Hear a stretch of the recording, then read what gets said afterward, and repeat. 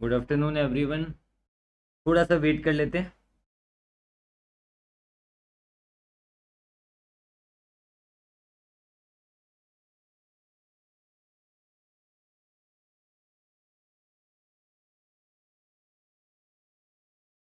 निखिल जी कह रहे अब आ जाओ, सर। आ तो गया मैं। एक मिनट भी इंतज़ार नहीं होता। है ना? तो नमस्ते एवरीवन और आज हम डिस्कस करेंगे फॉरेक्स का रिवीजन करेंगे। बहुत ही अच्छी तरीके से फॉरेक्स के सारे कंसेप्ट अभी हम रिवाइज करेंगे। और जो जो इंपॉर्टेंट क्वेश्चन है टफ क्वेश्चन है, वो भी मैं आपको लास्ट में हम क्वेश्चन भी वो सारे देख लेंगे। एंड बहुत अच्छी तरीके से पहले बेसिक्स में आपका सिंप्लीफाई करवा दूँगा। एंड फाइनली एंड में आपको लगेगा कि फॉरेक्स काफ़ी ज़्यादा ईजी है। एंड लिटरली मैं बता रहा हूँ फॉरेक्स बहुत ईजी है। पता नहीं अननेसेसरी इसको एक होता है ना टफ बना के रखा हुआ है। ऐसा बिल्कुल भी नहीं है। आप अगर अपना बेसिक्स अच्छा रखोगे, है ना? बेसिक्स आई मीन बेडास्क और कन्वर्सन और अप्रिसिएशन डेप्रिसिएशन अपना बेसिक को अपना स्ट्रॉन्ग रखोगे ना आई कैन गारंटी कि फॉरेक्स आपको बहुत ईजी लगेगा। और मैं अगर पर्सनल लेवल पे बात करूँ तो मुझे सबसे ज़्यादा अच्छा चैप्टर पढ़ा के लगता है अगर कोई तो वो है फॉरेक्स और आप देखना भी, जिसने भी मेरे से क्लास ली हुई उन्होंने देखा भी होगा कि मैं सबसे पहला चैप्टर फॉरेक्स ही पढ़ाता हूँ। आप सोचिए, हर टीचर वही चैप्टर सबसे पहले उठाता है जिसमें उसे ग्रिप है है ना? जिसमें उसे लगता है कि हाँ कॉन्फिडेंस रहता है कि यह चैप्टर मैं बहुत अच्छे से संभाल लूँगा। तो मुझे फॉरेक्स में लगता है। मतलब बाकी सब भी ठीक है, पर फॉरेक्स में मुझे मज़ा आता है। मुझे लगता है कि हाँ ये चैप्टर मैं आराम से संभाल लूँगा एंड आराम से बच्चे का एक होता है ना, सभी चीज़ें मैं क्लियर कर दूँगा। तो वो वो मतलब एक होता है ना, वो मतलब वो फीलिंग आनी चाहिए कि हाँ फॉरेक्स मतलब ईजी है। तो जैसे मुझे फीलिंग आती है कि फॉरेक्स ईजी है, वैसे ही आपको भी वो फीलिंग आनी चाहिए। प्रतीक जी, आपका नाम भी प्रतीक है, मेरा भी नाम प्रतीक है, पर आप क्या कर रहे हो? ये लाइव ड्यूरेशन लाइव ड्यूरेशन का चैट भर दे रहे हो आप यहाँ पर। आप अगर ऐसे चैट भरोगे, मैं सच में कुछ बताऊँगा ही नहीं वहाँ पर। स्टार्ट किया, शुरू किया, हमें नहीं पता, है ना? ऐसा थोड़े ना कुछ है कि मतलब मैंने सब रट के आया हूँ मैं, कि ये ये ये ये करूँगा, इतना इतना टाइम लगेगा। कैसे पता चलेगा अभी लाइव ड्यूरेशन कितना होना है? अभी मैं खुद आपके साथ साथ पढ़ा रहा हूँ, मैं थोड़ा कुछ रट के आया हूँ। तो रटा रटा है तो कुछ है नहीं, कि एक स्क्रिप्ट बना हुआ है मूवी देखने जा रहे स्क्रिप्ट बना हुआ ऑलरेडी वो स्क्रिप्ट पढ़ना है, आधा घंटा लगेगा, चार घंटा लगेगा, बस हाँ मैं बता दूँगा। ऐसे कैसे बता दूँ मैं आपको? तो ड्यूरेशन एक बार कोशिश करेंगे, जितना कम टाइम लगे। आप चाहते हो कि मैं उड़ा उड़ा के दो घंटे में ड्यूरेशन खत्म कर दूँ? ये तो कोई बात नहीं हुई ना। तो ऐसे मत थोड़ा सा समझो मतलब आप लोग के लिए आए हूँ, आप लोग की सारी चीज़ें क्लियर करूँगा। तो भी पहले से ड्यूरेशन पूछ लोगे तो कैसे चलेगा, बताओ? हाँ ऐसे बोलने का मैं ऐसे बोल दूँगा, चार घंटा, पाँच घंटा लगेगा। ठीक है, उतना ही लगेगा आसपास। पर एक, समझो आप, ये चीज़ मत पूछो, आप लोग का लॉस होगा, मेरा कोई लॉस नहीं होगा। फिर क्या होगा पता मैं आपको कोई कमिटमेंट कर दूँगा, चार घंटे पढ़ाऊँगा। एंड तीन घंटे क्या देखिएगा आप तो एक घंटा बचा हुआ तो मैं उड़ा उड़ा के पढ़ाऊँगा। मज़ा आएगा, आपको नहीं आएगा ना? तो बेटर है, ये सब मत पूछो अच्छा नहीं लगता ना? कोई बात नहीं, प्रतीक जी, बस अब मन लगा के पढ़ो ड्यूरेशन वगैरह की बात मत करो, ठीक है? कोई नहीं, और हाँ जेनम जी, कोई बात नहीं, आपको तो अभी पता चल ही चुका है। एंड हम आराम से करते हैं। तो चलो ठीक है। सो so, अभी आई थिंक सभी कोई आ गए हैं और फॉरेक्स के लिए आप तैयार हो आप रेडी हो मज़ा आएगा। सीरियसली मज़ा आएगा फॉरेक्स का रिवीजन एंड में। मैं गारंटी देता हूँ बोलोगे सर मज़ा आ गया फॉरेक्स करके और एग्ज़ाम के लिए आप पूरा कॉन्फिडेंट हो जाओगे एकदम। एकदम अच्छी तरीके से कॉन्फिडेंट हो जाओगे। और यहाँ पर लिखा है फॉरेक्स के इनडायरेक्ट कोड मैं बता दूँगा वो सारी चीज़ें आई एस कोड्स वगैरह रहते हैं वो सारी चीज़ें यहाँ पर यस जी कवरअप हो जाएगी। टेंशन की कोई बात नहीं है। हाँ ट्यूशन के बारे में कोई नहीं पूछेगा, बहुत अच्छी बात। सही है। हाँ चलो ऋषभ जी, अच्छी बात है। हाँ करेंसी ऑप्शन के क्वेश्चन भी एक्सप्लेन कर दूँगा। चलेगा। अरे, सब कुछ मिलेगा यहाँ पर? टेंशन की कोई बात ही नहीं है। नमस्कार सी क्लब जी, कल भी आप मिले थे, आज भी आप मिलो सागर जी, नमस्ते फ्रॉम इंडिया आप नेपाल से हो। और फिर, आगे, चलो तो फिर लेट स्टार्ट हाँ स्टार्ट करते हैं अभी हम। फॉरेक्स का लाइव रिवीजन आई थिंक सभी कोई आ चुके हैं और सभी कोई अभी लाइव है है ना? तो आप आज जो आराम से मेरी बात सुनना, देखो 1.5x वगैरह सब भूल जाओ। मेरे साथ साथ रहोगे तो आज मेरे साथ साथ खत्म भी हो जाएगा फोर एक्स आपका, है ना? तो अब ये सोचिए, अभी हम साथ साथ पढ़ाई करेंगे, खत्म कर लेंगे। बाद में रिकॉर्डेड में क्या पता देखोगे, आज थोड़ा देखोगे, कल थोड़ा देखोगे, परसों थोड़ा देखोगे, क्या मतलब है? मेरे साथ एक शॉर्ट में खत्म कर दो ना तो वो सारी चीज़ें अभी हम करते हैं। और अभी हम सिर्फ़ फॉरेक्स की बात करेंगे। मैं चैट सेक्शन आप सभी का पढ़ने वाला हूँ तो आप कृपा करके एफ़ की बात ना कीजिएगा और एसएफएम में भी दूसरे चैप्टर की बात ना कीजिएगा। अभी हम सिर्फ़ और सिर्फ़ फॉरेक्स फॉरेक्स में मन लगाएँगे। एकदम शिद्दत से फॉरेक्स को प्यार करेंगे अभी हम, ठीक है? सभी कोई फॉरेक्स को प्यार करेगा अभी। तो देखिए, सबसे पहले हम बेसिक्स की बात करेंगे। बेसिक्स में मैं आपको क्लियर कराने वाला हूँ। एप्रिसिएशन डाप्रिसिएशन बिडास्क और कन्वर्सन ये तीन चीज़ों को अगर हम अच्छे से समझ लेना मैं बता रहा हूँ, सारे क्वेश्चन आपको पानी लगेंगे, बहुत ही ज़्यादा ईजी लगेंगे। तो ये कंसेप्ट में थोड़ा सा समय लूँगा, उसके बाद जैसे ये कंसेप्ट क्लियर हो जाएगा, उसके बाद बाकी के कंसेप्ट में ज़्यादा समय नहीं लगेगा। तो यहाँ पर मैं थोड़ा सा आराम से आपको रिवाइज करा दूँगा, और ये होने के बाद आगे बहुत आसान लगेगा। तो देखिए, सबसे पहले अगर हम बात करें रुपी पर डॉलर फिफ्टी इसका मतलब क्या है? ये जो लिखा हुआ है रुपी बाय डॉलर फिफ्टी इसका मतलब होता है रुपी पर डॉलर फिफ्टी यानी रुपी कितना लगेगा पर डॉलर का? एक डॉलर का पचास रुपए लगेगा। पर डॉलर यानी वन सिंगल डॉलर जैसे मैं बोलूँगा ना, रुपी पर मैंगो दस रुपए, है ना? यानी एक मैंगो का दाम दस रुपया। रुपी पर कैलकुलेटर सेवेंटी मतलब एक कैलकुलेटर का प्राइस सेवेंटी है। वैसे रुपी पर डॉलर फिफ्टी यानी वन डॉलर अगर आपको खरीदना है, या फिर आपको वन डॉलर बेचना है तो आपका पचास रुपया लगेगा। वन डॉलर खरीदना, पचास रुपया लगेगा वन डॉलर बेचोगे, पचास रुपया मिलेगा मिलेगा। यानी रुपी पर डॉलर यानी one dollar equivalent to fifty rupees है ना? ये हमने समझ लिया अच्छी तरीके से, जैसे मैंने कैलकुलेटर का एग्जांपल लिया। अब देखो रुपी पर डॉलर इक्वल फिफ्टी होगा, इसका मतलब क्या one dollar equivalent to rupees fifty यानी एक डॉलर का दाम पचास रुपया, है ना? तो वैसे हम ये भी निकाल सकते कि एक रुपया का दाम फिर कितना होगा? अगर एक डॉलर का दाम पचास रुपया होगा तो एक रुपया का दाम होगा one by fifty dollar simple सी बात है। यानी पॉइंट ज़ीरो टू डॉलर आएगा। ऐसे मतलब वन डॉलर अगर पचास रुपया है तो वन रुपी होगा वन बाय फिफ्टी पार्ट है ना? उसके पचास हिस्से के एक हिस्से होंगे। तो one dollar equal one by fifty यानी पॉइंट ज़ीरो टू डॉलर हो जाएगा। तो चलिए, ये हमने देखा, आराम से हमने समझा कि किस तरीके से करेंसी का इंटरप्रिटेशन किया जाता है। अब सबसे इंपॉर्टेंट चीज़ मैं आपको समझाऊँगा करेंसी अप्रिशिएशन डाप्रिशिएशन ध्यान देना यहाँ पर बहुत ही ज़रूरी चीज़ है। देखो रुपी पर डॉलर मान लो सत्तर रुपया चल रहा है। अच्छे से ध्यान देना, सब कुछ आसान लगने वाला है। रुपी पर डॉलर सत्तर चल रहा है यहाँ पर। मतलब क्या, एक डॉलर का दाम सत्तर रुपया चल रहा है।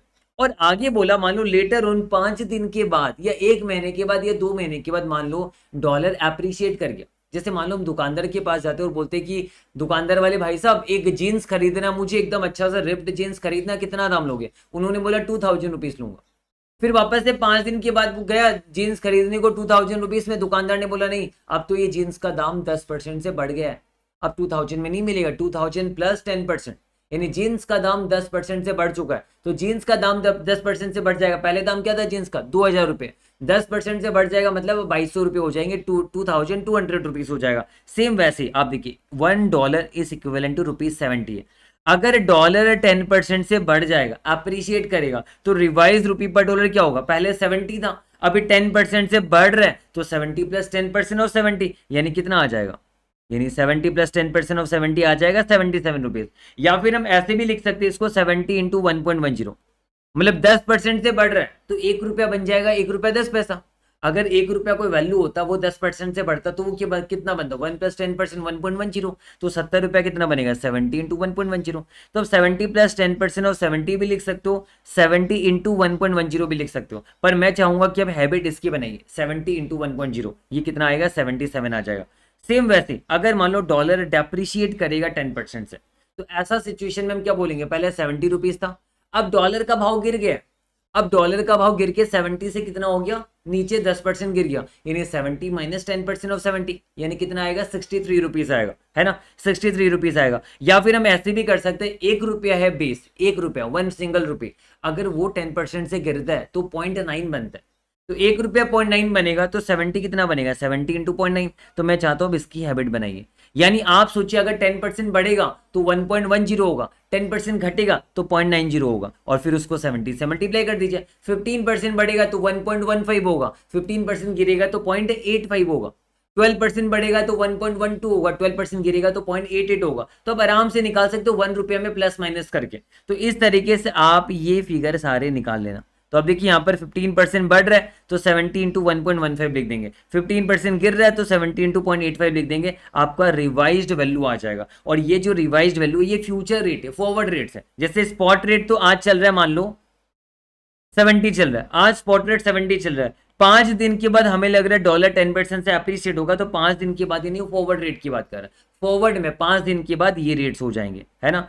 ये फाइव डेज़ फॉरवर्ड ये रेट हो जाएँगे हमारे। तो ये हमने एप्लीकेशन सीखा, पर ऐसा भी तो हो सकता है कि देखो यहाँ पर रुपी पर डॉलर सेवेंटी दिया हुआ है। यानी ये कोड किसका दिया हुआ आपको समझना है, ये वन डॉलर की बात कर रहा है।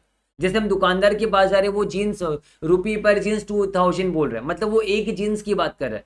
तो जीन्स अप्रिशिएट होगा तो सीधा टू थाउज़ेंड में अप्रिशिएशन लगा दोगे। जीन्स अप्रिशिएशन होगा तो सीधा टू थाउज़ेंड में अप्रिशिएशन लगा दोगे। वैसे ये डॉलर की बात कर आप देखो सब जगह पे डॉलर है। तो डॉलर अप्रिशिएट या डेप्रिशिएट होगा तो सीधा हम सेवेंटी में लगा सकते हैं, कोई प्रॉब्लम नहीं है। पर प्रॉब्लम क्या है कि मान लो फॉर एग्जांपल ऐसा हुआ कि रुपी अप्रिसिएशन डेप्रिशिएशन बता रहे तो हम क्या करेंगे? तो आप देखो, यहाँ पर अगर मान लो रुपी पर डॉलर सेवेंटी है मतलब वन डॉलर इक्वल सेवेंटी होगा, है ना? One dollar equal into rupee seventy यानी कहने का मतलब होगा वन रुपी इक्वल कितना होगा? वन बाय सेवेंटी डॉलर होगा। One rupee equal one by seventy dollar अब मान लो पाँच दिन के बाद रुपया अप्रिशिएट करता है दस परसेंट से। तो ये तो थोड़ा सा लंबा प्रोसेस है, मैं शॉर्टकट बताऊँगा आपको, वही आपको एग्ज़ाम में रखना है, ठीक है? तो यहाँ पर अब मेरी बात सुनिए, अगर रुपया अप्रिशिएट करेगा तो पहले मुझे रुपया को बेस में लाना पड़ेगा। मुझे जानना पड़ेगा वन रुपया इक्वल कितना डॉलर हो रहा है। तो मैंने देखिए, पहले रुपया को बेस में लाया, वन रुपया equivalent to one seventy dollar one by seventy dollar और अब अगर रुपया दस परसेंट से बढ़ेगा तो इसी में मैं टेन परसेंट अप्रिशिएट कर दूँगा, या फिर इस पर मैं मल्टीप्लाइड पे वन पॉइंट वन ज़ीरो लिख दूँगा। समझ में ये दोनों में कर सकता हूँ। ये करके मैं रिवाइज डॉलर पर रुपये निकालूँगा, है ना? क्योंकि आप देखिए, यहाँ पर आपने क्या किया? इसका ये क्या, ये डॉलर पर रुपये क्योंकि वन रुपये इक्विवेलेंट कितना डॉलर आपने निकाला?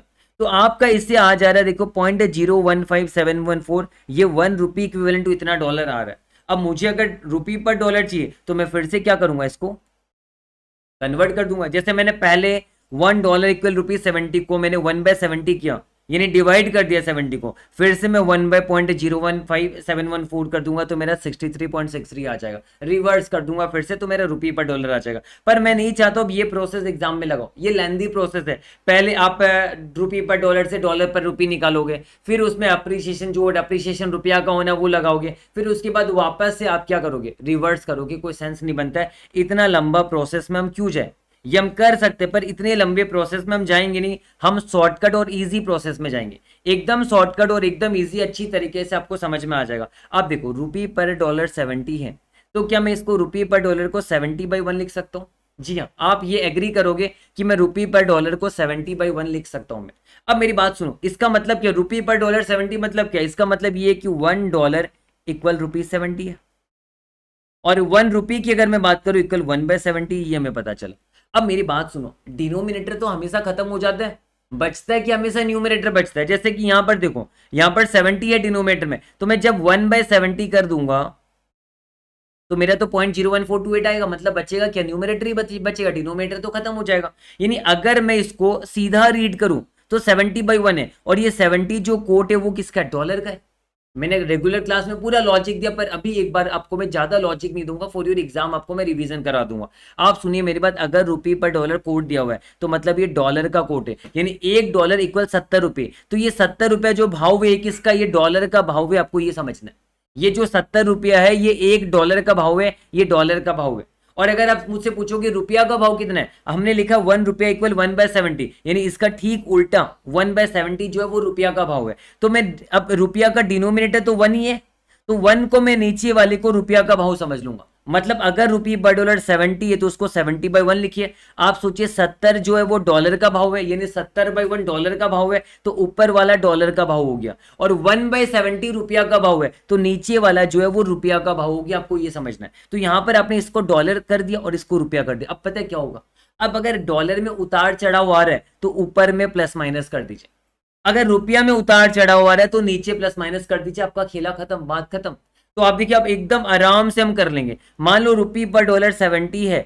यानी इस रुपी पर डॉलर सेवेंटी का मतलब क्या है? इसका मतलब है सेवेंटी बाई वन और मैंने कहा ना, सत्तर रुपया जो है, ये डॉलर का भाव है, और वन बाय सेवेंटी रुपया का भाव है। तो अगर मान लो, पहले वाले में बोला कि डॉलर अप्रिशिएट करेगा टेन परसेंट से, किसकी बात कर रहा है? डॉलर डॉलर का भाव क्या ये वाला। तो ऊपर न्यूमिनेटर को दस परसेंट से बढ़ा दो। है ना? तो 70 को देखो 70 बाई वन को मैंने प्लस टेन परसेंट कहा किया? ऊपर किया। और या फिर ऊपर into one point one zero कर दो। वन रुपी बनेगा वन पॉइंट वन ज़ीरो क्योंकि टेन परसेंट अगर अप्रिशिएट होगा तो ऊपर वाले का भाव मैंने बढ़ा दिया। है ना? अब देखिए डॉलर अगर डेप्रिशिएट होगा तो मतलब गिराना है। डॉलर कौन सा? ऊपर वाला न्यूमिनेटर अगर मुझे गिराना है तो ऊपर वाले सेवेंटी को माइनस टेन परसेंट कर दो। या सेवेंटी को इंटू पॉइंट नाइन ज़ीरो कर दो। है ना? सेवेंटी को पॉइंट नाइन ज़ीरो कर दो, आपका सिक्सटी थ्री आ जाएगा। लेकिन सोचो, अगर रुपया का बात कर रहे हैं रुपया अप्रिशिएट हो रहा है, या रुपया डिप्रिशिएट हो रहा है तो रुपया का भाव ये क्या वन बाय सेवेंटी नीचे वाला रुपया का भाव है। रुपी पर डॉलर में नीचे वाला रुपया का भाव है। तो आपको नीचे डिनोमिनेटर में आपको क्या करना है एडजस्टमेंट करना है। अगर रुपया अप्रिशिएट हो रहा है तो नीचे ऐड करोगे अप्रिशिएट यानी बढ़ रहा है, क्योंकि नीचे वाला रुपया का भाव है और रुपया बढ़ रहा है। है ना? तो रुपया बढ़ेगा तो नीचे वाले को प्लस कर दो या फिर नीचे वाले को 1.10 से मल्टीप्लाई कर दो। है ना? प्लस कर दिया हमने यहाँ पर। तो मेरा आंसर आ गया, देखो 70 डिवाइडेड 1.10 63.63 आ गया मेरे यहाँ पर। सिंपल है seventy divided by one plus ten percent मैंने नीचे कर दिया। वही अगर मान लो रुपया डेप्रीशिएट हो रहा है दस परसेंट से, और ये नीचे वाला भाव रुपया का है, और नीचे वाले को मैं माइनस कर दूँगा डेप्रीशिएट यानी माइनस करना है, यानी आप समझिए अप्रिशिएट यानी प्लस करना है। डेप्रीशिएट यानी माइनस करना अप्रिशिएट यानी मल्टीप्लाई करोगे 1.10 10 परसेंट अप्रिशिएट होगा तो। अगर 10 परसेंट अप्रिशिएट होगा तो मल्टीप्लाई करोगे पॉइंट नाइन ज़ीरो से। ये हमने समझ में आ गया। अब कहाँ करें? अगर डॉलर की बात करें तो ऊपर में करना। अगर रुपया की बात करें तो नीचे करना। बस बात खत्म। इतना अगर आप कर लोगे तो आराम से आपको समझ में आ जाएगा। एक और एग्जांपल मैं आपको करा दे रहा हूँ ताकि आपका फटाफट से रिवीजन हो जाए। यहाँ पर थोड़ा सा समय दे रहा हूँ क्योंकि यहाँ पर अच्छे से समय दोगे, आगे परेशानी नहीं आएगी। देखिए डॉलर पर पाउंड है वन है ना, ये डॉलर पर पाउंड है आपका। तो ये आपका 1.5067 बाई वन में लिख सकता हूँ, क्योंकि नीचे वाला वन तो ऐसे भी कोई काम का नहीं, है ना? बाई वन में लिख सकता हूँ। अब देखो 1.5067 ये भाव किसका, एक पाउंड का भाव है। वन पाउंड इक्विवेलेंट टू इतना डॉलर यानी एक पाउंड का भाव जो है, ये one point five zero six seven है। तो ऊपर मैंने पाउंड लिख दिया। और वन बाई वन भाव किसका है? डॉलर का है। तो नीचे वाला डॉलर का भाव है। जो जिस चीज़ का कोड दिया हुआ वही ऊपर वाला न्यूमिनेटर का भाव होगा। तो 1.5607 किसका भाव है? पाउंड का भाव है। तो नीचे वाला किसका होगा? डॉलर का भाव हो जाएगा। अगर पाउंड अप्रिशिएट होगा, ऊपर प्लस कर देना। पाउंड अप्रिशिएट होगा, ऊपर माइनस कर देना। अगर डॉलर अप्रिशिएट होगा तो नीचे प्लस करना। डॉलर अप्रिशिएट होगा तो नीचे माइनस कर देना। बस बात खत्म। तो यहाँ पर अब देखिए पाउंड मेरा छह परसेंट से बढ़ रहा है। पाउंड मेरा छह परसेंट से बढ़ रहा है तो ऊपर वाले में हम प्लस करेंगे। कितना? प्लस सिक्स परसेंट कर दो, या फिर into one point zero six कर दो। One plus six percent one point zero six ही तो होता है तो ऊपर वाले में एडजस्ट कर दो। फिर वापस से देखो पाउंड डेप्रीशिएट हो रहा है तो ऊपर वाले में माइनस कर दो, या ऊपर वाले इंटू पॉइंट नाइन टू कर दो, है ना? वन में छह परसेंट एट परसेंट है। वन में एट परसेंट माइनस होगा तो पॉइंट नाइन टू आएगा। तो ऊपर वाले में मैंने एडजस्ट किया। पर दो बार देखो, यहाँ पर डॉलर डॉलर है। डॉलर बढ़ेगा या डॉलर घटेगा तो नीचे हमें एडजस्ट करना है। तो बढ़ रहा है तो नीचे प्लस करेंगे या into one point zero four कर देंगे क्योंकि फोर परसेंट से बढ़ेगा तो into one point zero four होगा। अगर नाइन परसेंट से गिरेगा तो नीचे वाला वन माइनस नाइन परसेंट कर दो या फिर नीचे वाले को नाइन परसेंट से घटाओगे तो कितना आएगा? पॉइंट नाइन वन ही तो आएगा। तो one into point nine one आ गया हमारा और हमारा आंसर आ जाएगा इस तरीके से आराम से। इसका आंसर मैंने निकाला नहीं है, आप बाद में आपको नोट्स मिल जाएगा, इसका आंसर निकाल देना, बस इसको मल्टीप्लाई करके। आपका आंसर आ जाएगा यहाँ पर। तो देखिए एप्रिसिएशन डेप्रिसिएशन एकदम सिंपल है, कोई दिक्कत वाली बात नहीं, एकदम सिंपल सा फंडा है एप्रिसिएशन डेप्रिसिएशन अब आपको ये समझ में आया होगा कि मेरी बात एक और चीज़ सुनिए, अगर मान लो रुपी पर डॉलर है सेवेंटी अगर डॉलर अप्रिशिएट हुआ तो ऑब्वियस सी बात है रुपया गिरेगा, क्योंकि इनवर्स रिलेशन होता है। देखो रुपी और डॉलर अगर हम बोलेंगे कि डॉलर का भाव बढ़ गया अगेंस्ट रुपी मतलब रुपया वीक हो गया अगेंस्ट डॉलर तो आपको ये समझना है कि अगर डॉलर बढ़ता है तो रुपया गिरता है और अगर डॉलर गिरता है तो रुपया बढ़ता है। ये ऑपोजिट रिलेशनशिप होते हैं। यहाँ पर आपको ये समझना मतलब अगर रुपया अप्रिशिएट होगा अगेंस्ट डॉलर तो डॉलर डेप्रिशिएट होगा अगेंस्ट रुपये। But not at the same rate वो मैं आपको समझाऊँगा कि कैसे। सेम रेट में नहीं होता। अगर मान लो रुपया दस परसेंट से बड़ा है तो डॉलर ज़रूरी नहीं कि दस परसेंट से ही गिरेगा। डॉलर कुछ और परसेंट से गिरेगा, उसका मैं डिफरेंस आपको मैं समझाऊँगा कि इसके पीछे का क्या लॉजिक है। पर आप मुझे एक बार बताओ कि क्या आप अप्रिशिएशन डाप्रिशिएशन आप संभाल लोगे आराम से? कमेंट करके मुझे फटाफट से बताना रुपी पर डॉलर या फिर डॉलर पर पाउंड या फिर कुछ भी दे, जैसे येन पर पाउंड दे दिया। पाउंड अप्रिशिएट या डेप्रिशिएट होगा? येन पर पाउंड में कोड किसका पाउंड का? तो ऊपर वाले में पाउंड का अप्रिशिएशन डेप्रिशिएशन एडजस्ट करोगे। और अगर येन होगा तो येन का अप्रिशिएशन डेप्रिशिएशन नीचे वाले में हम एडजस्टमेंट करेंगे। बस इतना ही आपको ध्यान में रखना है। आपका आराम से कभी आपको उल्टा रिवर्स करने की, ये सब करने की कोई आवश्यकता ही नहीं पड़ेगी। और जिसने रेगुलर क्लास के उसको तो अच्छे से लॉजिक भी समझ में और डिटेल में हमने बात भी की अच्छी तरीके से। तो आई थिंक आपको ये अच्छे से समझ में आ गया, कोई प्रॉब्लम वाली बात नहीं है। अब जैसे कि मैंने आपको ये समझाया, चलो, बहुत ही अच्छी बात है, सबको यस सर कह रहे क्रिस्टल क्लियर हो गया, बहुत ही अच्छी बात है। क्योंकि यहाँ पर एक बार हमारा क्लैरिटी आ जाएगा, आगे हमें कोई परेशानी नहीं आने वाली है। ठीक है, और ये नोट्स आप प्रिंट आउट करा लीजिएगा। आपको टेलीग्राम में क्लास खत्म होने के बाद मिल जाएगी, और इसे प्रिंट आउट करा के अच्छी तरीके से जहाँ जहाँ ज़रूरत है, वहाँ प्रैक्टिस भी कर लीजिएगा। चलो, लक्ष्मी जी, बहुत ही अच्छी बात है, आप सी बन गए, बहुत अच्छा लगा सुन के। कॉन्ग्रेचुलेशन और फिर आगे हम बढ़ते, चलो। अब आगे हम वापस से बढ़ते कि एग्ज़ाम्पल मैं आपको समझाता हूँ। मेरी बात ध्यान से सुना मान लो मैंने एक सौ रुपया का बेस लिया हंड्रेड रुपीज़ का मैंने एक बेस लिया है। अब हंड्रेड रुपीज़ अगर मान लो टेन परसेंट से बढ़ेगा हंड्रेड रुपीज़ अगर मान लो टेन परसेंट से बढ़ेगा तो हंड्रेड टेन होगा, है ना? तो मैंने क्या किया पहले हंड्रेड पे टेन परसेंट बढ़ाया तो वो कितना बना? हंड्रेड टेन बढ़ा। हंड्रेड टेन हो गया। अब आप बोलोगे, सर, ठीक है, आप इस बार क्या करो? माइनस टेन परसेंट कर दो तो वापस से हंड्रेड आ जाएगा। क्या आएगा? देखो अब हंड्रेड में मैंने टेन परसेंट अप्रिसिएशन किया। तो हंड्रेड टेन आ गया। अब मैं वापस हंड्रेड टेन में टेन परसेंट अप्रिसिएशन कर रहा हूँ। तो देखिए, हंड्रेड नहीं आ रहा। हंड्रेड नहीं आ रहा, यही मुझे आपको समझाना है। आप एक बार टेन परसेंट बढ़ाओगे हंड्रेड पे तो हंड्रेड टेन आ जाएगा। फिर वापस से हंड्रेड टेन में आप टेन परसेंट घटाओगे तो नाइनटी नाइन आएगा, हंड्रेड नहीं आएगा। तो कहने का मतलब यही है कि जितना रेट से अप्रिसिएशन होता है उतना रेट से कभी भी डेप्रिसिएशन नहीं होता। देख लो चेक करके, कोई भी वैल्यू चेक करके देख लो। एक बार एक और वैल्यू में दिखा रहा हूँ आपको मैं। मान लो 500 है। 500 में मैं 10 परसेंट बढ़ाऊँगा तो 550 हो जाएगा। फिर 550 में मैं 10 परसेंट माइनस करूँगा तो 500 नहीं आने वाला। आप देख लो 500 में 10 परसेंट माइनस करूँगा तो क्या आएगा मेरा? 495 आएगा। ये आपको समझना है। तो मुझे ये चेक करना चाहिए कि कितना परसेंट कम करूँ?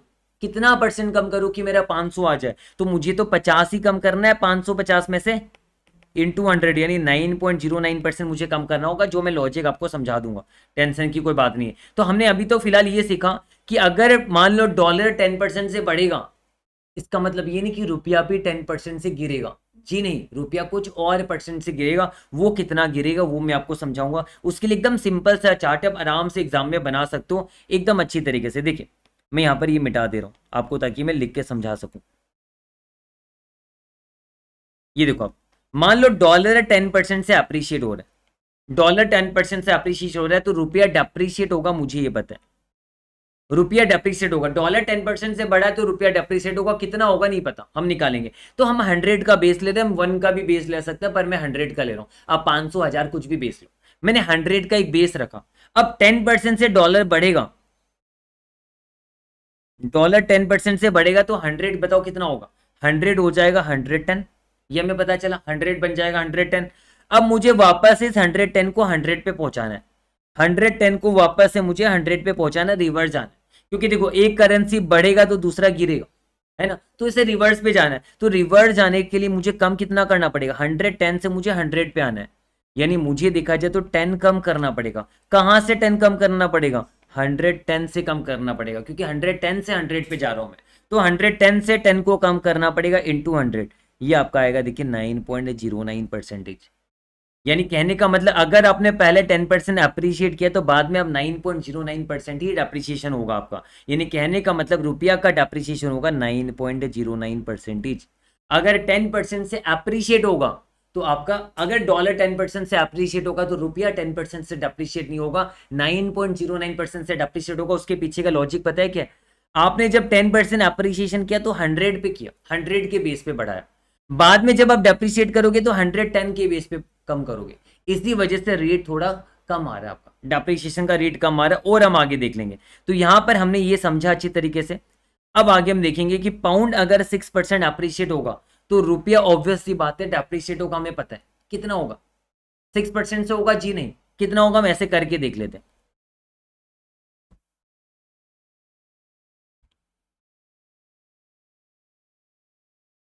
ये देखो। सिक्स परसेंट अगर अप्रिसिएशन होगा, किसमें? पाउंड में। तो ये बन जाएगा हंड्रेड सिक्स। यानी रुपया गिरेगा, रुपया को फिर हंड्रेड सिक्स से मुझे हंड्रेड पे पहुंचाना है। मुझे सिक्स गिराना है। कहाँ से गिराना है? हंड्रेड सिक्स से गिराना है, क्योंकि हंड्रेड बन चुका है, हंड्रेड सिक्स। अब मुझे हंड्रेड सिक्स से गिराना है इंटू हंड्रेड कर दूँगा मैं। तो मेरा आ जाएगा कितना? Six divided one point zero six direct कर सकता हूँ मैं। Five point six six percentage यानी रुपया five point six six percentage गिरेगा। ये आपको समझना है यहाँ पर। आई होप आपको ये समझ में आ गया अच्छी तरीके से। नेक्स्ट देखिए, इस बार सिंगापुर डॉलर पाँच परसेंट से गिर रहा है। तो पूछा अगेंस्ट डॉलर तो डॉलर क्या होगा? बढ़ेगा। अगर सिंगापुर डॉलर गिर रहा है तो डॉलर हमारा क्या होगा? बढ़ेगा। कितना बढ़ेगा वो हम देख लेते हैं। अब देखो, पाँच परसेंट से अगर ये गिरेगा एस तो हंड्रेड का बेस है और पाँच परसेंट गिर जाएगा तो बढ़ नहीं रहा, गिर रहा है। तो हंड्रेड से फाइव परसेंट गिरेगा तो ये नाइन्टी फाइव बनेगा। अब मुझे वापस से बेस हंड्रेड पे पहुँचना है। तो इस बारी नाइन्टी फाइव से हंड्रेड यानी फाइव बढ़ाना है, पर कहाँ से बढ़ाना है? नाइन्टी फाइव से बढ़ाना है। यानी इंटू हंड्रेड कर दूँगा तो मेरा आ जाएगा कितना? Five divided five hundred divided ninety five direct कर दे रहा हूँ।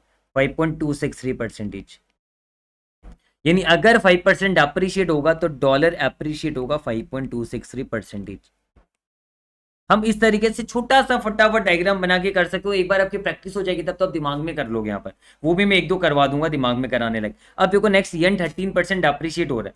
तो येन अगर थर्टीन परसेंट अप्रिशिएट होगा तो हंड्रेड है। थर्टीन परसेंट गिरेगा तो ये बन जाएगा एटी सेवन अब मुझे वापस से हंड्रेड पे जाना है। यानी मुझे थर्टीन बढ़ाना है, कहाँ से बढ़ाना है? एटी सेवन से। इंटू हंड्रेड यानी thirteen hundred divided eighty seven fourteen point nine four percentage fourteen point nine four percentage ये क्या होगा? एप्रिसिएशन होगा। तो सिंगापुर डॉलर एप्रिशिएट होगा fourteen point nine four percentage ये हमने सीखा। अब मैं एक काम करता हूँ, फटाफट से आपको बिना डायग्राम बनाए भी एक बार आपको मैं फटाफट से एक क्वेश्चन करा देता हूँ। जहाँ पर डायग्राम नहीं बनाऊँगा, फटाफट मैं आपको बताऊँगा। देखो रुपी पर डॉलर की बात हो रही है। मान लो रुपी पर डॉलर सेवेंटी है। ठीक है? डॉलर अप्रिशिएट हो रहा है फिफ्टीन परसेंट से। रुपया हमारा डेप्रिशिएट होगा, हमें ये पता है। कितना होगा? देखो डॉलर अगर 15 परसेंट से अप्रिशिएट होगा तो 100 का बेस लोगे तो वो 115 बनेगा, है ना? 115 बनेगा। मुझे वापस से 100 पे आना है। मतलब मुझे 15 घटाना है। कहाँ से? 115 से घटाना है। इंटू हंड्रेड क्योंकि देखो 15 परसेंट अप्रिशिएट होगा तो 100 बन जाएगा 115 अब मुझे 115 पे 100 पे आना है। 115 से 100 पे आना है। तो मुझे 15 घटाना है। कहाँ से? 115 से घटाना है। तो 15 घटाना है 115 से आपका आंसर आ जाएगा। वापस से अगर अब मैं चलो ये वाला निकाल लो एक बार। Fifteen hundred divided hundred fifteen यार thirteen point zero four three percentage अब एक और लेता हूँ मैं। डॉलर डेप्रीशिएट हो रहा है नाइन परसेंट तो रुपया हमें पता है अप्रिशिएट होगा। कितना होगा? सोचो डॉलर डेप्रीशिएट हो रहा है नाइन परसेंट हंड्रेड का बेस रखोगे दिमाग में रखो। नाइन परसेंट अप्रिशिएट होगा तो नाइनटी वन बनेगा। अब नाइनटी वन से फिर हंड्रेड पे जाना है। यानी नाइन बढ़ाना है मुझे। कहाँ से बढ़ाना है? नाइनटी वन से। इंटू हंड्रेड क्योंकि डेप्रीशिएट होगा तो हंड्रेड बन जाएगा नाइनटी वन और अप्रिशिएट होगा तो हंड्रेड बन जाएगा हंड्रेड फिफ्टीन तो इसी से आपको अप्रिशिएशन डेप्रिशिएशन से पता चल जाएगा और आपका अल्टीमेटली ये भी आ जाएगा nine hundred divided by ninety one nine point eight nine percentage ये हमारा आ चुका है। अब मेरी बात ध्यान से सुनो। हम ये वाला भी लगाएँगे, या फिर ये वाला भी लगाएँगे आंसर सेम आएगा। देखो, ये डॉलर का एप्रिशिएशन है और जिससे हमने निकाला ये रुपया का डेप्रिसिएशन है। अब मैंने आपको सिखाया था रुपी पर डॉलर सेवेंटी है इसका मतलब सेवेंटी बाई वन और ये डॉलर का भाव है नीचे वाला रुपया का भाव है। तो आप देखो यहाँ पर अगर डॉलर फिफ्टीन परसेंट से अप्रिशिएट होगा तो मैं लिख सकता हूँ seventy by one plus fifteen percent ऊपर लिख दूँगा डॉलर का। और या फिर सेवेंटी बाई वन लिखा अब देखो रुपया कितना से गिर रहा है रुपया thirteen point zero four three percent से गिर रहा है तो रुपया का भाव तो नीचे वाला है ये रहा। तो नीचे वाला thirteen point zero four three percent से हमारा गिर जाएगा। तो अब इसका आंसर देखिए कितना आ रहा है। Seven into one point one five भी कर सकते हो आप सीधा।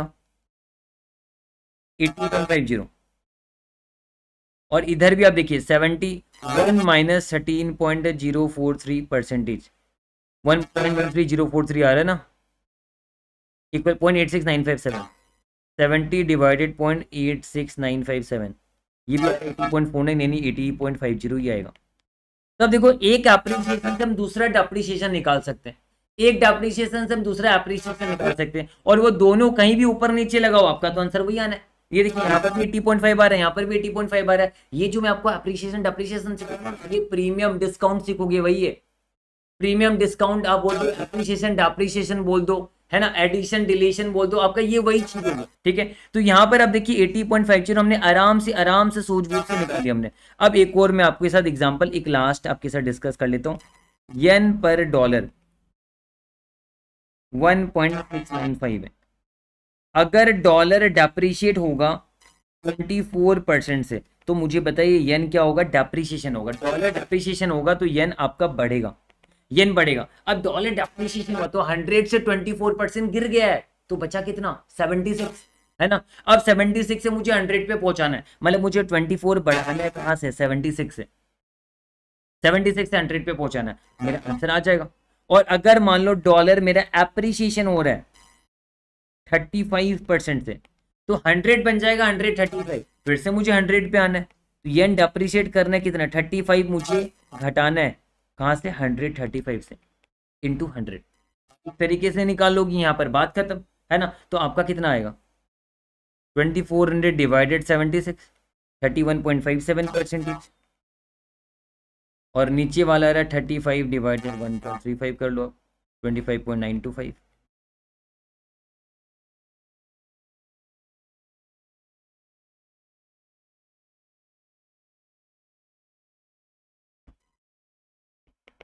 ये हमने निकाल दिया। अब मेरी बात सुनो अब इस पर कुछ भी लगाओ यहाँ पर देखो one point six nine five by one है ना? मैं चाहूँ तो डॉलर अगर ऊपर की बात करूँ मैं ऊपर वाले की बात करूँ डॉलर डेप्रिशिएशन हो रहा है डॉलर का भाव ऊपर है इसको माइनस ट्वेंटी फोर परसेंट कर दूँ। और या फिर one point six nine five by one है ना मैं चाहूँ तो येन को अप्रिशिएट कराना मुझे thirty one point five percent नीचे वाले को thirty one point five percent से अप्रिशिएट कर दो।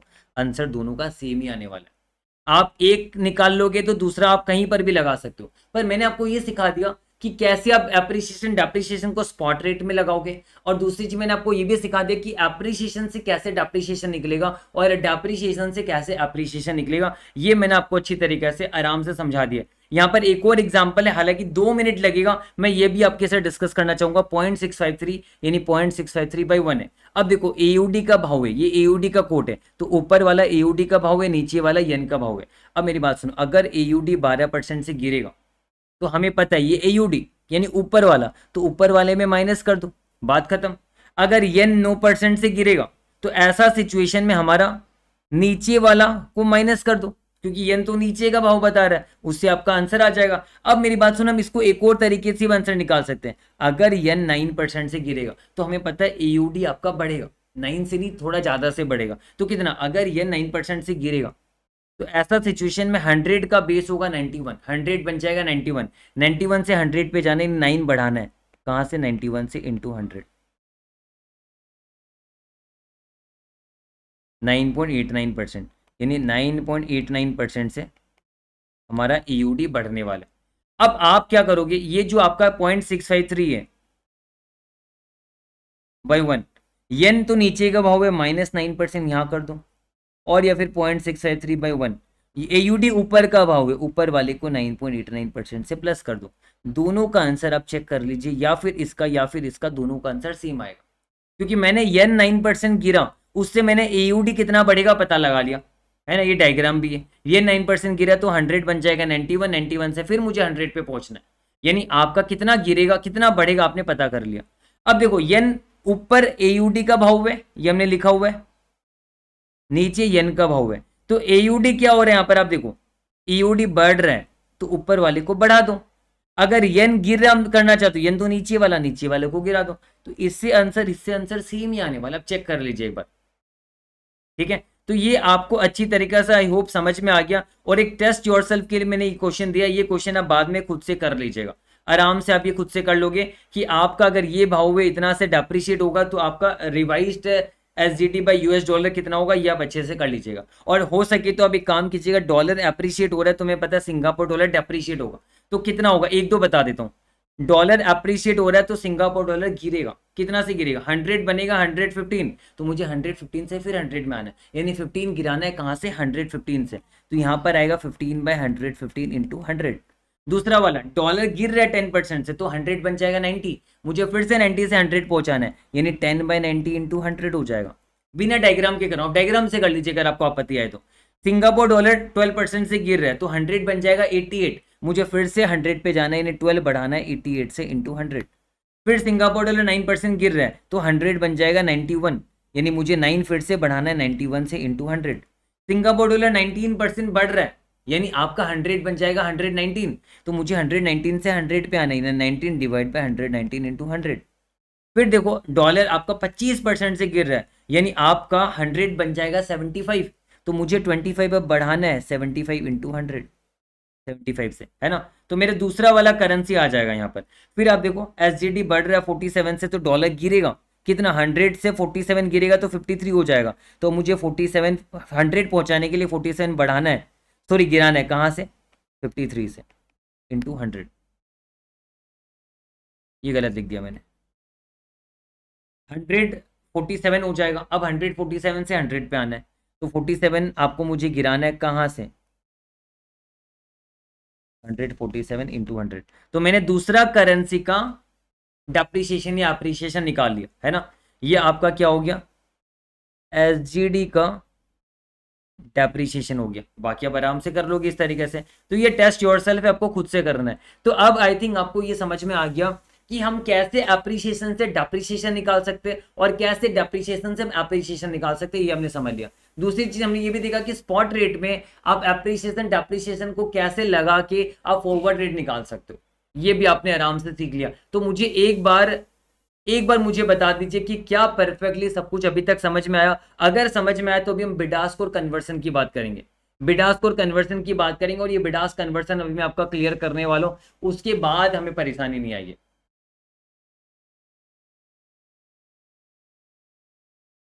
बताओ मुझे, फटाफट से एक बार मुझे फटाफट आप सभी कमेंट करके बताओ कि आपको ये समझ में आया ये पार्ट ये पार्ट अगर आपको अच्छे से समझ में आया तो ऐसा सिचुएशन में हम आगे बढ़ सकते हैं। नहीं समझ में आया तो मैं आगे नहीं बढ़ने वाला। सब कोई कमेंट करके बताइए, इतने सारे लोग लाइव हैं। सब कोई कमेंट करके बताइए कि अच्छे से समझ में आया क्या। कोई दिक्कत हो तो भी मुझे पूछ लीजिएगा। बीच में ऑडियो इशू हो रहा था अच्छा आई थिंक मोबाइल रखने की वजह से हो रहा हो। अब नहीं होगा ऑडियो का इशू मोबाइल रखने के कारण हुआ होगा आई थिंक अब ऑडियो का इशू नहीं आएगा। मैं इतनी देर एक बार पानी मंगवा लेता हूँ। गला सूख गया मेरा। अभी और किसी को ऑडियो इशूज नहीं है ना तो मुझे बता देना। चंदन जी, पढ़ लो। टाइम की बात मत करो। पढ़ लो पढ़ लो अच्छा रहेगा। पता है, जब पढ़ाता हूँ ना बीच में तो कोई टाइम की बात पूछता है ना अच्छा नहीं लगता मुझे। हेलो वो पानी का बोतल देने बोल देना ना।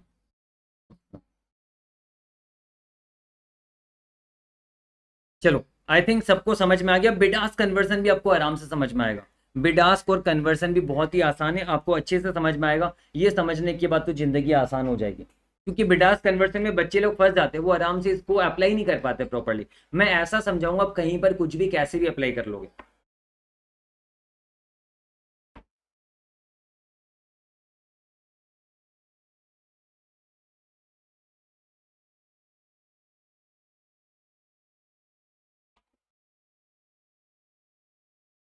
नेहा जी, वो एक ही चीज़ हो गया, जो आप पूछना चाहते हो।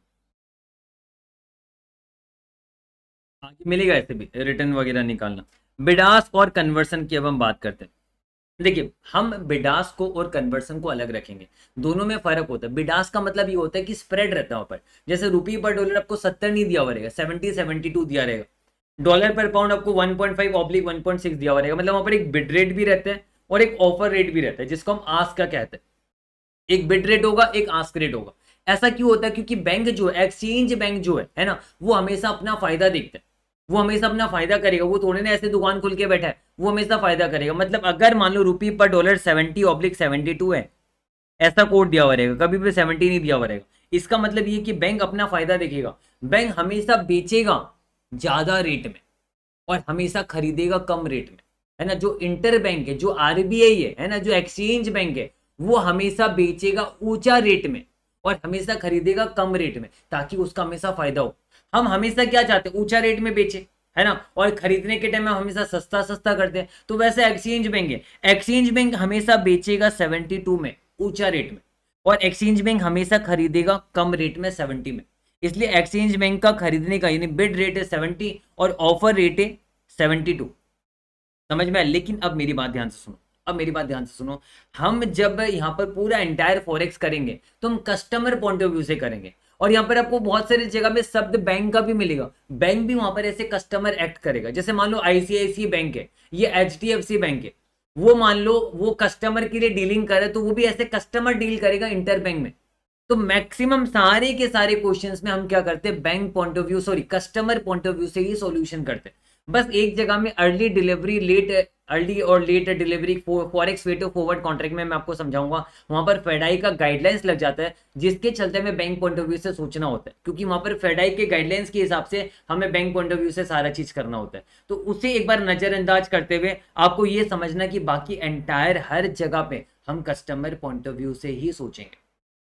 तो कस्टमर पॉइंट ऑफ़ व्यू से जो हम सोचेंगे, है ना, वहाँ पर भी मैं आपको बता दूँ कस्टमर पॉइंट ऑफ़ व्यू से सोचा जाएगा, बस वहाँ पर कुछ कुछ मार्जिन है, वो हम इग्नोर करते हैं, जो मैं आगे आपको समझा दूँगा। बट यहाँ पर आप ध्यान से सुनो कस्टमर यहाँ पर बैंक भी कस्टमर हो सकता है इंपोर्टर हो गया एक्सपोर्टर हो गया बोरोवर हो गया इन्वेस्टर हो गया, सबके सब कस्टमर होंगे यहाँ पर। और हमें सारा का सारा question customer point of view से करना है तो कस्टमर का हमेशा घाटा होगा। यानी कस्टमर जब भी एक्सचेंज में जाएगा, उसका नुकसान ही होगा। कस्टमर हमेशा महँगा में खरीदेगा, वो नहीं चाहेगा, पर उसके पास कोई उपाय नहीं मान लो आप आज यूएसए घूमने के लिए जाओगे और आपको डॉलर खरीदना पड़ेगा, क्योंकि वहाँ पर तो डॉलर चल, चलता है तो आपको ऊँचा रेट में ही डॉलर खरीदना पड़ेगा। और बाद में कल को आपके पास डॉलर बच गए ट्रिप से घूम के आने के बाद कुछ डॉलर बच गए तो वो डॉलर आप बेच दोगे, आपको नीचा रेट में ही डॉलर बेचना पड़ेगा। यानी आपको अपने दिमाग में ये डाल लेना एकदम फिट कर लेना है, जिसका कोट दिया हुआ है यानी उस चीज़ पे वो बैंक डील कर रहा है एक्सचेंज डील कर रहा है रुपये पर डॉलर यानी कहने का मतलब वो डील किस पे कर रहा है? डॉलर पे डील कर रहा है। समझ में रुपये में डील नहीं कर रहा है। रुपये पर डॉलर यानी एक डॉलर की बात कर रहा है। जैसे हम दुकानदार के पास जाते हैं जीन्स खरीदने को तो जीन्स में डील करते है, रुपया में डील नहीं करते वैसे यहाँ पर रुपये पर डॉलर में वो डॉलर पे डील कर रहा है। आपको डॉलर खरीदना है तो महँगा में खरीदना पड़ेगा सेवेंटी टू में खरीदना पड़ेगा। और अगर आपको डॉलर बेचना है तो सेवेंटी में बेचना पड़ेगा। मतलब मैं हमेशा रो रो के महँगा में खरीदूँगा और हमेशा रो रो के सस्ता में बेचूँगा, मेरे पास कोई उपाय नहीं है। तो कहने का मतलब अगर मैं एक डबल ट्रांजेक्शन कर लू, एक बार खरीदने बेचने का तो मेरा दो रुपया श्योर नुकसान है। मैंने सेवेंटी टू में खरीदा, रो रो के, बाद में बेचने को गया तो सेवेंटी में बेच पाया सेम डी में। तो मेरा सेम डी दो रुपया का नुकसान हो गया। है ना, अगर मैं स्क्वायर ऑफ़ करता हूँ तो। तो आई थिंक आपको ये समझ में आ गया कि कस्टमर का कस्टमर पॉइंट ऑफ़ व्यू से कस्टमर का बाइंग रेट क्या होगा? सेवेंटी टू रुपीज़ होगा। और कस्टमर का सेलिंग रेट क्या होगा? सेवेंटी रुपीज़ होगा।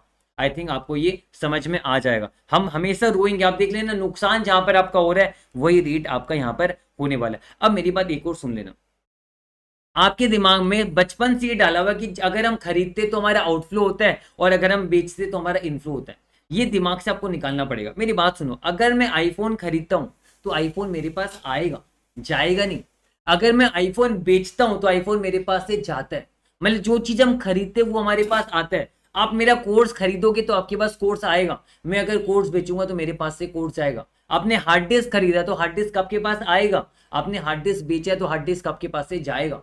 तो वैसा समझो, अगर मैं डॉलर खरीदता हूँ तो डॉलर मेरे पास आएगा कि जाएगा? अगर मैं डॉलर खरीदता हूँ तो डॉलर मेरे पास आएगा कि जाएगा? सोचो डॉलर खरीदूँगा तो डॉलर मेरे पास आएगा?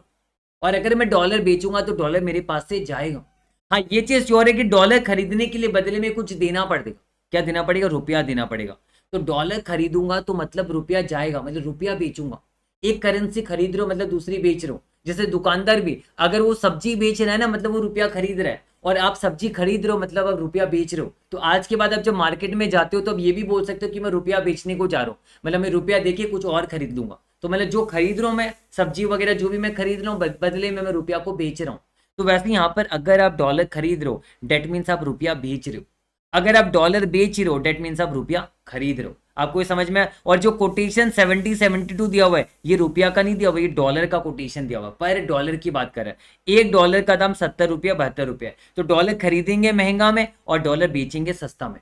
ये आपके दिमाग में फिट हो चुका आराम से, है ना? तो अब हम क्या करेंगे? हमने ये तो समझ लिया, अब हम क्या करेंगे? अब हम डिस्कशन करेंगे। जैसे डॉलर खरीदना है रुपये पर डॉलर कोड दिया हुआ है सेवेंटी सेवेंटी टू बताओ डॉलर खरीदना है तो किसमें खरीदेंगे? महँगा में खरीदेंगे। रो रो के हमेशा महँगा में खरीदेंगे। तो डॉलर खरीदना है तो महँगा में खरीदेंगे, डेट इज़ सेवेंटी टू में खरीदेंगे। सेवेंटी टू इज़ महँगा।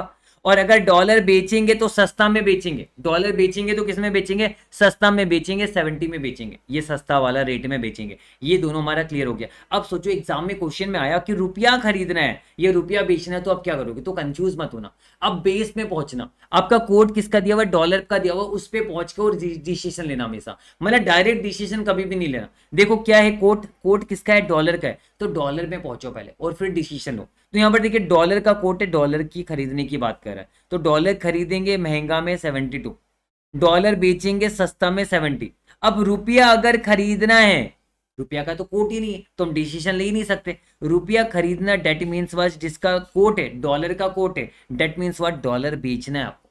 रुपया खरीदना है, यानी डॉलर को बेचना है। और डॉलर बेचेंगे किसमें? सस्ता में, यानी सेवेंटी आ गया हमारा। ठीक है? रुपया बेचना है। मतलब डॉलर का कोट दिया हुआ है ना मतलब डॉलर खरीदना है। और डॉलर खरीदेंगे किस पे? महँगा में यानी सेवेंटी टू।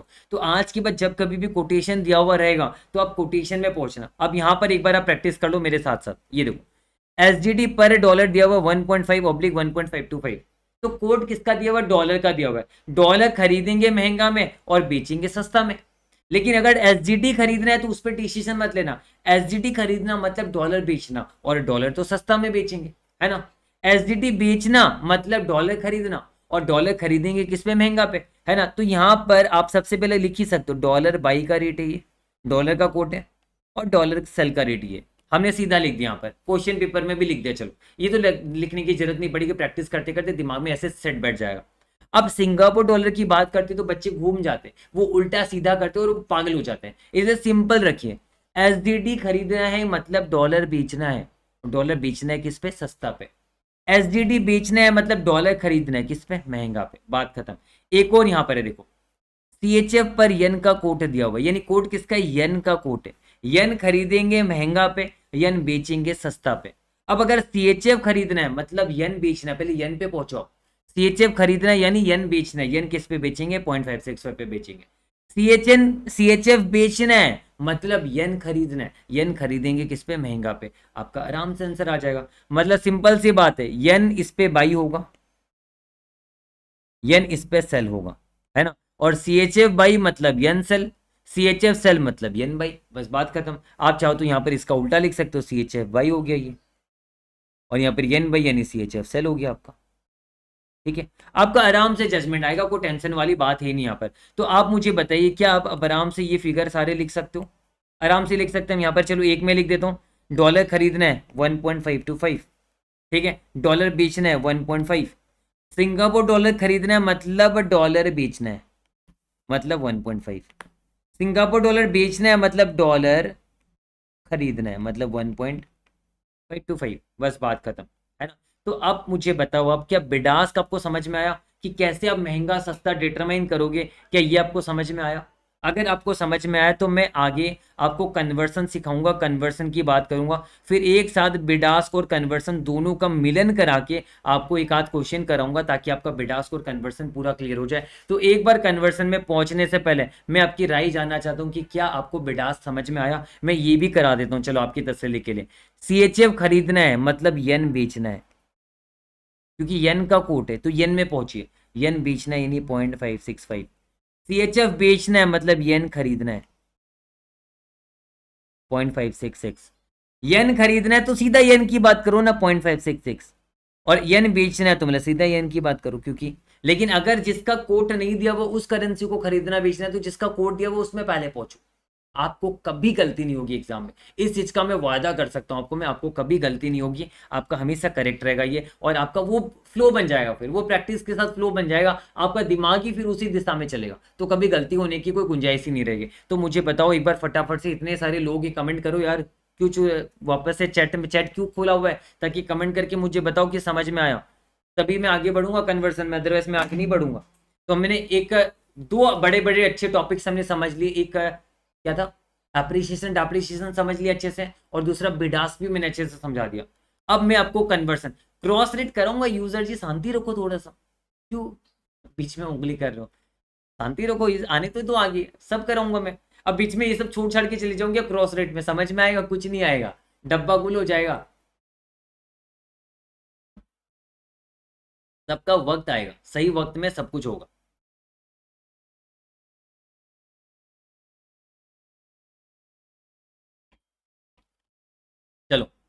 आई थिंक सभी को अच्छे से समझ में आया, सबको यस सर कह रहे मज़ा आ गया? बहुत ही अच्छी बात है। चलो, पूरा क्लियर अब हम बात करेंगे कन्वर्सन की। देखो, बहुत सारे बच्चे क्या करते हैं? मैं सच्चाई बता रहा हूँ आपको। बहुत सारे बच्चे बिडास और कन्वर्सन को मिला देते हैं और वो गलती कर बैठते हैं। सच्ची बता रहा हूँ, मैं क्वेश्चन भी दिखाऊँगा जहाँ पर बच्चे लोग बिडास कन्वर्सन को मिला के गलती कर देते हैं। वो सोचते हैं कि आंसक वाला है तो मल्टीप्लाई होगा बिड वाला है तो डिवाइड होगा, गलत। कन्वर्सन करते समय बिडास के बारे में सोचो ही मत। कन्वर्सन करते समय बिडास के बारे में मत सोचो। आप पहले बिडास का काम कर लेना, पहले रेट देख लेना, कौन सा रेट आपके लिए काम का ये वाला कि ये वाला। ये वाला कि ये वाला। उसके बाद आप कन्वर्सन के बारे में सोचोगे। कन्वर्सन का मतलब क्या? मैं आपको सिंपल समझा रहा हूँ। मान लीजिए जब दुकानदार के पास गए। दुकानदार से आपने पूछा कि एक कैलकुलेटर का भैया कितना था? तो दुकानदार ने बोला अस्सी रुपए। यानी रुपी पर कैलकुलेटर कितना? अस्सी रुपये एक कैलकुलेटर का दाम अस्सी रुपया। अब दुकानदार से आप सीधा सवाल करोगे कि भैया ठीक है, पाँच कैलकुलेटर दे दो मुझे पाँच कैलकुलेटर के कितने दाम है मुझे बता दो। तो क्या बोलेगा? अब सीधा बोलोगे, एक कैलकुलेटर का दाम एट्टी रुपीज़ है तो पाँच कैलकुलेटर का दाम कितना होगा? चार सौ रुपये फोर हंड्रेड रुपीज़ कैसे है? एट्टी इंटू फाइव क्या? क्योंकि दुकानदार भी कैलकुलेटर का कोटेशन दे रहा है और हम भी पाँच कैलकुलेटर कन्वर्ट करना चाहते हैं। यानी दुकानदार ने कैलकुलेटर का कोटेशन दिया। One calculator equal rupees eighty और मैंने बोला, पाँच कैलकुलेटर को कन्वर्ट करके बताओ कितना रुपया होगा? तो दुकानदार कैलकुलेटर का कोटेशन दे रहा, मैं भी कैलकुलेटर की बात करूँ मैं सीधी बात कर रहा हूँ, नो बकवास है ना? सी, मैंने मेंटोस खाया और मैं सीधी बात कर रहा हूँ, नो बकवास। मैंने कहा, भैया, पाँच कैलकुलेटर का दाम कितना? दुकानदार ने बोला, eighty into five, four hundred. आपने क्या किया मल्टीप्लाई किया? अगर मैं दुकानदार से बोलूँगा, भैया, पचास कैलकुलेटर का दाम कितना? एक कैलकुलेटर का दाम अस्सी रुपया तो पचास कैलकुलेटर का दाम कितना? चार हज़ार रुपया। यहाँ पर भी आपने क्या किया? मल्टीप्लाई किया। और अगर दुकानदार बोलेगा दुकानदार बोलेगा, एक कैलकुलेटर का दाम अस्सी रुपया तो पाँच हज़ार कैलकुलेटर का दाम कितना? वो बोलेगा eighty into five thousand four lakh rupees है ना? तो मतलब कहने का मतलब अगर दुकानदार ने कोटेशन किसका दिया हुआ है? यहाँ पर कोटेशन किसका दिया हुआ है? Is given for calculator quotation यहाँ पर कैलकुलेटर का दिया हुआ है, और मैं भी कैलकुलेटर ही कन्वर्ट करना चाह रहा हूँ। देखिए, पाँच कैलकुलेटर पचास कैलकुलेटर पाँच हज़ार कैलकुलेटर अब मान लो अगेन अगेन क्या हुआ? एक बेवरा आया, दारू पी के ठीक है? बहुत ज़्यादा दारू पी लिया। इसमें से एक जन को बता देता हूँ। चलो मेडिटेशन गुरु है ना? एक नंबर मेडिटेशन गुरु ने उसे कैलकुलेटर खरीदने का कोई शौक नहीं। वो दुकानदार के पास गया और वो मेडिटेशन गुरु पूछ रहे हैं। मेडिटेट भी करते वो पीने के बाद। ये चीज़ ध्यान में रखना। तो यहाँ पर वो क्या करता है? उसने पूछा कि एक कैलकुलेटर का दाम कितना? एट्टी रुपीज़ और वो मेडिटेशन गुरु मज़ाक कर रहा है, वो मस्ती कर रहा है। बोले, ठीक है, बताओ, पाँच सौ रुपए में कितने कैलकुलेटर दोगे? ठीक है, बताओ, चार सौ रुपए में कितने कैलकुलेटर दोगे? ठीक है, बताओ, पाँच लाख रुपए में कितने कैलकुलेटर दोगे? ठीक है, बताओ, दस लाख रुपए में कितने कैलकुलेटर दोगे? क्या वो सीधी बात कर रहे हैं? दुकानदार समझ जाएगा ये बकवास कर रहे हैं। ये सीधी बात नहीं कर रहे ये मेंटोस नहीं खाया ये बकवास कर रहा है। कैसे? क्योंकि दुकानदार जब आपको एक कैलकुलेटर का दाम बता रहा है अस्सी रुपए तो आपको कितने कैलकुलेटर लेना ले लो, सीधी सी बात है। पाँच लेना है दस लेना, बीस लेना, पचास लेना, सौ लेना है और आसानी भी होगी। निकालने में वैल्यू मल्टीप्लाई कर दूँगा मैं सीधा। पर वो मेडिटेशन गुरु क्या कर रहा है? वो मस्ती कर रहा है। वो बोल रहा है कि पाँच सौ रुपए में कितने कैलकुलेटर दोगे? चार सौ रुपए में कितने कैलकुलेटर दोगे? वो क्या कर रहा है? क्रॉस काउंटर कर रहा है। वो काउंटर कर रहा है। काउंटर अटैक कर रहा है। कैसे? दुकानदार कैलकुलेटर का भाव दे रहा है। पर मेडिटेशन गुरु दारू पी के काउंटर अटैक कर रहा है। बोला, भैया, चार सौ रुपए में कितने कैलकुलेटर दोगे? वो कैलकुलेटर की बात ही नहीं करे वो चार सौ रुपए की बात कर तो ऐसे सिचुएशन में दुकानदार को क्या करना पड़ेगा? मतलब मजबूरन डिवाइड करना पड़ेगा। अब वो दुकानदार, उसके लिए तो कस्टमर भगवान है तो उसने बोला उपाय नहीं है। तो अगर मेडिटेशन गुरु ने पूछा, भैया बताओ, चार सौ रुपये में कितने कैलकुलेटर दोगे? तो सबसे पहले तो दुकानदार थोड़ा सा गुस्सा होगा। भैया, मैं कैलकुलेटर की बात कर रहा हूँ, और अब चार सौ रुपये की बात करो। आप कैलकुलेटर की बात ही कर लेते चलो, फिर भी कोई ना, चार सौ रुपये में मैं आपको दूँगा, चार सौ डिवाइड बाई अस्सी, पाँच कैलकुलेटर दूँगा। चालीस हज़ार रुपये अगर आप बोलोगे तो चालीस हज़ार रुपये में मैं आपको दूँगा, चालीस हज़ार डिवाइड बाई एटी पाँच सौ कैलकुलेटर दूँगा। यानी कहने का मतलब मैं आपको ये समझाना चाहता हूँ कि अगर रुपये पर कैलकुलेटर दिया हुआ एट्टी रुपीज़ और मुझे कैलकुलेटर को कन्वर्ट करना नंबर ऑफ़ कैलकुलेटर को कन्वर्ट करना मतलब जिसका कोट दिया हुआ है, उसी को कैलकुलेटर को कन्वर्ट करना है, यानी मल्टीप्लाई यानी अगर आपको पाँच कैलकुलेटर को कन्वर्ट करना है, पचास कैलकुलेटर को कन्वर्ट करना है, पाँच सौ कैलकुलेटर को करना है तो मल्टीप्लाई लेकिन अगर आपको रुपया को कन्वर्ट करना है तो आपको क्या करना पड़ रहा है? डिवाइड करना पड़ रहा है। क्या आपको ये चीज़ समझ में आया? यानी कहने का मतलब ये रुपी पर कैलकुलेटर यहाँ पर कोड दिया हुआ है कैलकुलेटर का। अगर मुझे नंबर ऑफ़ कैलकुलेटर को कन्वर्ट करना है तो मैं मल्टीप्लाई करूँगा। अगर मुझे रुपया को कन्वर्ट करना है तो मैं डिवाइड करूँगा। इसका मैं एक और लाइव एग्ज़ाम्पल भी आपको मैं करवाऊँगा। ताकि आपको क्लैरिटी मिल जाए। ठीक है? जैसे आप देखो, यहाँ पर आप मेरी बात ध्यान से सुनो। मान लो रुपी पर डॉलर दिया हुआ है सेवेंटी ऑब्लिक सेवेंटी टू नहीं लेता हूँ। चलो ठीक है। चलो सेवेंटी ऑब्लिक सेवेंटी टू लेता हूँ। मुझे डॉलर खरीदना है, मुझे डॉलर बेचना नहीं है तो मेरे लिए ये वाला रेट होगा, ये वाला रेट कोई काम का नहीं है। यानी रुपी पर डॉलर कितना हो गया? सेवेंटी टू क्योंकि मुझे डॉलर खरीदना है डॉलर बेचना नहीं है मुझे। अब देखिए कोड किसका दिया हुआ है? कोड गिवन फॉर डॉलर अब मुझे बताओ, मुझे 500 कैलकुलेटर को कन्वर्ट करना है। सॉरी 500 डॉलर को कन्वर्ट करना है।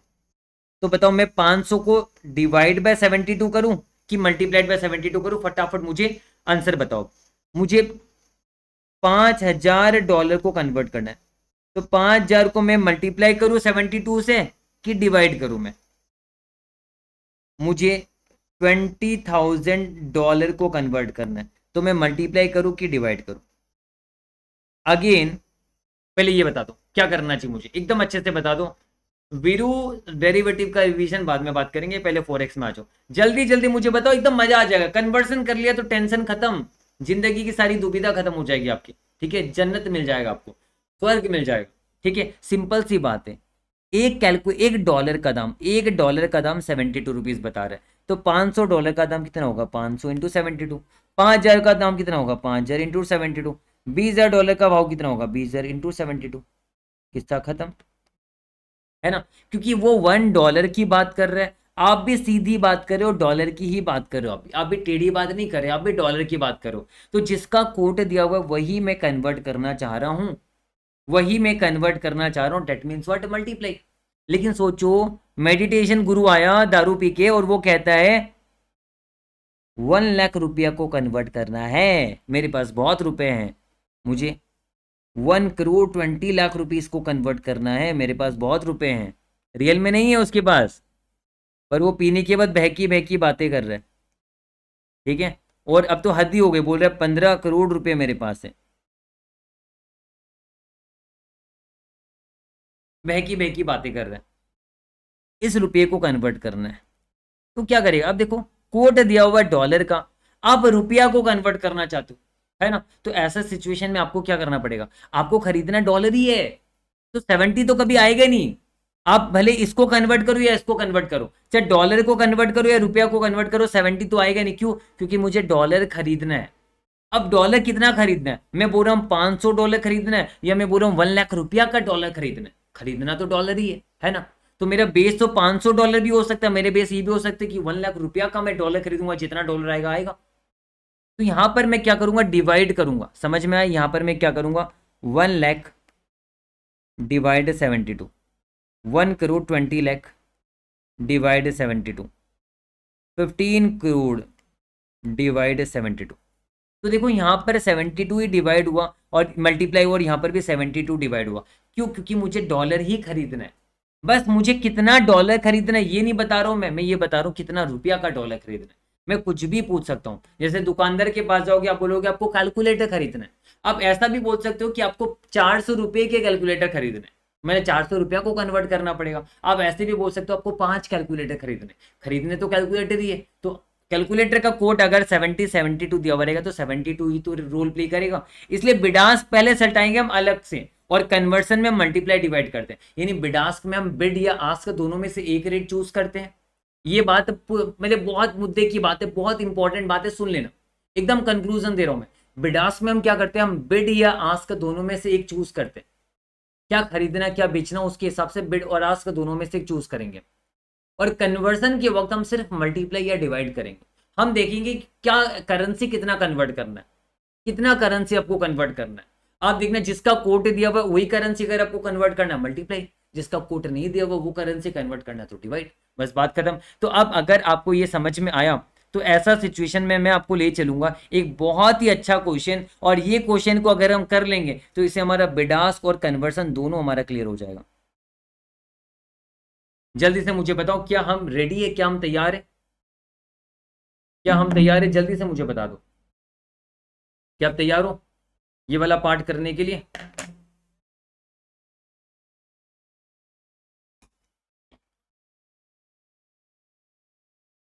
ये सारे कंसेप्ट करने के बाद आगे की कंसेप्ट में टेंशन नहीं आएगी। आगे का कंसेप्ट सारा जल्दी जल्दी हो जाएगा।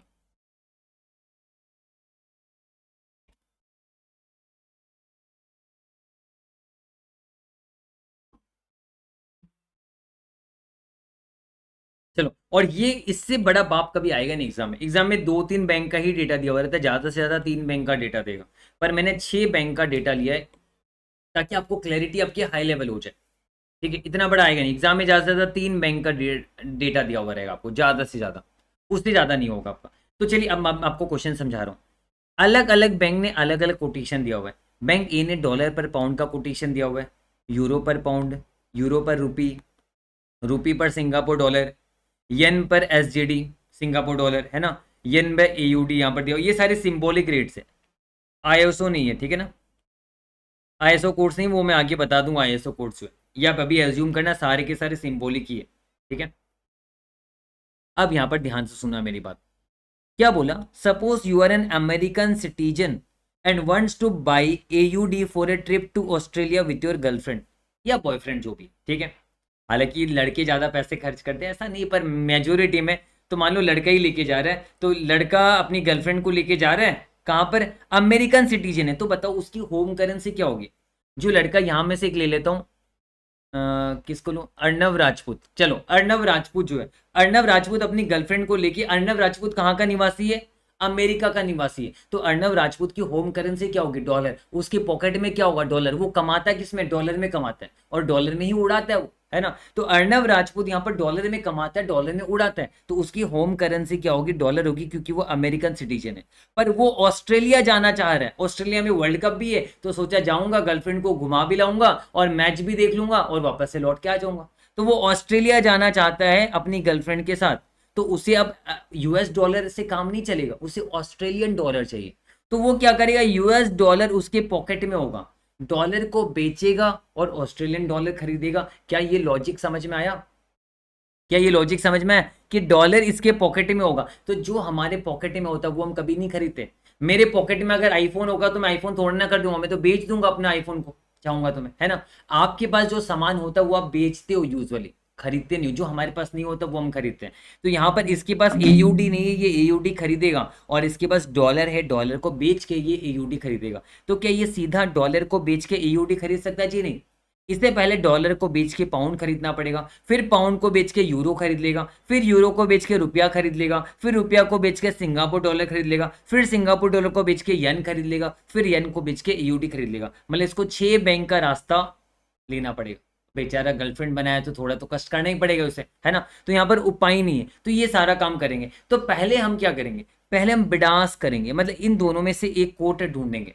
उसके बाद हम कन्वर्सन के बारे में सोचेंगे। तो आप तैयार हो मेरे ख्याल से? आपके पॉकेट में डॉलर है। आपको क्या करना है? डॉलर को बेच के ईयूडी खरीदना है। तो मतलब सबसे पहले मैं डॉलर को बेच के पाउंड खरीदूँगा। तो मैंने कहा था हमेशा कोटेशन में आना कोटेशन जिसका दिया हुआ उस पर आना।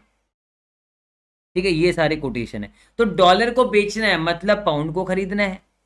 डॉलर को बेचना है, यानी पाउंड को खरीदना है। पाउंड का कोट है पाउंड खरीदेंगे, महँगा में, यानी ये वाला टिक होगा। और ये वाला अब हमारे लिए कोई काम का नहीं है। है ना? मैं बिडास का सल्टा रहा हूँ। अब जैसे मैंने डॉलर को बेचा मेरे पॉकेट से डॉलर गया, मेरे पॉकेट में पाउंड आ गया। मेरे पॉकेट में अब क्या पाउंड है? ध्यान से सुनो, मेरे पॉकेट में अब क्या पाउंड है? तो जो मेरे पॉकेट में उसे मैं बेचूँगा। तो पाउंड को मैं बेचूँगा। कौन से बैंक बी में जाके पाउंड को बेचूँगा? तो पाउंड को बेचना पाउंड का कोड दिया हुआ टेंशन वाली बात ही नहीं है। पाउंड का कोड दिया हुआ पाउंड मेरे पॉकेट में पाउंड को बेचूँगा। तो पाउंड को बेचूँगा किस पे? सस्ता पे। क्योंकि जिसका कोड दिया हुआ रहता है, महँगा में खरीदते सस्ता में बेचते हैं। तो पाउंड को बेचूँगा सस्ता पे मतलब इसका कोई काम नहीं है। अब पाउंड को बेचते ही मेरे पास क्या आ जाएगा? यूरो आ जाएगा। अब मेरे पॉकेट में क्या है भाई लोग? अब मेरे पॉकेट में है यूरो क्योंकि मैंने पाउंड को बेच दिया, मेरे पॉकेट में क्या आ गया? यूरो आ गया। तो मेरे जेब में अब यूरो है। अब मैं यूरो को बेचूँगा। अब बैंक सी में जाके मैं यूरो को बेचूँगा। पर यूरो का कोड दिया हुआ नहीं कोड रुपया का दिया हुआ तो रुपया में पहुँचना पड़ेगा। यूरो बेचूँगा यानी रुपया खरीदूँगा। यूरो बेचूँगा मतलब रुपया खरीदना है तो रुपया खरीदूँगा। और खरीदते किस पे? महँगा पे। तो ये वाला टिक होगा। ये काट दिया मैंने। हालाँकि इतना ही दिया हुआ रहेगा, इससे ज़्यादा नहीं दिया हुआ रहेगा, पर फिर भी हम थोड़ा ज़्यादा कर रहे हैं। अब रुपया मैंने खरीद लिया तो मेरे पॉकेट में क्या आएगा? रुपया आएगा। मैं वापस से रिपीट कर रहा हूँ। डॉलर बेच के पाउंड खरीदा, फिर पाउंड को बेच के यूरो खरीदा, फिर यूरो को बेच के रुपया खरीदा। अब मैं रुपया को बेचूँगा और एस खरीदूँगा। अब मैं रुपया को बेचूँगा। अब रुपया को बेचना है कोट एस का दिया हुआ है। रुपया को बेचना है मतलब एसजीडी को खरीदना है तो एसजीडी को खरीदूँगा। एसजीडी को खरीदूँगा किस पे? फिफ्टी पे। है ना ये काट दिया मैंने एसजीडी को खरीदूँगा अब एसजीडी को खरीदते ही मेरे पॉकेट में एसजीडी आ जाएगा तो अब एसजीडी को मैं बेचूँगा एस खरीद लिया तो पॉकेट में एसजीडी आ गया तो नेक्स्ट बैंक में जाके एसजीडी को बेचूँगा कोड भी एस का दिया हुआ और एसजीडी को मुझे बेचना है यानी सस्ता वाला एस को बेचते ही मेरे पॉकेट में यन आ जाएगा एस को बेचते ही मेरे पॉकेट में यन आ जाएगा अब नेक्स्ट बैंक में जाके मैं यन को क्या करूँगा बेचूँगा कि मेरे पॉकेट में येन है। येन को बेच के मुझे ए मिल जाएगा। तो येन को बेचना है मतलब ए का कोड दिया हुआ मतलब ए को खरीदना है। मतलब ये वाला रेट हो जाएगा। है ना? तो अब देखिए, आपका एक कोड अब कट चुका है। तो क्या मैंने अभी तक कन्वर्सन के बारे में बात की जी नहीं? मैंने कन्वर्सन के बारे में बात ही नहीं की। मैंने बात की है यहाँ पर सिर्फ़ और सिर्फ़, अगर मैं डॉलर बेचूँगा और ए खरीदूँगा तो मेरे ये सारे रेट्स अप्लाई होंगे जो मैंने टिक कर रखे हैं। है ना? अब मैं कन्वर्सन की बात नहीं कर रहा हूँ। अब देखो, ये जो है ना, क्या नाम था इसका? अर्णव राजपूत, ठीक है? ये मान लो अर्णव राजपूत, ऐसा भी हो सकता है कि बिना दारू पिए जाए, एकदम सही दिमाग के साथ जाए, और ये सही दिमाग के साथ जाएगा तो ये सीधा बोल सकता है कि उसे एयूडी कितना खरीदना है है ना? ऐसा भी बोल सकता है या फिर, और या फिर ये ऐसा भी बोल सकता है कि मुझे इतना डॉलर का ईओडी खरीदना मतलब कहने का मतलब ये दो बात कर सकते हैं, अर्णव राजपूत जो या तो ये बोलेगा कि मान लो मुझे दस हज़ार डॉलर या पाँच हज़ार डॉलर, मुझे डॉलर इतना खरीद सॉरी मुझे इतना डॉलर बेच के एयूडी खरीदना है। खरीदना तो इसे एयूडी है।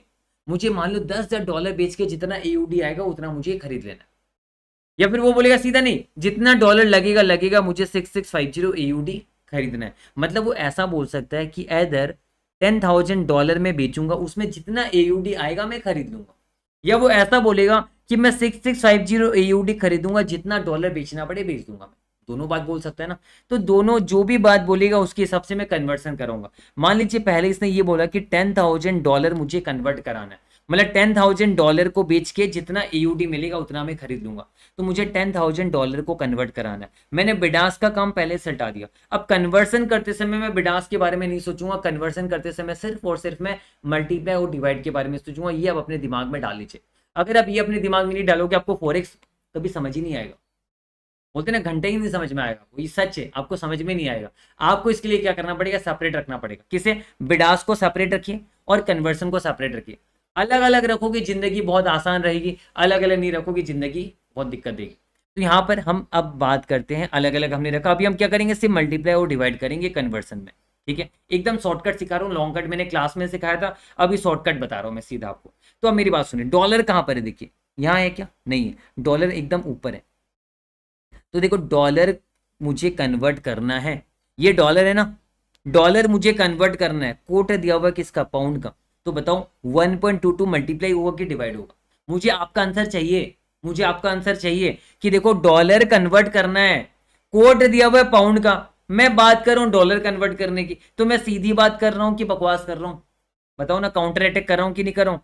आप आंसर नहीं दोगे, मैं आगे नहीं बढ़ूँगा। मैं बस इतना बताना चाहता हूँ कि देखिए कोट दिया हुआ है पाउंड का। मैं कन्वर्ट करना चाहता हूँ डॉलर को। तो बताइए, मैं डिवाइड करूँ या ना करूँ?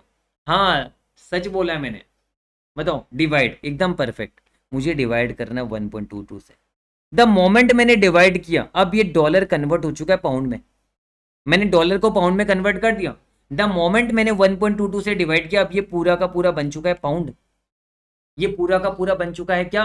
पाउंड बन चुका है। अब मैं पाउंड को कन्वर्ट करूँगा, क्योंकि ये पूरा का पूरा पाउंड बन चुका है, मैं पाउंड को कन्वर्ट करूँगा। अब देखो नेक्स्ट बैंक में पाउंड का ही कोट दिया हुआ है, और ये भी डॉलर से क्या बन चुका है? पाउंड बन चुका है। क्योंकि डॉलर और पाउंड का तो रेट था तो डॉलर कन्वर्ट करूँगा 1.22 से डिवाइड करूँगा तो डॉलर तो पाउंड ही बनेगा। तो ये पाउंड बन गया। तो पाउंड को कन्वर्ट करना है। कोट भी पाउंड का दिया हुआ तो क्या होगा? मल्टीप्लाई हो जाएगा। इंटू पॉइंट नाइन फाइव कितने बेवकूफ़ लोग क्या करते पता है? राइट साइड मैंने डिवाइड लेफ़्ट साइड मैंने मल्टीप्लाई ऐसा कुछ कुछ करते मत करना। पागल हो जाओगे। आपका आंसर कहीं ना कहीं रॉन्ग आएगा। ये वाला बेस दिया हुआ रहता तो रॉन्ग हो जाएगा फिर आपका। है ना? तो आपको जो मैं सिखा रहा हूँ, वैसे करोगे, आपकी ज़िंदगी सही चलेगी। ठीक है? तो यहाँ पर आप देखिए, और क्रॉस रेट भी यहाँ पर अप्लाई कर सकते हैं, पर ये ज़्यादा लॉजिकल है। ये आपको ज़्यादा लॉजिकली समझ में आएगा। तो ये हमने किया। द मोमेंट मैंने पॉइंट नाइन फाइव से मल्टीप्लाई किया, अब पाउंड मेरा यूरो बन चुका है। यानी अब ये मेरा यूरो बन चुका है। ये मेरा यूरो बन चुका अब यूरो को मुझे कन्वर्ट करना है। कोट दिया हुआ है रुपया का। तो मैं डिवाइड करूँगा point zero one zero eight नीचे। Point zero one zero eight तो देखिए डिनोमिनेटर में क्या मैंने डिवाइड किया। क्यों? क्योंकि कोट दिया हुआ था यूरो का। मुझे सॉरी कन्वर्ट करना था यूरो को कोट दिया हुआ रुपया का। इसलिए डिवाइड किया मैंने इससे। अब डिवाइड करते ये मेरा रुपया बन चुका है। अब मुझे रुपया को कन्वर्ट करना है। बैंक डी में कोट दिया हुआ एस का। रुपया बन चुका है ये। रुपया को कन्वर्ट करना है कोट दिया हुआ एस का। तो फिर से क्या होगा? डिवाइड होगा। और डिवाइड करते मेरा ये एस बन जाएगा। डिवाइड करते मेरा ये एसजीडी बन जाएगा। अब बैंक ई e में देखो एसजीडी का ही कोट दिया हुआ है। कन्वर्ट भी एसजीडी को करना है एसजीडी का ही कोट दिया हुआ है तो मल्टी मल्टीप्लाई हो जाएगा। मल्टीप्लाई हो गया। मल्टीप्लाई करते ये यन बन गया। अब यन को कन्वर्ट करना है कोट दिया हुआ है एयूडी का तो क्या होगा? डिवाइड होगा। डिवाइड होगा। तो आपका अब आराम से आंसर आ जाएगा। एक बार मुझे कोई इसका आंसर बताएगा? समझ में आ गया एकदम अच्छे से? अब ये वाला पार्ट समझ में आ गया तो बल्ले बल्ले है आपका तो हो गया बिडास कन्वर्सन एकदम आराम से समझ में आ गया। क्वेश्चन में आप अप्लाई करोगे इस लॉजिक से, आपका हंड्रेड आंसर आएगा। कोई डाउट ही नहीं है, कोई डाउट ही नहीं, आपका हंड्रेड परसेंट आंसर आएगा। तो मुझे बताओ इसका आंसर क्या है, मुझे बता दो फटाफट से। I think six six four eight point seven eight आएगा। ये ए यू डी आएगा six six four eight point seven eight ये आपका आ जाएगा। तो अब देखिए इस बारी मैंने क्या लिया? Six six five zero A U D लिया। तो मैं अगर दस हज़ार डॉलर बेचूँगा तो मुझे इतना ए यू डी में खरीद सकता हूँ। और इसी की क्लोज मैंने रखा है, अगर मुझे six six five zero A U D खरीदना है तो ऑब्वियसली बात है, हमारा आंसर दस हज़ार डॉलर के आसपास ही आने वाले यहाँ पर, जो कि हम प्रूव करेंगे। इसलिए मैंने इसका सिमिलर लिया था कि मैं प्रूव कर सकूँ। क्योंकि आप दस हज़ार डॉलर का ए भी खरीद सकते हो, यानी दस हज़ार डॉलर बेच के ए आप खरीद सकते हो, इतना या ए इतना खरीदने के लिए आपको डॉलर कितना लगेगा इसके आसपास ही आएगा क्योंकि ये दोनों फिगर में एक डॉलर एक ए का फ़र्क है चलिए ये भी कर लेते अभी अब देखो मुझे एयूडी को कन्वर्ट करना है बताओ ए कहाँ पर है ए नीचे दिख रहा है आपको ऊपर देखिए एयूडी नहीं दिख रहा आपको नीचे एयूडी दिख रहा है तो नीचे से ऊपर जाना पड़ेगा कन्वर्ट करते करते मैं एयूडी से डॉलर पे पहुंचूँगा यानी नीचे से ऊपर जाके एयूडी से मैं डॉलर पे पहुंचूँगा मैं जानना चाहता हूँ इतना एयूडी खरीदने के लिए मुझे कितना डॉलर देना पड़ेगा ये मैं जानना चाहता हूँ। तो अब मैं उल्टा जाऊँगा। अब बताऊँ कन्वर्ट करना एयूडी को। कोट दिया हुआ एयूडी का। मल्टीप्लाई हो जाएगा। मल्टीप्लाई करते ये यन बन जाएगा। है ना? एयूडी मल्टीप्लाई करते यन बन जाएगा। अब यन को कन्वर्ट करना है। कोट दिया हुआ यन का नहीं एस का कोट दिया हुआ है। तो आपका डिवाइड होगा। कौन सा वाला? वही जो आपने टिक कर रखा हुआ है। कट्टा वाला तो मत ही करना कोई एंगल से। जो टिक कर रखा हुआ वही होगा। तो आपने 95 से डिवाइड करते ये बन जाएगा एसजीडी ठीक है? एसजीडी को कन्वर्ट करना है। रुक जाओ यहाँ पर, ठीक है? एयूडी को कन्वर्ट किया मल्टीप्लाई किया, ठीक है? बन गया आपका यन फिर बाद में यन को कन्वर्ट कर। रुको, कुछ गड़बड़ किया क्या? एयूडी को कन्वर्ट किया 202 से, ठीक है? सही था, बन गया यन येन को कन्वर्ट करना है एस का कोड दिया हुआ है तो डिवाइड बाय नाइन्टी फाइव किया परफेक्ट है, कोई प्रॉब्लम नहीं अब ये पूरा का पूरा हमें किसको कन्वर्ट करना है? एस को कन्वर्ट करना है। एस को कन्वर्ट करना है कोड भी एस का दिया हुआ है तो मल्टीप्लाई होगा फिफ्टी वन मल्टीप्लाई करते ये रुपया बन गया। अब रुपया को कन्वर्ट करना, ऊपर कोड भी रुपया का दिया हुआ है तो फिर से मल्टीप्लाई होगा। पॉइंट ठीक है? ये कन्वर्ट करते अब ये यूरो बन चुका है। अब यूरो को कन्वर्ट करना है कोट दिया हुआ है पाउंड का तो डिवाइड होगा। अब ये करते बन जाएगा पूरा का पूरा पाउंड बन जाएगा, है ना? पाउंड बन जाएगा। अब पाउंड को कन्वर्ट करना है कोड भी दिया हुआ है पाउंड का तो मल्टीप्लाई हो जाएगा वन पॉइंट टू टू तो इस बार आप देखो कितना आ रहा है। सेम वही तरकीब है, बस हम यहाँ से ऊपर जा रहे थे, वही तरकीब है यहाँ पर। तो मुझे बताइए कितना आया?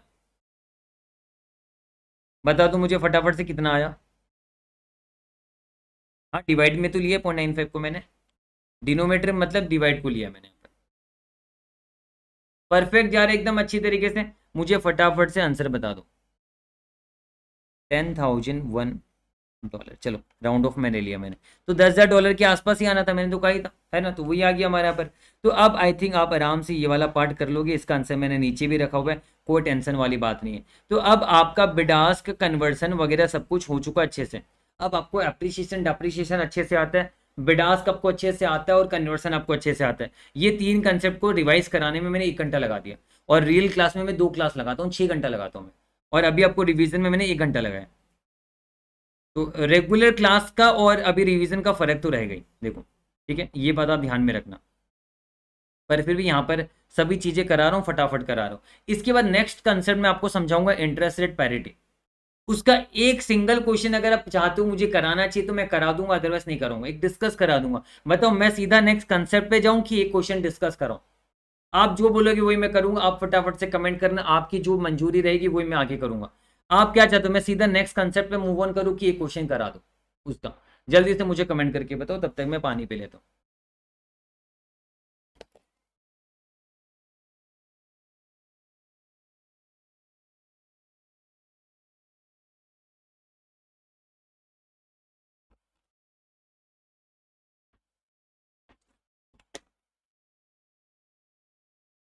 सिर्फ़ एक, चलो ठीक है, सिर्फ़ एक क्वेश्चन करा दे दो सिर्फ़ और सिर्फ़ एक ही क्वेश्चन ज़्यादा मत उम्मीद करना।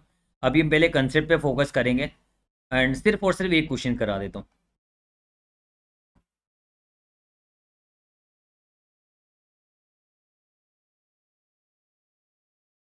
चलो ये वाला क्वेश्चन ही करा देता हूँ क्वेश्चन नंबर टू हांगकॉन्ग वाला, ठीक है?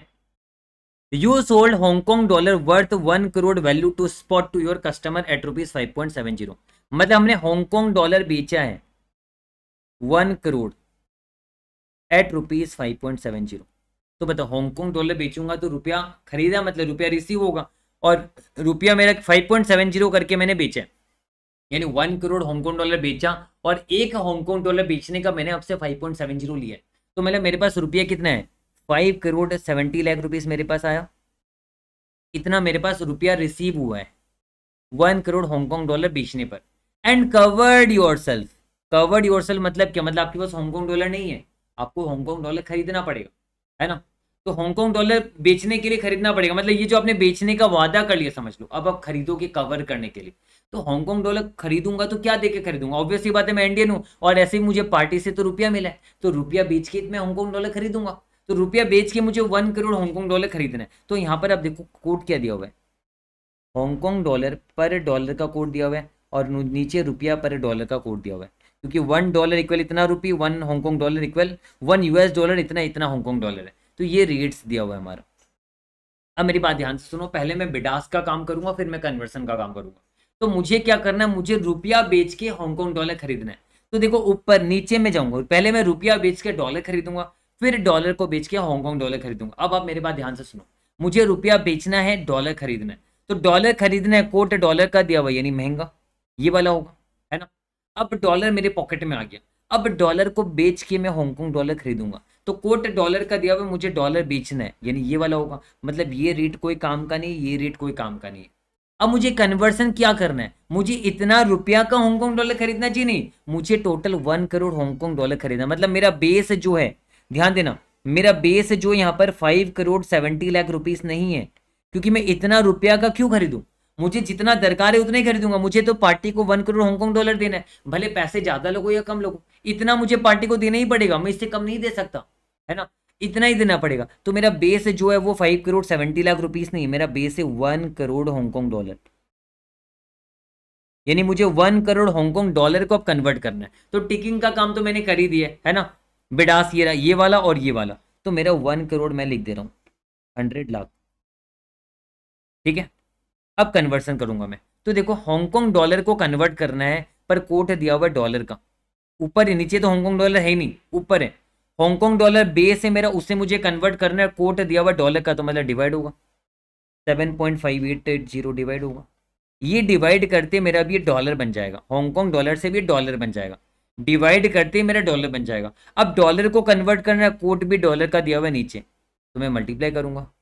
Forty two point eight five तो कितना आया मेरा? मुझे बता दो, कितना आया मेरा? ये बता सकते हो मुझे? वन हमें मुझे ही करना पड़ेगा लगता है।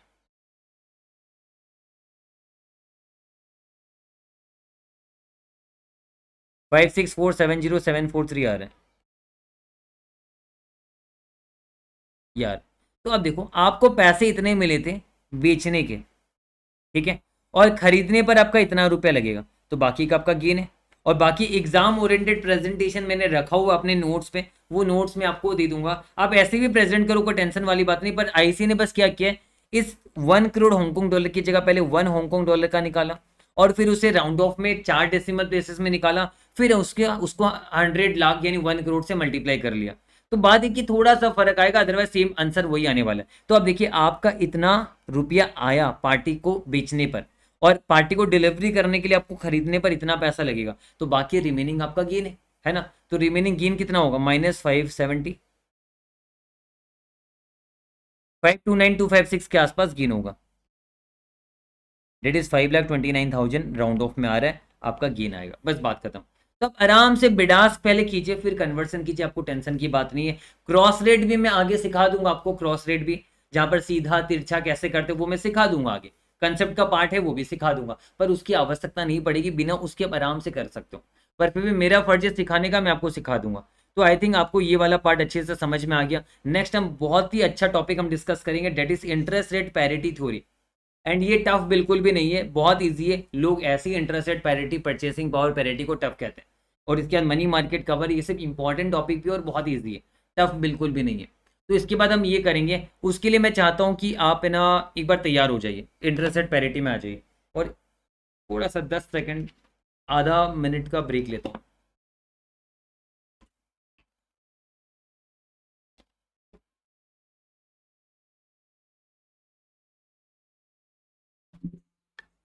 चलो। सबको मज़ा आ रहा है ना? अच्छे से मज़ा आ रहा है? सब कुछ रिवाइज हो रहा है? सब कुछ होले होले चल रहा है। बस एक चीज़ मैं बताते रहा हूँ, बहुत सारे चीज़ जो हम डिटेल डिस्कशन रेगुलर क्लास में करते हैं, वो मैं अभी यहाँ नहीं कर रहा हूँ, ठीक है? तो अब इसको कोई भी बच्चा अगर देख रहा है इसको तो इसको रेगुलर क्लास मत समझ लेना, ऐसा नहीं, ये रिविजन वीडियो है। जहाँ पर मैं बहुत सारा लॉजिक बिहाइंड द सीन बहुत कुछ मैं नहीं बताऊँगा यहाँ पर आपको। यहाँ पर एग्ज़ाम ओरिएंटेड मैं आपको फटाफट बता दूँगा, जितना नेसेसरी लॉजिक है वो मैं आपको ज़रूर से दूँगा। अभिलाष जी, अभी देख लीजिए, ये वीडियो यूट्यूब में नहीं रहने वाला, ठीक है? इसलिए तो मैं लाइव ले रहा हूँ। म्यूचुअल फंड बहुत रिक्वेस्ट किया तो मैंने रख दिया रिकॉर्डेड ये वाला नहीं रखूँगा मैं, कोई हालत में नहीं रखूँगा। ठीक है, ये वाला बस आप अभी कर लो यूट्यूब में कोई हालत में भी नहीं रहने वाला। सुरभि जी नहीं रहेगा, अभी कर लो, फटाफट। लाइव रखने का कारण ही ये ताकि यूट्यूब में नहीं रखना पड़े मुझे। क्योंकि एक बार रख दूँगा, फिर हटाने को देती हूँ, इसलिए रखूँगा ही नहीं। लाइव खत्म वीडियो खत्म। ठीक है तो फटाफट अभी मेरे साथ साथ कर लो, अच्छे से। चलो, आ जाओ interest rate parity theory I think आप सभी रेडियो करने के लिए? चलो, शुरू करते हैं। इंटरेस्ट रेट पैरिटी थ्योरी बहुत ही एकदम सिंपल सा कंसेप्ट है। इसका मतलब क्या है कि देखो इंटरेस्ट रेट पैरिटी मतलब जिस कंट्री का इंटरेस्ट रेट कम होगा, वो कंट्री के दाम बढ़ेगी नहीं। मतलब जैसे मान लो फॉर एग्ज़ाम्पल मैं इंडिया में रहता हूँ, आप यूएस में रहते हो। मैंने हंड्रेड रुपी यहाँ पर बोरो किया आपने वहाँ पर हंड्रेड डॉलर बोरो किए मेरे यहाँ पर इंटरेस्ट रेट टेन परसेंट है। और आपके वहाँ पर इंटरेस्ट रेट फाइव परसेंट है। तो आप अगर हंड्रेड डॉलर बोरो करके कुछ एक, आप एक मोबाइल बना रहे हो, मान लो आप एक आईफोन बना रहे हो, और मैं भी एक आईफोन बना रहा हूँ यहाँ पर तो मैंने हंड्रेड रुपी बोरो करके आईफोन बनाया, और आपने भी हंड्रेड डॉलर बोरो करके आईफोन बनाया। और कॉस्ट भी हमारा उतना ही पड़ा आपका हंड्रेड डॉलर कॉस्ट पड़ा, समझ लो, मेरा हंड्रेड रुपी कॉस्ट पड़ा आईफोन बनाने का। पर आपने बोरोइंग किया, पाँच परसेंट के इंटरेस्ट पे यूएसए में इंटरेस्ट रेट पाँच परसेंट है, और इंडिया में इंटरेस्ट रेट टेन परसेंट है।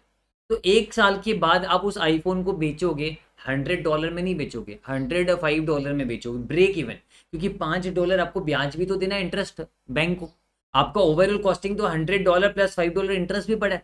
तो आपका कॉस्टिंग पड़ा हंड्रेड फाइव डॉलर और मेरा कॉस्टिंग पड़ा हंड्रेड रुपया प्लस इंटरेस्ट भी तो टेन परसेंट मुझे देना हंड्रेड टेन रुपीज़ मेरा कॉस्टिंग पड़ा यानी कहने का मतलब सेम आईफोन आपका बनाने का कॉस्टिंग पड़ा हंड्रेड फाइव डॉलर और मेरा बनाने का कॉस्टिंग पड़ा हंड्रेड टेन रुपी समझ में आया? आपको ये मेरा कॉस्टिंग पड़ा तो इसका मतलब क्या? इसका मतलब ये कि इंटरेस्ट रेट में फ़र्क होने के चलते कॉस्टिंग में भी फ़र्क आता है। तो इसका मतलब कि अगर hundred five dollar equivalent to hundred ten rupee हो रहा है और इसी में दोनों आईफोन बना पा रहे और बेच पा रहे तो इसका मतलब वन डॉलर इक्वल कितना होगा? Hundred ten by hundred five होगा। डिवाइडेड हंड्रेड फाइव यानी one point zero four seven रुपया होगा। मतलब देखो एक पहले आपका, मान लो हंड्रेड डॉलर ही हंड्रेड रुपया था, पहले एक डॉलर इक्वल एक रुपया था। ये भी समझ लो आप। लेकिन अब जबकि इंटरेस्ट रेट में फ़र्क आने के चलते वन डॉलर अब ज़्यादा रुपया होगा। वन डॉलर का ज़्यादा भाव होगा। क्यों? क्योंकि डॉलर स्ट्रांग हो रहा है। डॉलर का इंटरेस्ट रेट कम है, जिसके चलते डॉलर स्ट्रांग हो रहा है। ज़्यादा डिटेल में अभी मैं बात नहीं करूँगा, नहीं तो आधा घंटा इसमें लग जाएगा। रेगुलर क्लास में तो एक घंटा लगा दिया था मैंने। ठीक है? तो इसके बारे में मैं ज़्यादा बात नहीं करूँगा, मैं आपको एग्ज़ाम ओरिएंटेड फटाफट से शॉर्टकट सिखाऊँगा मैं आपको, कैसे करना है। जैसे देखो डॉलर का इंटरेस्ट रेट दिया हुआ है, रुपया का इंटरेस्ट रेट दिया हुआ है तो दो कंट्री का इंटरेस्ट रेट अगर दिया हुआ रहेगा ना तो उससे हम करेंसी का फॉरवर्ड प्रीमियम या फॉरवर्ड डिस्काउंट निकाल सकते हैं। हालाँकि आप निकालते हो, अभी तक आपने सीखा होगा फॉर्मूला से F minus S by S into hundred into twelve by N एक फॉर्मूला उसकी दरकार ही नहीं, आपको फॉर्मूला याद ही नहीं करना पड़ेगा अपने आप ही बन जाएगा ये। फॉर्मूला दरकार ही नहीं पड़ेगा, आपको एकदम सिंपल वे में समझ के रखना है। एकदम सिंपल समझाऊँगा मैं आपको। उन सब चीज़ों की दरकार ही नहीं पड़ेगी आपको। तो एकदम सिंपल वे में आप समझिए, देखिए डॉलर का इंटरेस्ट रेट है छह परसेंट, रुपया का इंटरेस्ट रेट है दस परसेंट। तो अगर मैं एक रुपया बोरो करता हूँ डॉलर में सॉरी एक डॉलर अगर मैं बोरो करता हूँ तो वन डॉलर कितना बनेगा एक साल के बाद? वन पॉइंट ज़ीरो सिक्स क्योंकि वन को मैं बेस रखूँगा। बेस यहाँ पर मैंने वन रखा। वन रुपी बोल दो या वन डॉलर बोल दो? बेस मैंने वन रखा है। तो अगर सिक्स परसेंट इंटरेस्ट है तो वन के बेस में आप चढ़ाओगे। तो आप अगर आज वन डॉलर बोरो करोगे तो एक साल के बाद आपको वन पॉइंट ज़ीरो सिक्स चुकाना पड़ेगा।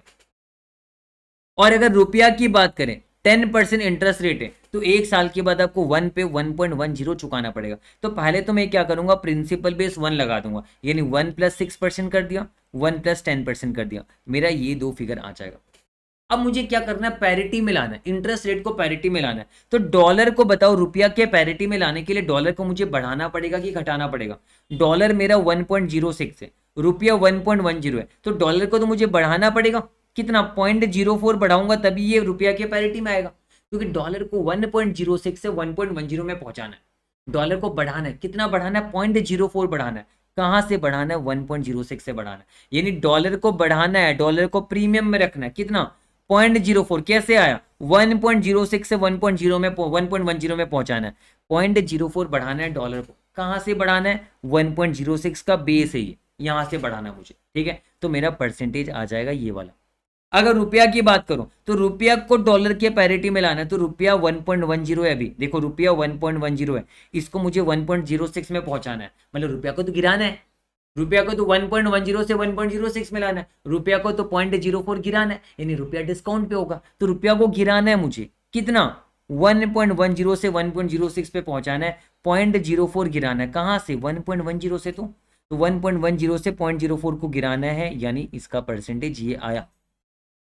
तो बताओ, आपको ये पार्ट समझ में आया या नहीं आया? ये मुझे बता दो एक बार। ये मैं रब कर रहा हूँ एक बार, ताकि मैं यहाँ पर एक और आपको मैं समझा सकूँ मैं।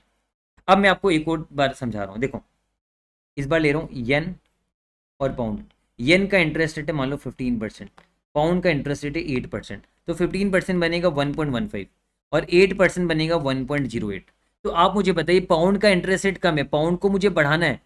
पाउंड को मुझे क्या करना है? 1.08 से 1.15 पे पहुंचाना है तो पाउंड मुझे 07 बढ़ाना है। यहाँ से 1.15 पे जाना है ना? कहाँ से बढ़ाना है? 1.08 से बढ़ाना है इंटू हंड्रेड ये आपका हो गया पाउंड का प्रीमियम क्योंकि पाउंड छोटा है, इसे बढ़ाना है 1.15 में पहुंचाना है। अगर मैं बोलूँ येन येन आपका 1.15 है तो येन को मुझे गिराना है 1.08 पे लाना है तो पॉइंट ज़ीरो सेवन गिराना है। कहाँ से गिराना है? 1.15 से गिराना है इंटू हंड्रेड तो मेरा आ जाएगा। Six point four eight percent premium है। और यन आएगा point zero seven divided one point one five into hundred six point zero eight six ये मेरा आया प्रीमियम और discount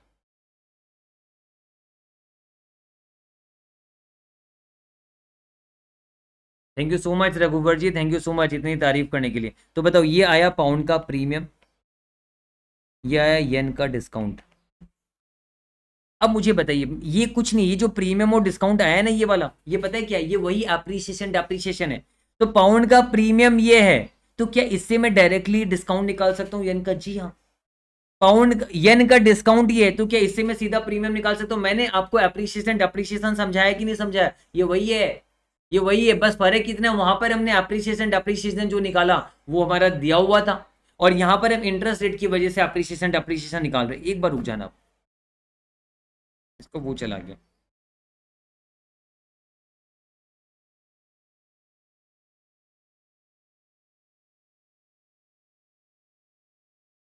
इसका वो हाईलाइटर कैसे चला गया मुझे समझ नहीं आ रहा है। एक बार रुको हाँ।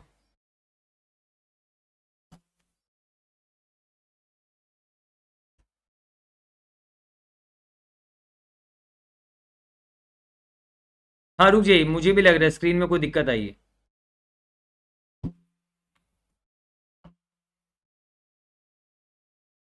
बार रुक जाओ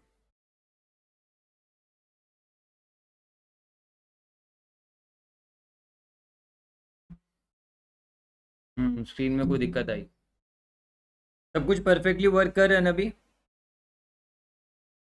चलिए तो फिर अब हम स्टार्ट कर सकते हैं हम कहाँ पर हमने छोड़ा था एंड मैं कुछ ये करवा रहा था चलो मैं एक बार थोड़ा सा यहाँ रिपीट करा देता हूँ ये वाला पार्ट मैं फिर से रिपीट करा देता हूँ, क्योंकि मुझे नहीं पता ये छोटा था या हुआ था या नहीं हुआ था। एक बार हम रिपीट कर लेते हैं। मान लो यन आपका एट परसेंट इंटरेस्ट रेट है यन का। पाउंड का फिफ्टीन परसेंट इंटरेस्ट रेट है। तो जिस कंट्री का इंटरेस्ट रेट कम होगा, वो प्रीमियम में होगा। जिस कंट्री का इंटरेस्ट रेट ज़्यादा होगा, वो डिस्काउंट पे रहेगा। ये हमेशा ध्यान में रखना। तो एट परसेंट बनेगा वन पॉइंट ज़ीरो एट और फिफ्टीन परसेंट बनेगा वन पॉइंट वन फाइव तो मतलब येन प्रीमियम में रहेगा। येन फॉरवर्ड प्रीमियम में रहेगा अगेंस्ट पाउंड अगेंस्ट पाउंड ये फॉरवर्ड प्रीमियम में रहेगा कितना? पॉइंट ज़ीरो सेवन बढ़ाना है। वन पॉइंट ज़ीरो एट से one point one five, point zero seven बढ़ाना है। कहाँ से? वन पॉइंट ज़ीरो एट से इंटू हंड्रेड और अगर पाउंड की बात करूँ तो पाउंड क्या रहेगा? फॉरवर्ड डिस्काउंट पे रहेगा। पॉइंट ज़ीरो सेवन घटाना है। वन पॉइंट वन फाइव से वन पॉइंट ज़ीरो एट पे जाना है। पॉइंट ज़ीरो सेवन घटाना है। कहाँ से? वन पॉइंट वन फाइव से इंटू हंड्रेड यानी seven divided one point zero eight. Six point four eight one four eight percent और seven divided one point zero, one point one five. Six point zero eight six nine. तो आपको याद है, मैंने आपको बताया था कि एप्रिसिएशन से डेप्रीशिएशन निकल जाता है। और डेप्रीशिएशन से एप्रिसिएशन निकल जाता है, आपको मैंने बताया था। हालाँकि हमने अलग अलग ये निकाला। ये मैंने अलग अलग निकाला, पर मैं इस, ये प्रीमियम है। प्रीमियम का मतलब ही अप्रिसिएशन होता है। प्रीमियम और अप्रिसिएशन दोनों एक ही थाली के चट्टे बट्टे। प्रीमियम का मतलब अप्रिसिएशन है। अगर येन फॉरवर्ड प्रीमियम पे तो पाउंड डिस्काउंट पे होगा, कितना होगा? इससे भी मैं डायरेक्टली निकाल सकता हूँ। तो देखिए हंड्रेड का अगर आप बेस चढ़ाओगे तो हंड्रेड क्या बनेगा? हंड्रेड पे अगर six point four eight one four eight percent चढ़ाओगे तो बनेगा hundred six point four eight one four eight बनेगा। तो मतलब मुझे six point four eight one four eight बढ़ाया, है ना? तो hundred six point four eight one four eight बना। अब मुझे उतना कम करना हंड्रेड पे लाने के लिए। यानी six point four eight one four eight divided by कर दूँगा मैं hundred six point four eight one four eight into hundred कर दूँगा तो मेरा आ जाएगा। मेरा आ जाएगा यहाँ पर। है ना? ये मैंने निकालना सीखा है और यहाँ पर भी देखो। यहाँ पर पाउंड डिस्काउंट पे तो हंड्रेड में six point zero eight six nine minus होगा। Six point zero eight six nine minus होगा। Ninety three point nine one three one तो मुझे six point zero eight six nine बढ़ाना पड़ेगा कहाँ से? Ninety three point nine one three one into hundred अब देखिए, यहाँ पर six point zero eight six nine percent के आसपास ही आएगा और यहाँ पर आएगा six point four eight one four eight percent के आसपास आएगा। मतलब इससे आप ये निकाल लो और इससे आप ये निकाल लो। मतलब एक करके भी आप दूसरा निकाल सकते हो। आपको अलग अलग से करने की आवश्यकता नहीं, क्योंकि प्रीमियम से डिस्काउंट निकल जाएगा। डिस्काउंट से आपका क्या निकल जाएगा? प्रीमियम निकल जाएगा। ठीक है? तो आई थिंक आपको ये समझ में आ गया आराम से अच्छी तरीके से। और यहाँ पर भी देखिए, यहाँ पर भी वही चीज़ होना है। आप three point seven seven three five से आप ये वाला निकाल सकते हो। और three point six three six three से ये वाला निकाल सकते हो। अगर three point seven seven three five percent premium रहेगा तो मतलब हंड्रेड बनेगा hundred three point seven seven three five अब मुझे वापस से हंड्रेड पे लाना है तो मुझे three point seven seven three five कम करना है कहाँ से? Hundred, three point seven seven three five into hundred. आ गया three point six three six three. ये देखो, ये वाला आ गया हमारा। अब इससे मैं ये वाला निकाल लूँगा। Three point six three six three अगर मैं घटाऊं तो मेरा बनेगा ninety six point three seven, three six three seven बनेगा। यानी घटाऊँगा, हंड्रेड से अगर ये घटा दूँगा तो मेरा आएगा ninety six point three six three seven आएगा।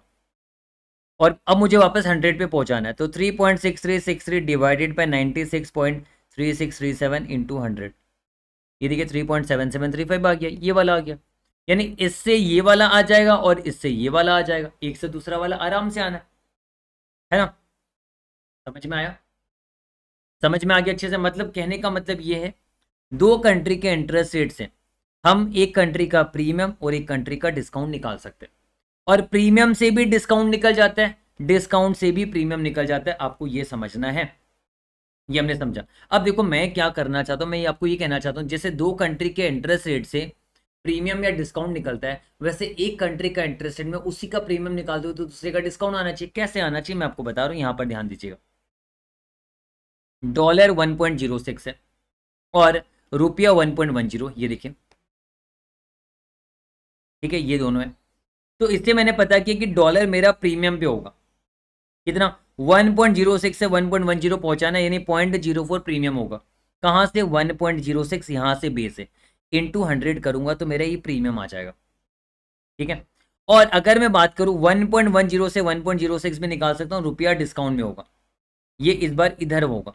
तो आपका पॉइंट ज़ीरो फोर कम करना है, कहाँ से? 1.10 से कम करना है, इतना डिस्काउंट होगा। ये आपका प्रीमियम है। ये आपका डिस्काउंट है। अब आप देखो, आपने ये प्रीमियम निकाला और आपने ये डिस्काउंट निकाला। अब एक बार आप चेक करो, जो डॉलर का इंटरेस्ट रेट फैक्टर है ये ये क्या डॉलर का इंटरेस्ट रेट फैक्टर है? इसमें आप डॉलर का प्रीमियम ऐड कर दीजिए, रुपया का इंटरेस्ट रेट फैक्टर आ जाएगा। डॉलर का इंटरेस्ट रेट फैक्टर और रुपया का इंटरेस्ट रेट फैक्टर इन दोनों का बीच का तो प्रीमियम आया। जैसे हमने बोला, एक तरफ़ हंड्रेड सिक्स रुपीज़ है, एक तरफ़ हंड्रेड टेन है तो उन दोनों से तो बीच का फोर हमने निकाला, है ना? तो यानी कहने का मतलब है डॉलर का इंटरेस्ट रेट फैक्टर इतना है और रुपया का इंटरेस्ट रेट फैक्टर इतना है, उसका बीच का तो प्रीमियम ही आया। तो मतलब डॉलर का इंटरेस्ट रेट फैक्टर पे डॉलर का प्रीमियम लगा दो तो रुपया का इंटरेस्ट रेट फैक्टर आ जाना चाहिए। आप एक बार करो 1.06 प्लस 3.7735 परसेंट करोगे ना तो 1.10 आ जाएगा आपका। यानी कहने का मतलब डॉलर का इंटरेस्ट रेट फैक्टर में इतना प्रीमियम अब लगा दोगे तो रुपया का इंटरेस्ट रेट फैक्टर आ जाएगा। और वही सेम रुपया का इंटरेस्ट रेट फैक्टर में। रुपया का डिस्काउंट ये रहा, ये रुपया का डिस्काउंट ये प्रीमियम किसका है? डॉलर का है। ये रुपया का डिस्काउंट है। रुपया का इंटरेस्ट रेट फैक्टर में डॉलर का प्रीमियम मत लगाना। रुपया का इंटरेस्ट रेट फैक्टर में रुपया का डिस्काउंट लगा दोगे तो डॉलर का इंटरेस्ट रेट फैक्टर आ जाएगा। समझ में आया? यानी कहने का मतलब ये है डॉलर का इंटरेस्ट रेट फैक्टर में डॉलर का प्रीमियम ऐड कर दो, रुपया का इंटरेस्ट रेट आ जाएगा। रुपया का इंटरेस्ट रेट फैक्टर में रुपया का डिस्काउंट को माइनस कर दो डॉलर का इंटरेस्ट रेट फैक्टर आ जाएगा, बस बात उतना ही है। है ना? मतलब यही मैं आपको समझाना चाहता हूँ, जैसे दो कंट्री के इंटरेस्ट रेट से उसके बीच का प्रीमियम और डिस्काउंट आता है, वैसे एक कंट्री के इंटरेस्ट रेट में उसी का प्रीमियम लगा दो तो दूसरी कंट्री का इंटरेस्ट रेट आना ही है। वो तो सिंपल सा लॉजिक है है ना? सिंपल सा लॉजिक है। तो यहाँ पर आप बताइए, आपको समझ में आया कि नहीं आया? यहाँ पर बताइए, आपको समझ में आया कि नहीं? ये एकदम अच्छी तरीके से समझ में आया। देखिए कंक्लूजन है। डॉलर का इंटरेस्ट रेट फैक्टर पे डॉलर का प्रीमियम लगा, रुपया का इंटरेस्ट रेट फैक्टर आ गया और इससे टेन परसेंट रुपया का इंटरेस्ट आ जाएगा। रुपया के इंटरेस्ट रेट फैक्टर में रुपया का डिस्काउंट लगा दिया तो डॉलर का इंटरेस्ट रेट फैक्टर आ गया, इससे डॉलर का इंटरेस्ट आ जाएगा। बस ध्यान में रहे, जो डॉलर का इंटरेस्ट रेट लोगे वो फैक्टर में लेना प्रिंसिपल बीस लगा के, क्योंकि interest is always dependent on what principal ये उस पर हमेशा डिपेंडेंट रहेगा। ये बस आप दिमाग में रखोगे, आपको टेंशन नहीं आएगा। अब एक एग्ज़ाम्पल आपको फिर से मैं करा देता हूँ ताकि आपको दिमाग क्लियर हो जाए एकदम। देखिए पाउंड का इंटरेस्ट रेट है फाइव परसेंट ये बनेगा one point zero five yen का इंटरेस्ट रेट है ट्वेल्व परसेंट ये बनेगा वन पॉइंट वन टू तो मतलब पाउंड प्रीमियम में होना क्योंकि इसका इंटरेस्ट रेट कम है। कितना बढ़ाएँगे? पॉइंट ज़ीरो सेवन कहाँ से? One point zero five into hundred तो पाउंड का प्रीमियम आ गया। और येन का डिस्काउंट क्या होगा? वन पॉइंट वन टू से वन पॉइंट ज़ीरो फाइव पे जाएँगे। तो येन का डिस्काउंट क्या होगा? Point zero seven divided one point one two into hundred ये आपका येन का डिस्काउंट आ गया। हालाँकि, आप इससे ये वाला निकाल सकते थे। और इससे ये वाला निकाल सकते थे। कैसे निकाल सकते थे? देखो पाउंड प्रीमियम में तो हंड्रेड पे six point six six percent चढ़ाओगे तो hundred six point six six बनेगा। अब मुझे इसका मतलब येन को डिस्काउंट में करना है तो मुझे सिक्स पॉइंट सिक्स सिक्स घटाना है। कहाँ से? Hundred six point six six है। इंटू हंड्रेड आप देखिए सिक्स पॉइंट टू फाइव आ जाएगा। दूसरा, अगर येन डिस्काउंट पे सिक्स पॉइंट टू फाइव ये वाला तो ये बनेगा ninety three point seven five मुझे फिर से हंड्रेड में पहुंचाना है। तो मुझे सिक्स पॉइंट टू फाइव बढ़ाना है। कहाँ से? Ninety three point seven five into hundred तो मेरा ये six point six six percentage आ जाएगा। तो एक दूसरे का रेट आना ही है वो तो। सिंपल सी बात है, एक दूसरे का रेट आना ही है, उसमें कोई डाउट वाली बात नहीं है। और दूसरी चीज़ पाउंड का इंटरेस्ट रेट फैक्टर पे। अगर मैं पाउंड का प्रीमियम लगा दूँ तो येन का इंटरेस्ट रेट फैक्टर आ जाएगा। येन के इंटरेस्ट रेट फैक्टर पे, अगर मैं येन का डिस्काउंट लगा दूँ तो पाउंड का इंटरेस्ट रेट फैक्टर आ जाएगा। वही मैंने सिखाया। पाउंड का इंटरेस्ट रेट फाइव परसेंट है, पाउंड का premium six point six six percent ये रहा। ये रहा। तो आपका, आपको क्या करना है? फाइव परसेंट नहीं लेना वन पॉइंट ज़ीरो फाइव लेना पाउंड का इंटरेस्ट रेट फैक्टर पे। पाउंड का प्रीमियम लगा दिया तो देखिए वन पॉइंट वन टू आ गया, जो कि किसका है? यन का इंटरेस्ट रेट फैक्टर है वन पॉइंट वन टू ये आप देख सकते हो यहाँ पर, ठीक है? सेम वैसे यन का इंटरेस्ट रेट फैक्टर है ट्वेल्व परसेंट का वन पॉइंट वन टू और इसमें यन का डिस्काउंट लगा दोगे तो पाउंड का इंटरेस्ट रेट फैक्टर आ जाएगा। पाउंड का इंटरेस्ट आ गया। तो यानी कहने का मतलब एक कंट्री के इंटरेस्ट रेट पे। उसी कंट्री का प्रीमियम ऐड कर दो या डिस्काउंट माइनस कर दो, उससे दूसरी कंट्री का इंटरेस्ट रेट फैक्टर आ जाएगा। सिंपल सी बात है। और अब एक क्वेश्चन है, वो आप कर लेना, मैं अभी नहीं कराऊँगा, बहुत टाइम लेता है वो क्वेश्चन करने में। वो क्वेश्चन मैं अभी नहीं करूँगा मैंने रेगुलर क्लास में कराया वो क्वेश्चन से आपको पूरी क्लैरिटी मिल जाएगी। ये वाला जो टॉपिक है ना, वो पूरा खोल के रख दिया था हमने उस क्वेश्चन को क्लास के दौरान। ओल्ड प्रैक्टिस मैनुअल का क्वेश्चन है, ये आपको आपके स्टडी मटेरियल में नहीं मिलेगा, क्वेश्चन नंबर थर्टी। ये आप प्रैक्टिस कर लीजिएगा मेरे क्वेश्चन बैंक से। और अगर आपने क्लास देखा हुआ है तो आपको ये क्वेश्चन का सोल्यूशन मिल जाएगा। और स्टिल अगर आपको इसका सोल्यूशन चाहिए तो मुझे कमेंट करके बताना बाद में। अभी नहीं, चैट में नहीं, बाद में कमेंट करके बताना। तो मैं कोशिश करूँगा यूट्यूब में डालने के। पर अभी रिविजन में नहीं करूँगा, नहीं तो टाइम बहुत लग जाएगा। पर मैंने क्लैरिटी आपको दे दी पूरी अच्छी तरीके से। तो आई होप आपको ये पूरा क्लैरिटी आ चुका है यहाँ पर। अब तो ये नहीं कराने से भी चलेगा यहाँ पर। देखिए डॉलर प्रीमियम कितना है? मतलब दूसरा कंट्री डेप्रिशिएट करेगा मुझे निकालना आता है। मैं आराम से निकालूँगा, कोई टेंशन वाली बात नहीं है। यानी दो कंट्री के इंटरेस्ट रेट फैक्टर से मैं एक, दोनों कंट्री का प्रीमियम में डिस्काउंट भी निकाल सकता हूँ। एक कंट्री के इंटरेस्ट रेट फैक्टर में उसी कंट्री का प्रीमियम ऐड कर दूँ या डिस्काउंट माइनस कर दूँ तो दूसरी कंट्री का इंटरेस्ट रेट फैक्टर आ जाएगा। तो यही ये बस इंटरेस्ट रेट पैरिटी का कंसेप्ट और परचेसिंग पावर पैरिटी मतलब इन्फ्लेशन होता है। यानी इंटरेस्ट रेट की जगह इन्फ्लेशन लगा तो सेम वही कंसेप्ट है। कुछ एक्स्ट्रा सिखाने की ज़रूरत नहीं। सेम टू सेम वही कंसेप्ट है। बस यहाँ पर परचेसिंग पावर पैरिटी है और वहाँ पर इंटरेस्ट रेट पैरिटी दोनों का कंसेप्ट एकदम सिमिलर है, कुछ भी अलग नहीं है इसमें। और अगर आप बोलोगे तो एक क्वेश्चन में यहाँ पर आपको कराना चाहता हूँ।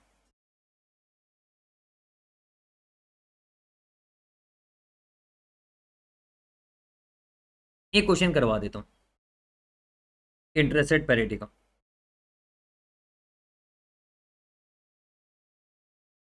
चलो, जल्दी से एक क्वेश्चन करवा देता हूँ। रेडी हो ना आप सभी? एक्टिव रहना एकदम अच्छे से। अभी एक्टिव रहो तो सब कुछ अच्छे से हो जाएगा, देखो। यहाँ पर पहले इंटरेस्ट रेट पैरिटी का बता दूँगा, फिर इन्फ्लेशन वाले भी बता दूँगा। अब देखो, अप्रैल वन में तीन महीने का इंटरेस्ट रेट दिया हुआ है। Three months interest rate pound और डॉलर का दिया हुआ है। तो देखो पाउंड का इंटरेस्ट रेट दिया हुआ है सेवन पॉइंट फाइव परसेंट और डॉलर का दिया हुआ है थ्री पॉइंट फाइव परसेंट तो मैं डॉलर का लिख रहा हूँ three point five percent pound का दिया हुआ है सेवन पॉइंट फाइव परसेंट अब मेरी बात ध्यान से सुनना। ये जो है ना, तीन महीने का पर ये जो रेट दिया हुआ रहेगा, ये हमेशा पर एनम में दिया हुआ रहता है। तो मुझे तीन महीने का निकालना पड़ेगा into three by twelve into three by twelve करके मुझे थ्री मंथ्स का निकालना पड़ेगा। तो थ्री पॉइंट फाइव तो पूरा बारह महीने का इंटू थ्री बाई ट्वेल्व करूँगा ना मैं। Point eight seven five percent आएगा तीन महीने का।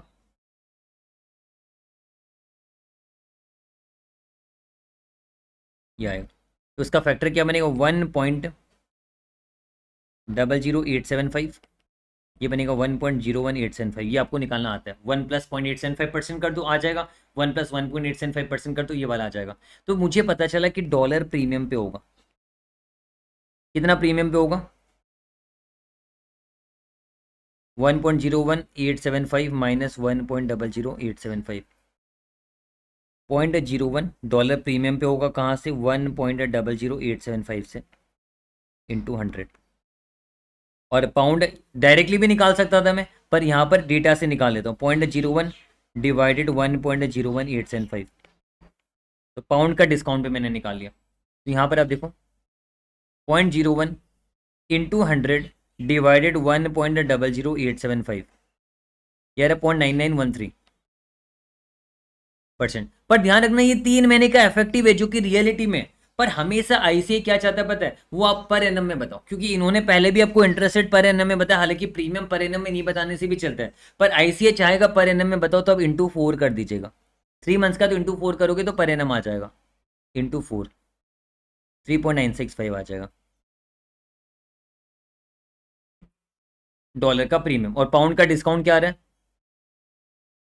Divided one point zero one eight seven five और nine eight one five nine इसको भी इंटू फोर कर देना, क्योंकि ये तीन महीने का इफ़ेक्टिव आएगा। हमें पर एन में डिस्प्ले करना होता है, बारह महीने का। Three point nine two six three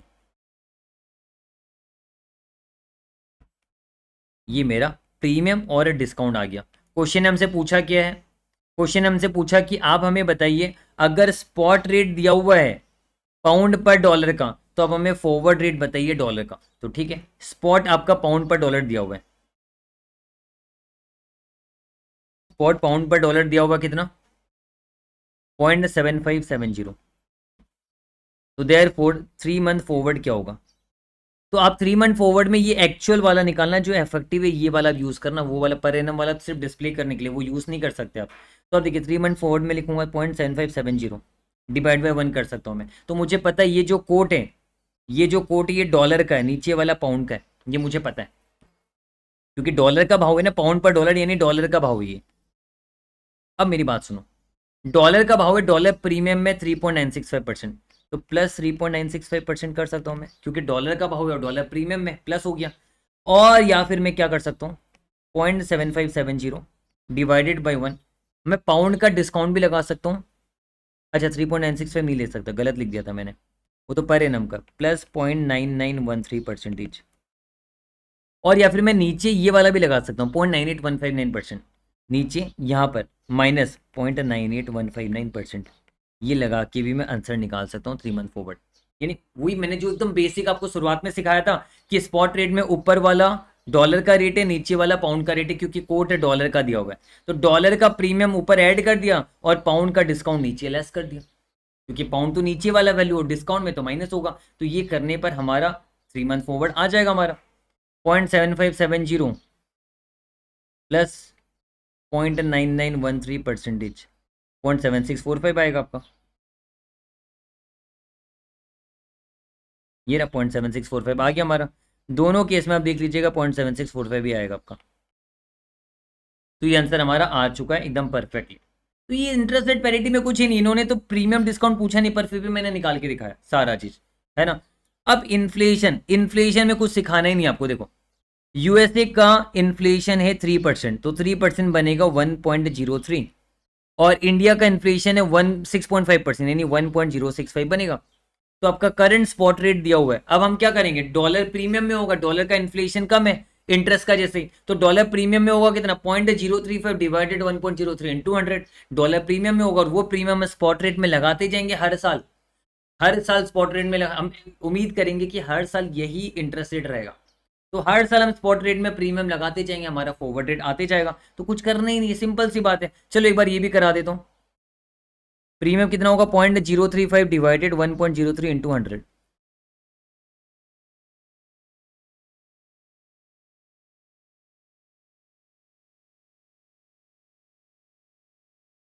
three point three nine eight percent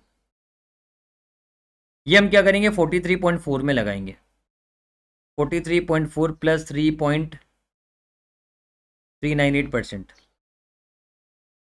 forty four point eight seven आ रहा है। ये रहा आ गया फिर वापस से प्लस लगा देंगे। Three point three nine eight percent forty six point three nine आ जाएगा। फिर प्लस वापस से लगा देंगे three point three nine eight percent forty seven point nine seven six ये आ गया थर्ड ईयर वाला भी। तो अपने आप आते जाएगा, बस खत्म, उसमें कुछ है ही नहीं। कुछ है नहीं इस क्वेश्चन में तो interest rate parity purchasing power parity एकदम सिंपल है, जो मैंने आपको कॉन्सेप्ट समझाया। आप आराम से क्वेश्चन कर लोगे, इस तरीके से कोई टेंशन वाली बात नहीं है। तो चलिए, ये पार्ट भी मैंने आपको अच्छे से सिखा दिया। चाहे इन्फ्लेशन हो, चाहे इंटरेस्ट रेट पैरिटी दोनों में केस सेम ही है कंसेप्ट भी सेम है। आपको कुछ एक्स्ट्रा से मेहनत करने की कोई ज़रूरत नहीं, कोई आवश्यकता नहीं है। आई होप आपको इंटरेस्ट रेट पैरिटी अच्छे से समझ में आ गया। एंड बस इसी को थोड़ा सा प्रैक्टिस कर लीजिएगा, कोई प्रॉब्लम नहीं आएगा। सारा क्वेश्चन आराम से हो जाएगा। है ना? तो जिस बस इतना ध्यान में रखना, जिस कंट्री का इंटरेस्ट रेट छोटा होता है, वो प्रीमियम में रहता है फॉरवर्ड जिस कंट्री का इंटरेस्ट रेट बड़ा होता है, वो फॉरवर्ड डिस्काउंट में होता है. कैसे निकालना, बता दिया. अब प्रीमियम से डिस्काउंट निकाल सकते हो डिस्काउंट से प्रीमियम निकाल सकते हो, वही अप्रिसिएशन अप्रिसिएशन का जो मैं चार्ट बनाता हूँ, उस तरीके से हम निकाल सकते हो. और ये ध्यान में रखना, एक कंट्री के इंटरेस्ट रेट में उसी कंट्री का प्रीमियम चढ़ा दोगे. प्लस कर दोगे तो दूसरे कंट्री का आ जाएगा। एक कंट्री के इंटरेस्ट रेट फैक्टर में उसी कंट्री का डिस्काउंट को माइनस करना है। प्रीमियम प्लस डिस्काउंट को माइनस करना है। तो दूसरी कंट्री का इंटरेस्ट रेट फैक्टर आ जाएगा, बस बात खत्म। तो मुझे बताइए, अभी तक आपको समझ में आया या नहीं आया? अगर नहीं आया तो मैं आगे नहीं बढ़ूँगा। समझ में आ गया तो मैं फॉरवर्ड रेट कराऊँगा। आगे फॉरवर्ड रेट सिंपल है। ये फटाफट हो जाएगा, फिर मनी मार्केट कवर में हम थोड़ा सा टाइम देंगे। बताओ, समझ में आया तो मैं आगे फॉरवर्ड रेट में बढ़ता हूँ फिर। एक बार जल्दी से कमेंट कर दूँ? सब कोई कमेंट करके बताओ तो समझ में आया नहीं आया।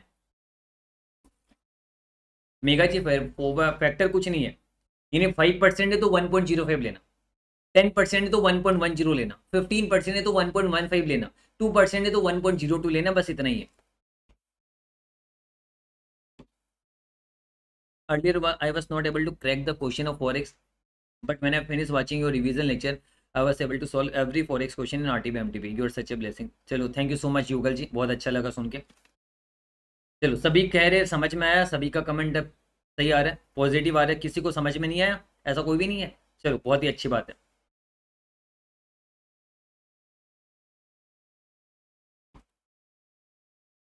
बहुत ही अच्छी बात है. चलिए तो फिर हम आगे बढ़ते हैं. आगे अब हम interest rate parity purchasing power parity खत्म करने के बाद मैं आपको फॉरवर्ड रेट बताऊँगा। फॉरवर्ड रेट कुछ नहीं फ्यूचर रेट है।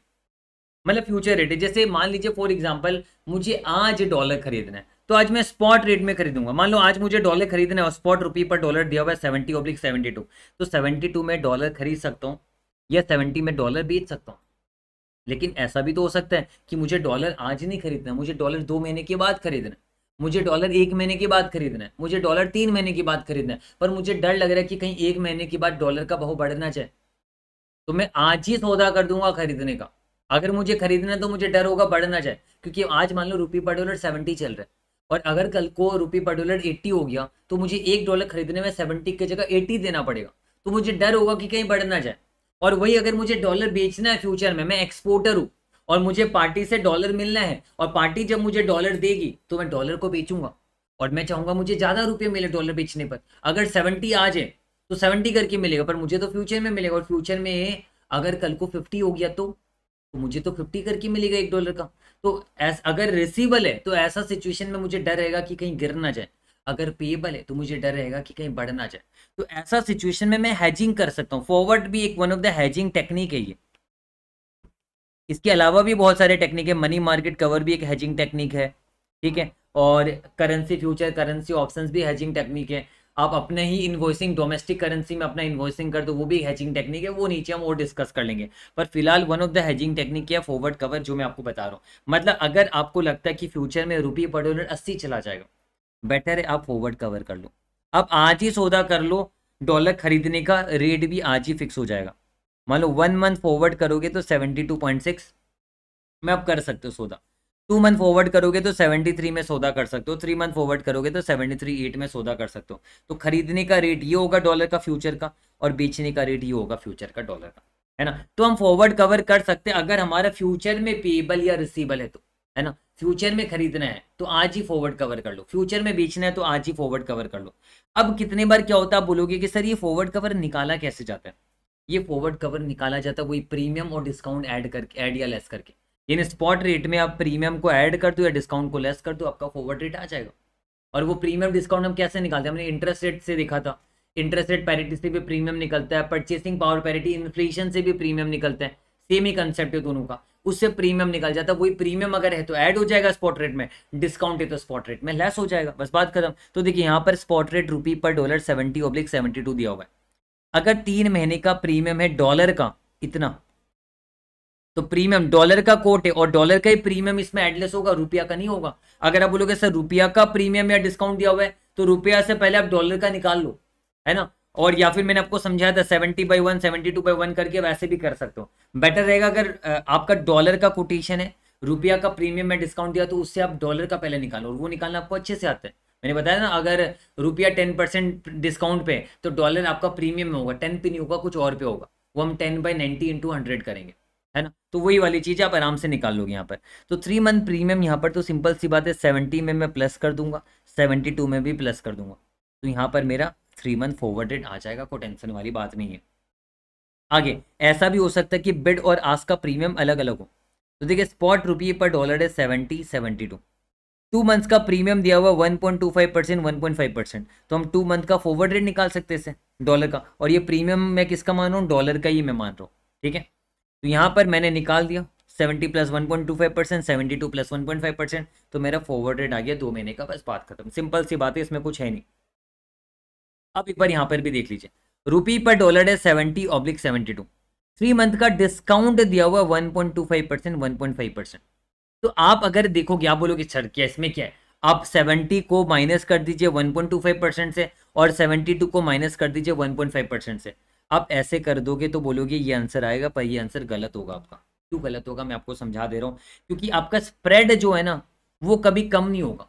स्प्रेड ज़्यादा ही होगा। यानी जो कंपनी की, जो बैंक की एक्सचेंज की कमाई होती है, वो हमेशा ज़्यादा ही होता है। पर आप देखो, अगर आप डिस्काउंट को आप माइनस कर दोगे ना तो आपका स्प्रेड कम हो जाना है यहाँ पर। तो इसलिए जब कभी भी डिस्काउंट होता है ना तो हम क्या करते हैं? तिरछा माइनस करते हैं। यानी आपको कहना ये कि प्रीमियम मतलब जब बढ़ेगा तो आपका ये वाला वैल्यू जो है, वो छोटा से बढ़ेगा, ये वाला ज़्यादा से बढ़ेगा। कैसे? इसके पीछे लॉजिक दे रहा हूँ। कस्टमर का बाइंग रेट ये है कस्टमर का सेलिंग रेट ये। तो जब प्रीमियम भी होगा ना तो बैंक हमेशा क्या चाहेगा? एक्सचेंज वाला पता है कि जो बाइंग रेट है, उसको तेज़ी से बढ़ाना चाहेगा। और जो सेलिंग रेट है, उसको कम तेज़ी से बढ़ाना चाहेगा। तो अब देखिए, बड़ा वाला हमेशा ऐड हो रहा है। क्योंकि ये तेज़ी से बढ़ेगा। और ये जो है, ये कम तेज़ी से बढ़ेगा। पर जब डिस्काउंट होगा ना तो ये 72 को कम गिराना चाहेगा। बाइंग रेट है कस्टमर का। ये कौन चाहेगा कि गिरे? एक्सचेंज कभी नहीं चाहेगा। तो इसको एक्सचेंज हमेशा छोटा से गिराना चाहेगा। और इसको हमेशा बड़ा से गिराना चाहेगा सेलिंग रेट को। तो आपको एग्ज़ाम के लिए, अभी मैं एकदम डीप नहीं जा रहा हूँ। आपको एग्ज़ाम के लिए समझना अगर प्रीमियम है तो प्रीमियम बिड में छोटा वाला प्रीमियम परसेंटेज लगेगा आस्क में बड़ा वाला प्रीमियम परसेंटेज लगेगा मतलब यहाँ पर असेंडिंग ऑर्डर ही होगा। ठीक है स्वैप पॉइंट्स में भी ये हाल होना जो मैं बाद में बताऊँगा। और यहाँ पर भी देखिए स्पॉट रेट जो है यहाँ पर सेवेंटी ऑब्लिक सेवेंटी टू ये डिस्काउंट है। तो डिस्काउंट हमेशा क्या होगा पता है? बड़ा वाला बिड में माइनस होगा और छोटा वाला आस्क में माइनस होगा। ये आपको ध्यान में रखना है, ठीक है? तो बड़ा वाला बिड में माइनस होगा, छोटा वाला आस्क में माइनस होगा, ये मैंने कंक्लूजन यहाँ पर लिख रखा होगा अगर प्रीमियम है तो लोअर रेट बिड में होगा हायर रेट आस्क में होगा। अगर डिस्काउंट है तो हायर रेट बिड में होगा लोअर रेट आस्क में होगा। आपको बस ये दिमाग में रखना है। तो अभी फ़िलहाल के लिए दिमाग में रखना और स्वैप पॉइंट्स में भी ये होता है, जो मैं आगे आपको पढ़ाऊँगा। स्वैप पॉइंट्स में भी देखो कि असेंडिंग ऑर्डर असेंडिंग ऑर्डर देखो ये, छोटा फिर बड़ा। और ये देखो यहाँ पर उल्टा होगा। डिसेंडिंग ऑर्डर अगर हो जाएगा तो उल्टा होगा तो उल्टा में माइनस होता है। तो यहाँ पर प्लस जब होगा तो असेंडिंग ऑर्डर में होगा माइनस जब होगा तो डिसेंडिंग ऑर्डर में होगा। यानी बड़ा पहले माइनस करोगे, फिर छोटा को माइनस करोगे, आस्क में, बड़ा को बिड में माइनस करोगे। पॉइंट्स में भी सेम यही कंसेप्ट है। चलिए तो ये वाला पार्ट आपने अच्छे से कर लिया। अब यहाँ पर जैसे कि स्पॉट रेट दिया हुआ है, जैसे मैंने आपको कहा, दो कंट्री के इंटरेस्ट रेट से आप एक कंट्री का प्रीमियम और एक कंट्री का डिस्काउंट निकाल सकते हो। वैसे आप स्पॉट रेट और फॉरवर्ड रेट से भी तो प्रीमियम डिस्काउंट निकाल सकते हो। अभी तो हमने क्या किया था? अभी हमने स्पॉट रेट में प्रीमियम लगाया तो फॉरवर्ड रेट आया। स्पॉट रेट में डिस्काउंट लगाया तो फॉरवर्ड रेट आया। वैसे मेरा कहना है कि स्पॉट रेट और फॉरवर्ड रेट से भी तो प्रीमियम डिस्काउंट आएगा। तो देखिए आप स्पॉट रुपी पर डॉलर है seventy point five seventy one point five two months forward rupee per dollar है seventy point eight seventy one point nine five तो यहाँ पर आप देखो डॉलर बढ़ रहा है। डॉलर सेवेंटी पॉइंट फाइव से सेवेंटी पॉइंट एट हो रहा है। तो डॉलर कितना बढ़ रहा है? पॉइंट थ्री बढ़ रहा है। कहाँ से बढ़ रहा है? सेवेंटी पॉइंट फाइव से बढ़ रहा है। इन टू हंड्रेड यानी डॉलर का प्रीमियम परसेंटेज इतना है। दो महीने का। ये दो महीने का है। आप अगर पर एनम दिखाना चाहो तो आप इंटू ट्वेल्व बाई टू कर देना। क्योंकि ये दो महीने का प्रीमियम आया इससे। आप पर एनम डिस्प्ले करने के लिए आपको पर एनम में ट्रांसलेट करना पड़ेगा। आप सीधा into twelve divide by two कर दो। या फिर सीधा इंटू सिक्स कर दो। क्योंकि दो महीने, बारह महीने का निकालना है तो छह बार मल्टीप्लाई करोगे, है ना? और वैसे सेम यहाँ पर। आस्क में dollar seventy one point five से seventy one point nine five हो रहा है। तो यानी टू मंथ्स का प्रीमियम ये आ गया आपका, है ना? और सेम जैसे मैंने बताया था इंटरेस्ट रेट से भी प्रीमियम डिस्काउंट आता है, मैंने पहले सिखा दिया था। वैसे स्पॉट और फॉरवर्ड से भी प्रीमियम डिस्काउंट आता है। अब जैसे इंटरेस्ट रेट से हमने प्रीमियम निकाल दिया और उसको हम स्पॉट रेट में चढ़ा देंगे तो थ्योरिटिकली थ्री मंथ फॉरवर्ड आ जाएगा। जैसे देखो, दो कंट्री के इंटरेस्ट रेट से मैंने प्रीमियम निकाला और उसको फिर स्पॉट रेट में लगा दिया। तो स्पॉट रेट को प्रीमियम में लगा दूँगा तो फॉरवर्ड रेट आ जाएगा आपका। सिंपल सी बात है है ना? तो मतलब कहने का मतलब इंटरेस्ट रेट से पहले प्रीमियम निकाल लिया और फिर बाद में हमने क्या किया? उस प्रीमियम को स्पॉट रेट में लगा दिया फॉरवर्ड रेट आ गया। या फिर स्पॉट और फॉरवर्ड से प्रीमियम निकाल लिया और उस प्रीमियम को एक कंट्री के इंटरेस्ट रेट पे फैक्टर पे लगा देंगे तो दूसरा कंट्री का इंटरेस्ट रेट फैक्टर आ जाएगा। ये दो चीज़ ध्यान में रखो। मतलब क्या वापस से बोलो दो कंट्री के इंटरेस्ट रेट से आपका प्रीमियम आएगा। वो प्रीमियम स्पॉट पे लगाओगे फॉरवर्ड रेट आ जाएगा। या स्पॉट और फॉरवर्ड रेट से प्रीमियम निकाल लो। वो प्रीमियम आप एक कंट्री के इंटरेस्ट रेट पे लगाओगे। जिसका प्रीमियम है, उसी कंट्री का इंटरेस्ट रेट पे, वो इंटरेस्ट रेट फैक्टर पे वो प्रीमियम लगाओगे तो दूसरी कंट्री का इंटरेस्ट रेट फैक्टर आ जाएगा। दोनों तरीके से हो जाता है आपका, है ना? तो ये वाला पार्ट एकदम अच्छे से हमें समझ में आ गया क्रिस्टल क्लियर हो गया। अब हम करेंगे money market cover that is very much important बताओ क्या आप रेडियो मनी मार्केट कवर सीखने के लिए? मनी मार्केट कवर सीखने के लिए क्या आप रेडियो अगर आप रेडियो तो मैं स्टार्ट करता हूँ। अमजदा जी कह रही है sorry to interrupt I was struggling so much in my concept clarity in FR and SFM your classes really help me thanks to you sir thank you so much Amjada ji कोई सिमरनजीत सिमरनजीत जी कोई marks नहीं कटने वाला formula का कोई marks नहीं होता है। बस प्रॉपर आप स्टेप्स लिख दीजिएगा। काफ़ी स्टेप्स आपको अच्छे से प्रॉपर लिखना पड़ेगा। ठीक है, एकदम शॉर्टकट में मत लिखिएगा। तो कोई प्रॉब्लम नहीं आएगी। बाकी आई होप आपको समझ में आया अच्छी तरीके से। कोई एकदम ही बिगिनर एकदम ही ज़ीरो है। उसे थोड़ा दिक्कत आएगा। अगर बिगिनर नहीं हो आप तो आपको दिक्कत नहीं आएगी यहाँ पर। है ना? सब कोई कह रहे यस सर, बिल्कुल सर, समझ में आ रहा है। है ना? तो मनी मार्केट कवर कंसेप्ट समझा रहा हूँ, इससे क्वेश्चन भी करवा दूँगा। ठीक है? ये क्वेश्चन भी करवा दूँगा आपको मैं। यहाँ पर एग्ज़ाम्पल से वो क्वेश्चन हो जाएगा। देखो मनी मार्केट कवर बिल्कुल सिंपल है। ये भी one of the hedging technique है। जैसे forward cover one of the hedging technique है, वैसे मनी मार्केट कवर भी one of the hedging technique है, कैसे मैं आपको बता रहा हूँ। जैसे मान लीजिए फॉर एग्ज़ाम्पल मैं प्रतीक जगाती हूँ, मैं एक इंडियन एक्सपोर्टर हूँ। मैंने यूएसए में मिस्टर जॉन बोल के एक आदमी है, उसको यूएसए में मैंने गुड्स बेचा है डॉलर फिफ्टी थाउज़ेंड का। फिफ्टी थाउज़ेंड डॉलर का मैंने गुड्स बेचा है उसे। और वो मुझे पैसे आज नहीं देगा, वो मुझे डॉलर देगा, आज नहीं, तीन महीने के बाद देगा। तो तीन महीने के बाद मुझे डॉलर रिसीव होने वाले तो मुझे डर रहेगा। मुझे किस बात का डर रहेगा कि कल को तीन महीने के बाद डॉलर का भाव गिर गया तो मेरा तो नुकसान हो जाएगा। अफ्रेड ऑफ़ डॉलर फॉलिंग क्योंकि मुझे डॉलर मिलने वाला है तो मैं चाहूँगा डॉलर का भाव बढ़े। जितना बढ़ेगा, उतना मेरे पास रुपया आएगा। तो मुझे डर है कि कहीं डॉलर गिर ना जाए। तो उसके लिए मैं चाहता हूँ कि मैं डॉलर को आज ही रिसीव करवा लूँ। तो देखिए ना, मुझे पचास हज़ार डॉलर मिलने हैं। आज स्पॉट रेट चल रहा है सेवेंटी ऑब्लिक सेवेंटी टू अगर आज ही मुझे डॉलर मिल जाता फिफ्टी थाउज़ेंड तो इसको मैं फिफ्टी थाउज़ेंड डॉलर को बेच देता। बेचने का रेट होगा बिड रेट मैं फिफ्टी थाउज़ेंड डॉलर को सेवेंटी रुपीज़ करके बेच के अपने घर रुपया लेके आ जाता। पर मुझे डॉलर आज नहीं मिलेंगे। मुझे तीन महीने के बाद डॉलर मिलेंगे। तो मैं एक काम तो कर सकता हूँ फॉरवर्ड कवर कर सकता हूँ थ्री मंथ फॉरवर्ड कर सकता हूँ मैं। ये वन ऑफ़ द टेक्निक वो है। पर क्या पता फॉरवर्ड कवर से ज़्यादा फ़ायदा मुझे मनी मार्केट कवर में दिखे। तो मैं फॉरवर्ड कवर नहीं करूँगा, मैं मनी मार्केट कवर करूँगा। और मनी मार्केट कवर करने के लिए आपको क्या क्या डेटा चाहिए मैं आपको बता दूँ। आपको दोनों कंट्री का इंटरेस्ट रेट चाहिएगा और आपको स्पॉट रेट चाहिएगा। यानी आपके पास ये तीन डेटा अगर है, अगर क्वेश्चन में ये तीन डेटा दिया हुआ है स्पॉट रेट और दोनों कंट्री का इंटरेस्ट रेट दिया हुआ है तो वहाँ पर मनी मार्केट कवर आप अप्लाई कर सकते हो। कैसे अप्लाई कर सकते हो मैं आपको ये समझा रहा हूँ। ध्यान से सुनेगा मेरी बात। मुझे पचास हज़ार डॉलर मिलना है। तीन महीने के बाद। मैं चाहूँगा कि मैं आज ही पचास हज़ार डॉलर ले लूँ। पर कस्टमर से अगर मैं पचास हज़ार डॉलर आज मांगूँगा, वो नहीं देगा। मिस्टर जॉन मुझे आज देगा ही नहीं। वो मुझे तीन महीने के बाद ही देगा। तो मैंने सोचा, एक काम करता हूँ। मिस्टर जॉन के बगल में, मैं यूएसए गया फ़्लाइट में। और यूएसए में मिस्टर जॉन का जो ऑफ़िस थे, जॉन ने तो मना कर दिया आज पैसे देने से, वो कहा कि तीन महीने के बाद देगा। तो उसके बगल में मैंने देखा एक बैंक है, यूएसए का बैंक है। तो मैं यूएसए के बैंक के अंदर घुस गया मैं। और यूएसए के बैंक को मैंने बोला, देखो ना भाई, मुझे आपके पड़ोस वाले मिस्टर जॉन से फिफ्टी थाउज़ेंड डॉलर मिलना है। आज नहीं, तीन महीने के बाद मिलना है। ये देखो, मेरे पास बिल भी पड़ा हुआ है। तो मैं बैंक से कहूँगा बैंक यार, आप मुझे फिफ्टी थाउज़ेंड डॉलर दे दो ना, और तीन महीने के बाद आप जॉन से ले लेना। बात खत्म।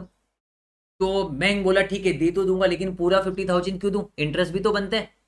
तो बैंक ने बोला, मैं तुझे सफिशियंट इतना डॉलर दूँगा, ताकि वो इंटरेस्ट का सहित बाद में फिफ्टी थाउज़ेंड बन जाए और फिफ्टी थाउज़ेंड मुझे मिल जाए। यानी हम अब बैंक से फिफ्टी थाउज़ेंड डॉलर बोरो नहीं करेंगे, हम बैंक से थोड़ा कम बोरो करेंगे। उतना करेंगे ताकि इंटरेस्ट सहित वो बाद में तीन महीने के बाद फिफ्टी थाउज़ेंड डॉलर बन जाए, और वो फिफ्टी थाउज़ेंड डॉलर कौन देगा? जॉन मुझे नहीं देगा जॉन डायरेक्टली बैंक को दे देगा। तो मैं क्या बैंक से present value fifty thousand dollar ले सकता हूँ मैं? हाँ ये ना? मुझे एक बार इसका कमेंट करके बताना, क्या मैं बैंक से present value fifty thousand dollar ले सकता हूँ? और बाद में क्या चुकाना मुझे पड़ेगा कि मिस्टर जॉन चुकाएगा? यानी बोरो में करूँगा, पर रीपेमेंट मुझे नहीं करना। रीपेमेंट मिस्टर जॉन करेगा। मैं सिर्फ़ बोरो करके अपने घर आ जाऊँगा, बाद में मुझे यूएसए की शकल ही नहीं देखनी। मुझे मिस्टर जॉन की भी शकल नहीं देखनी। तो मैं क्या करूँगा फिफ्टी थाउज़ेंड डॉलर का प्रेजेंट वैल्यू मैं बोरो कर लूँगा। कितना प्रेजेंट वैल्यू रेट कितना है? ट्वेल्व परसेंट रेट है। ये तो बारह महीने का है। तो तीन महीने का रेट है थ्री परसेंट तो फिफ्टी थाउज़ेंड का थ्री परसेंट से पुल करोगे, आप fifty thousand divide by hundred three percent कर दो, या फिर fifty thousand divided one point zero three कर दो आप। आप इतना डॉलर बोरो कर लीजिए और आप देख लीजिए, four eight five four three point six nine अगर आप इतना डॉलर बोरो कर लोगे, इसमें तीन परसेंट का इंटरेस्ट तीन महीने का चढ़ा दोगे, ये पचास हज़ार डॉलर हो जाएगा। और ये पचास हज़ार डॉलर कौन देगा? मिस्टर जॉन बैंक को दे देगा। तो मेरे पास आज प्रेजेंट वैल्यू में इतने डॉलर मेरे घर आ जाएँगे। यूएसए के बैंक मुझे इतना डॉलर दे देगा आज के आज। और ये मुझे बाद में चुकाने की भी कोई आवश्यकता नहीं है। ये मेरे पास डॉलर आ गया। तो ये कब आ गया? आज ही स्पॉट आ गया मेरे पास। आज ही आ गया। तीन महीने की बाद नहीं, आज ही स्पॉट मेरे पास आ गया। अब मैं इंडिया जाना चाहता हूँ। यूएसए के बैंक से निकल के मैं फ़्लाइट पकड़ के इंडिया जाना चाहता हूँ। इंडिया में तो डॉलर ले जाना अलाउड नहीं है। और मुझे तो रुपया चाहिए। मुझे तो डर ही ये था कि डॉलर का भाव बढ़ ना जाए, या सॉरी गिर ना जाए। तो मैं इस डॉलर को स्पॉट मैंने ले लिया बोरो कर लिया। अब ये डॉलर मेरे जेब में है। मैंने इसे बोरो किया है तो बैंक ने मुझे बिल मैंने बैंक को सबमिट कर दिया। जो बिल था मेरे पास एक्सपोर्ट बिल वो मैंने बैंक को सबमिट किया और बैंक ने मुझे इतने डॉलर दे दिए। ये डॉलर मेरे पॉकेट में। अब ये डॉलर को मैं क्या करूँ? बेचू की खरीदू? ये डॉलर को मैं क्या करूँ? बेचू की खरीदू? ये मेरे पॉकेट में डॉलर है। आप मुझे बताइए, ये डॉलर को मैं बेचू की खरीदू? मुझे फटाफट से कमेंट करके बताओ। आई थिंक मैं श्योर हूँ कि ये डॉलर को मुझे क्या करना चाहिए? मुझे डॉलर को बेचना चाहिए। ऑब्वियसली बात है, क्योंकि डॉलर मेरे पास आ गया तो डॉलर को मैं बेचूँगा। यानी कहने का मतलब जब कभी भी आप डॉलर बोरो करोगे तो बोरो करने पर डॉलर आपकी जेब में आ जाएगा। अब डॉलर को आप बेचोगे तो डॉलर हम इतना बेचेंगे। अब डॉलर का रेट क्या है? सेवेंटी सेवेंटी टू डॉलर का कोट है डॉलर खरीदने का रेट सेवेंटी टू होगा, बेचने का रेट सेवेंटी होगा। तो मैं सेवेंटी में बेच दूँगा। तो four eight five four three point six nine को मैं सेवेंटी करके बेच दूँगा। तो मेरे पास इतना रुपया आज आ जाएगा। तो ये रुपया भी मेरे पास आज ही आ जाएगा स्पॉट ये भी स्पॉट में आया। ये भी स्पॉट में आज ही मेरे पास आ जाएगा। अब रियल में मुझे रुपया की दरकार थोड़ी ना आज थी मुझे तो डर था कि कहीं आपका फॉरेन करेंसी फ्लक्चुएशन ना हो जाए। इसलिए मैंने रुपया में कन्वर्ट करा लिया। अब ये तीन महीना तक मैं रुपया अपने घर नहीं रखूँगा। जैसे कि बोरोइंग करने पर मेरा तीन महीने का इंटरेस्ट भी तो लगा, पचास हज़ार की जगह इतने ही मिले मुझे मुझे। तो मैं क्या करूँगा, अब इस रुपया को अपने इंडियन बैंक में तीन महीने के लिए री इन्वेस्टमेंट कर दूँगा इन्वेस्टमेंट कर दूँगा। तो इंडिया में इन्वेस्टमेंट का रेट कितना है? ट्वेंटी परसेंट पर है ना तीन महीने का पाँच परसेंट है। तो मैं क्या करूँगा, यहाँ पर इन्वेस्ट कर दूँगा ये सारे रुपये को इंडिया में पाँच परसेंट में और तीन महीने के बाद मुझे ये पैसे मिल जाएँगे। तीन महीने के बाद मुझे ये पैसे मिल जाएँगे यहाँ पर। कितने? अब आप देखो, सोचो, अगर आप पचास हज़ार डॉलर ही आज आप कन्वर्ट कराते हैं तो इंटू सेवेंटी अगर आज ही पैसे मिल जाते तो कितना होता है? पैंतीस लाख आता आपका। और आपका तो ज़्यादा ही आ रहा है। टेंशन की कोई बात नहीं, क्योंकि आपका ऐसे भी डॉलर आगे जाके फॉरवर्ड प्रीमियम में होता है तो फॉरवर्ड रेट अलग होता है। चलो, उस चीज़ के बारे में हम अभी बात नहीं करते आप कंफ्यूज हो जाओगे मुझे लगता है बताने पर। मैं अब आपको इतना समझाना चाहता हूँ, अगर मेरा रिसीवल का क्वेश्चन आया रिसीवल का क्वेश्चन आया मतलब मैं एक्सपोर्टर हूँ। कौन हूँ मैं? मैं एक्सपोर्टर हूँ। तो मुझे डॉलर जो मिलने वाले हैं फ्यूचर में उसे मैं आज ही बोरो कर लूँगा प्रेजेंट वैल्यू में, है ना? फिर वो डॉलर मेरे पॉकेट में आएगा, उसे मैं बेच दूँगा। मेरे पास रुपया आ जाएगा आज ही, और मैं उसे तीन महीने के लिए इन्वेस्टमेंट कर दूँगा। तो मतलब अल्टीमेटली करना क्या मुझे? बोरो करना है प्रेजेंट वैल्यू फिर सेल कर दूँगा उस फॉरेन करेंसी को, और बाद में मेरे पास होम करेंसी आ जाएगा सेल करने पर, उस होम करेंसी को मैं इन्वेस्टमेंट कर दूँगा। यानी शॉर्टकट देखो मैंने यहाँ पर शॉर्टकट भी लिख रखा हुआ है। पहले बोरो करना प्रेजेंट वैल्यू फॉरेन करेंसी का। बोरो करोगे, इतना डॉलर आपको मिलेगा। फिर उस डॉलर को स्पॉट बेच डालो आप। स्पॉट बेच डालना तो आपको इतना रुपया मिलेंगे। फिर उस रुपया को आप इन्वेस्टमेंट कर देना इंडिया में तो आपके पास इतना रुपया आ जाएगा। यानी अल्टीमेटली बोरो होगा फॉरेन करेंसी प्रेजेंट वैल्यू में। फिर आप उस फॉरेन करेंसी को स्पॉट बेच दीजिएगा। आपके घर होम करेंसी आ जाएगा। अब आप होम करेंसी को इन्वेस्टमेंट कर दीजिए। ये शॉर्टकट आप अपने दिमाग में एग्ज़ाम के लिए रख लोगे। मनी मार्केट कवर में आपको कोई आपत्ति नहीं आएगी, कोई परेशानी नहीं आएगी। मनी मार्केट कवर आपका अच्छे से क्लियर हो जाएगा। तो बताइए क्या मनी मार्केट कवर भी हमें अच्छे से समझ में आ गया? जी हाँ हमें अच्छे से समझ में आ गया। अब हम पेबल्स का क्वेश्चन करेंगे। तो रिसीवल मैंने आपको समझा दिया। रिसीवल में आपको ये ध्यान में रखना है बोरो सेल इन्वेस्ट ये आपको ध्यान में रखना borrow foreign currency sell foreign currency invest home currency ये आपका रिसीवल में होगा। बस इतना आपको ध्यान में रखना है, बस बात खत्म। लॉजिक मैंने आपको पूरा क्लियरली अच्छे से दे दिया, कोई टेंशन वाली बात नहीं है। Nikhil ji thank you so much but sir दब कुछ सही होने पर भी ज़ीरो मिला है। अच्छा सब कुछ। उन्नति जी, वो ऐसे कि कुछ लोग पागल है पेपर चेकर को आता नहीं है सजेस्टेड से एक एक चीज़ मिलाते हैं। क्या करें इसी चीज़ का तो बवाल हो रहा है। और हम भी तो लगे हुए हैं, देखो, कोई रिज़ल्ट मिलता है तो अच्छी बात है। ये ऐसे की इनकम्पिटेंसी हमारी कोई गलती नहीं है। पर फिर भी हम तो अभी ऐसे ओरिएंटेड ही पढ़ रहे हैं। और इस बार मैंने जो लेक्चर भी लिए ना सारे, जो नए लेक्चर्स हमने एसएफएम के रिकॉर्ड किए मैंने पूरा ध्यान रखा कि मैं ऐसे की एक एक चीज़ों को थोड़ा सा लिंक करके पढ़ाऊँ, ताकि आपको कोई प्रॉब्लम ना आए। चलो तो मनी मार्केट कवर में अब हम पेबल की बात करते हैं। सेम वही डेटा रखा, बस मैंने फ़र्क क्या कर दिया, यहाँ पर प्रतीक जगह थी, इस बार एक्सपोर्टर की जगह इम्पोर्टर है। और मिस्टर जॉन इस बार सप्लायर है कस्टमर की जगह। इस बार मैंने डॉलर फिफ्टी थाउज़ेंड का गुड्स खरीदा, जो मुझे आज नहीं, तीन महीने के बाद देना है। तो यहाँ पर मनी मार्केट कवर में पेबल में भी वही स्पॉट रेट चाहिएगा दोनों कंट्री का इंटरेस्ट रेट चाहिएगा हमें। तो इफेक्टिवली तीन महीने का थ्री परसेंट और फाइव परसेंट है डॉलर और रुपया का। तो यहाँ पर, अब मेरी बात सुनिए यहाँ पर। यहाँ पर प्रतीक जगाती जो है, वो प्रतीक जगाती ने इस बार गुड्स खरीदा है। तो प्रतीक जगाती को डॉलर पे करना है, कब? तीन महीने के बाद। पिछली बारी मुझे डॉलर मिलना था तो मैंने डॉलर आज ही मंगवा लिया। पड़ोस वाले बैंक से आज ही डॉलर ले लिया था। इस बार मुझे डॉलर देना है। तो पड़ोस वाले बैंक को आज ही डॉलर दे दूँ मैं। अब देखो, अगर मिस्टर जॉन को मैं आज ही डॉलर दूँ तो पूरा पचास हज़ार डॉलर देना पड़ेगा। बेटर है मैं मिस्टर जॉन को आज नहीं दूँ पैसा। मैं आज दूँगा डॉलर पर मिस्टर जॉन को नहीं दूँगा। मैं उसके बगल वाले बैंक को दूँगा। उससे फ़ायदा क्या है? मुझे उसको कम देना पड़ेगा फिफ्टी डॉलर से कुछ कम देना पड़ेगा। और वो इंटरेस्ट के साथ फिफ्टी हो जाएगा। बाद में बैंक क्या करेगा? जॉन को तीन महीने के बाद इंटरेस्ट सहित फिफ्टी थाउज़ेंड लौटा देगा। तो क्या मैं ये कर सकता हूँ कि यूएसए के बैंक को क्या मैं ये कर सकता हूँ कि यूएसए के बैंक मैं इन्वेस्टमेंट कर दू? Present value fifty thousand dollar मतलब यहाँ पर मिलना था तो मैंने बोरो कर लिया, पैसे मंगवा लिए, मिला था। यहाँ पर देने हैं तो मैं इन्वेस्टमेंट करूँगा। तो इस बारे में क्या करूँगा? इन्वेस्ट करूँगा present value of dollar fifty thousand तो मुझे पता चला मुझे इतना डॉलर इन्वेस्ट करना है। पिछली बार बोरो करना था इतना डॉलर इस बार मुझे इतना डॉलर इन्वेस्टमेंट करना है। क्या ये पॉइंट सब संतुष्ट हो? जी हाँ सर हम समझ गए। हमें इस बार फॉरेन करेंसी इन्वेस्ट करना है प्रेजेंट वैल्यू में। इतना डॉलर इन्वेस्टमेंट करना है। तो भाई डॉलर इन्वेस्टमेंट करने के लिए डॉलर होना भी तो पड़ेगा। तेरे पास कहाँ है? तेरे पास डॉलर है ही कहाँ? तेरे पास इतना, तुझे पता चल गया कि डॉलर इतना इन्वेस्टमेंट करना है। तो इतना इन्वेस्टमेंट करने के लिए तेरे पास इतना डॉलर होना पड़ेगा। तुझे इतना डॉलर मतलब खरीदना पड़ेगा। यानी टू इन्वेस्ट आपको इतना डॉलर खरीदना पड़ेगा। आज स्पॉट इतना डॉलर खरीदना पड़ेगा। तो डॉलर खरीदने के लिए कितना रुपया लगेगा, ये पता कर लू।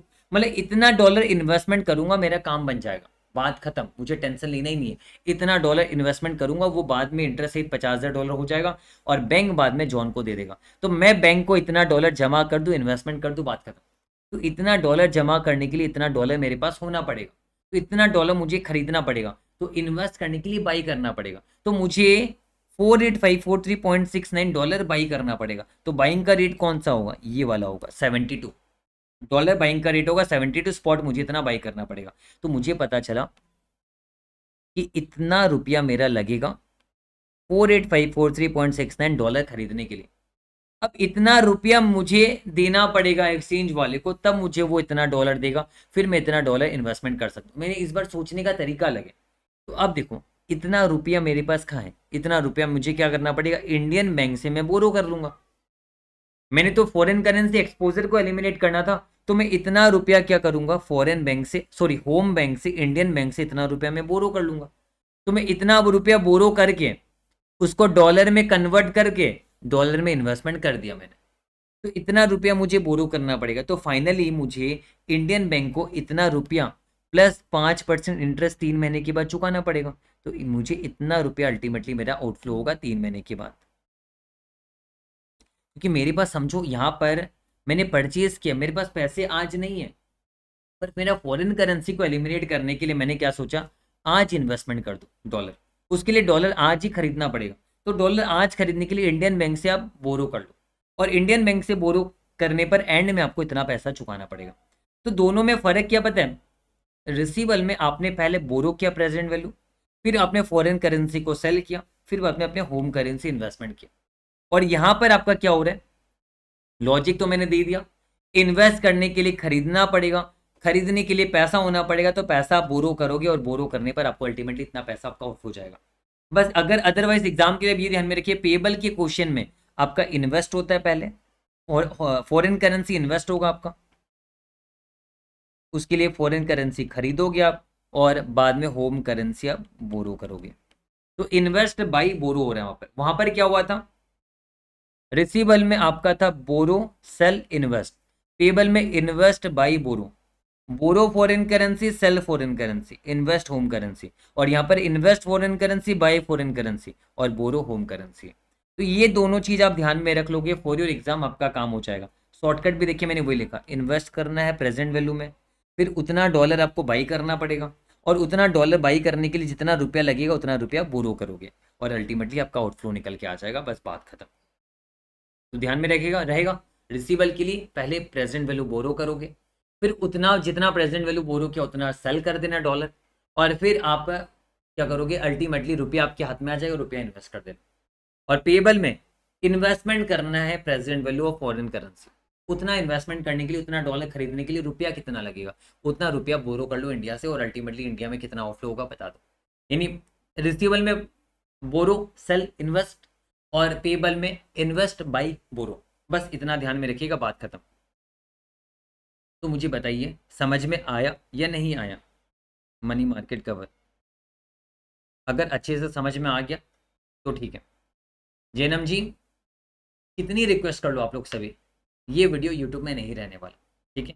और इसीलिए लाइव में ले रहा हूँ और लाइव आप लोग अभी करके ख़त्म करो। यहाँ पर ये वाला लाइव ही करना पड़ेगा आपको, आप करके ख़त्म कर लीजिए। और इसके पीछे सही आपके लिए भी फ़ायदा, आपका आज ख़त्म हो जाएगा। अल्टीमेटली ज़्यादा लंबा समय तक रखने का कोई सेंस कोई तो बनता नहीं है। तो अब मुझे बताइए, क्या हमने मनी मार्केट कवर भी अच्छे से समझ लिया? अगर मनी मार्केट कवर हमने अच्छे से समझ लिया तो यहाँ पर अब हम नेक्स्ट कर सकते कवर्ड इंटरेस्ट आर्बिट्राज और ये भी इसके पहले तीन step first three steps similar to M और इसका एक क्वेश्चन भी मैं आपको करवा दूँगा। इसके दो क्वेश्चन है आपके स्टडी मटेरियल में।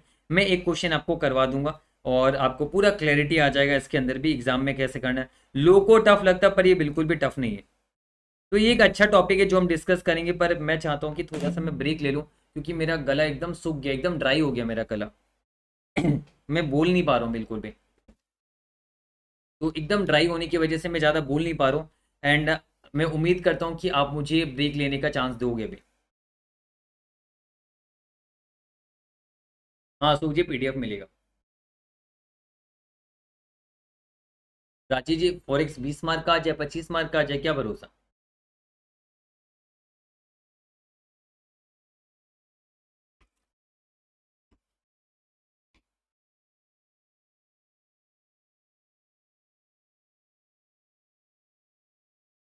वंशिका जी, क्या सवाल है मैं समझा नहीं? रेट्स का बता दीजिए, कब कौन सा यूज़ करना है? मैंने बोला ना यहाँ पर अब स्पॉट है, अगर स्पॉट में आप कन्वर्सन कराओगे तो स्पॉट रेट यूज़ करोगे। अब मनी मार्केट कवर में तो फॉरवर्ड कवर ऐसे भी लगना नहीं तो स्पॉट रेट ही यूज़ होगा। Money market cover one of the hedging technique है forward cover one of the hedging technique है। यहाँ पर हम स्पॉट बोरो करेंगे स्पॉट फॉरेन करेंसी को सेल करेंगे। या स्पॉट इन्वेस्टमेंट करना है तो स्पॉट फॉरेन करेंसी को हम बाई करेंगे। तो यहाँ पर स्पॉट रेट ही है। तो स्पॉट रेट ही हमें लेना है। और बाई सेल का रेट तो मैंने आपको ऑलरेडी समझा दिया सेवेंटी सेवेंटी टू है। जब डॉलर खरीदना है तो सेवेंटी टू डॉलर बेचना है तो सेवेंटी निवेदिता जी कह रही है, मस्त मक्खन जैसा जैसा, चलो अच्छी बात है। तो सब कुछ अच्छा चल रहा है अभी तक। सब कुछ अच्छे से समझ में आया। तो एक बार ब्रेक ले लेते हम एंड अच्छा रहेगा। और ब्रेक कितना समय का लिया मुझे बता दीजिए। ब्रेक कितना समय का ले, मुझे एक बार बता दीजिए। चलिए नेक्स्ट हम बहुत ही अच्छा टॉपिक डिस्कस करेंगे that is word covered interest arbitrage Nivedita ji, नमस्ते। आप सभी को फिर से नमस्ते। सभी को आ जाइए फटाफट से। फिर हम शुरू करते हैं, है ना? जल्दी जल्दी। बिना किसी देर की सब कोई आ गया आई थिंक आई थिंक सब कोई आगे होंगे, है ना? सब कोई आ जाओ जल्दी जल्दी खाना खा लिया होगा आप सभी ने। जल्दी से आ जाओ भोजन का कार्यक्रम समाप्त हुआ अब। जल्दी आ जाओ कौन स्पैम वाले आ गए? कोई स्पैम नहीं कर रहे। अंजलि जी अपनी भावनाओं को प्रकट कर रही है, पूछ रही है कि अपलोड करोगे नहीं करोगे।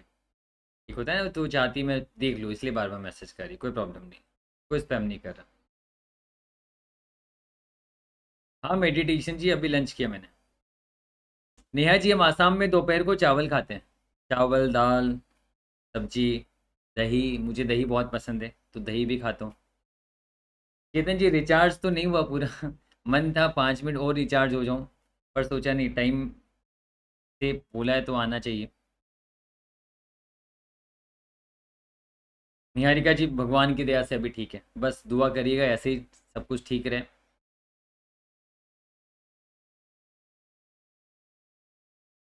सानिध्य जी, हमारे यहाँ पर कोई रिवाज नहीं है खाने के बाद मीठा खाने का। मीठा ऐसे भी थोड़ा कम खाना चाहिए, ज़्यादा भी नहीं खाना चाहिए। चलो तो फिर अब हम शुरू करते आई थिंक सब कोई आ गए हैं ना? अब हम स्टार्ट करते फिर लास्ट में बात करेंगे आराम से। हाँ तुषार जी, मैं आसाम से हूँ ना? आसाम, गुवाहाटी। अरे, क्या बात, सोनिया जी, आपने मेरा भी मन करा दिया चाय पीने का। ऐसे बोल के ललचाओ ना हमें। मेरा भी मन हो जाएगा। मैं अभी दिल्ली से जब गुवाहाटी आ रहा था तो एयरपोर्ट पे जो लाउंज है, वहाँ पर मैंने चाय लिया था। क्या मस्त चाय मतलब मज़ा आ गया पी के। वो चाय को अभी भी मैं मिस कर रहा हूँ। ऐसा लग रहा है कब वापस दिल्ली जाऊँगा, उस एयरपोर्ट में वहाँ पर वो चाय पीऊँगा मतलब। इतनी अच्छी चाय बनाई उन्होंने मतलब। जो लाउंज है वहाँ पर, क्या नाम था उस लाउंज का? ध्यान में नहीं आ रहा। चलो, सारी बातें को छोड़ देते हैं। और अभी हम फिर से आ जाते हैं। आई थिंक सब कोई अब आ चुके हैं। और अभी हम कवर्ड इंटरेस्ट आर्बिट्राज समझते हैं। तो देखिए कवर्ड इंटरेस्ट आर्बिट्राज में आपको बता दूँ ऑलमोस्ट सिमिलर है किससे मनी मार्केट कवर में। आपको याद है मनी मार्केट कवर में मैंने आपको क्या बताया था?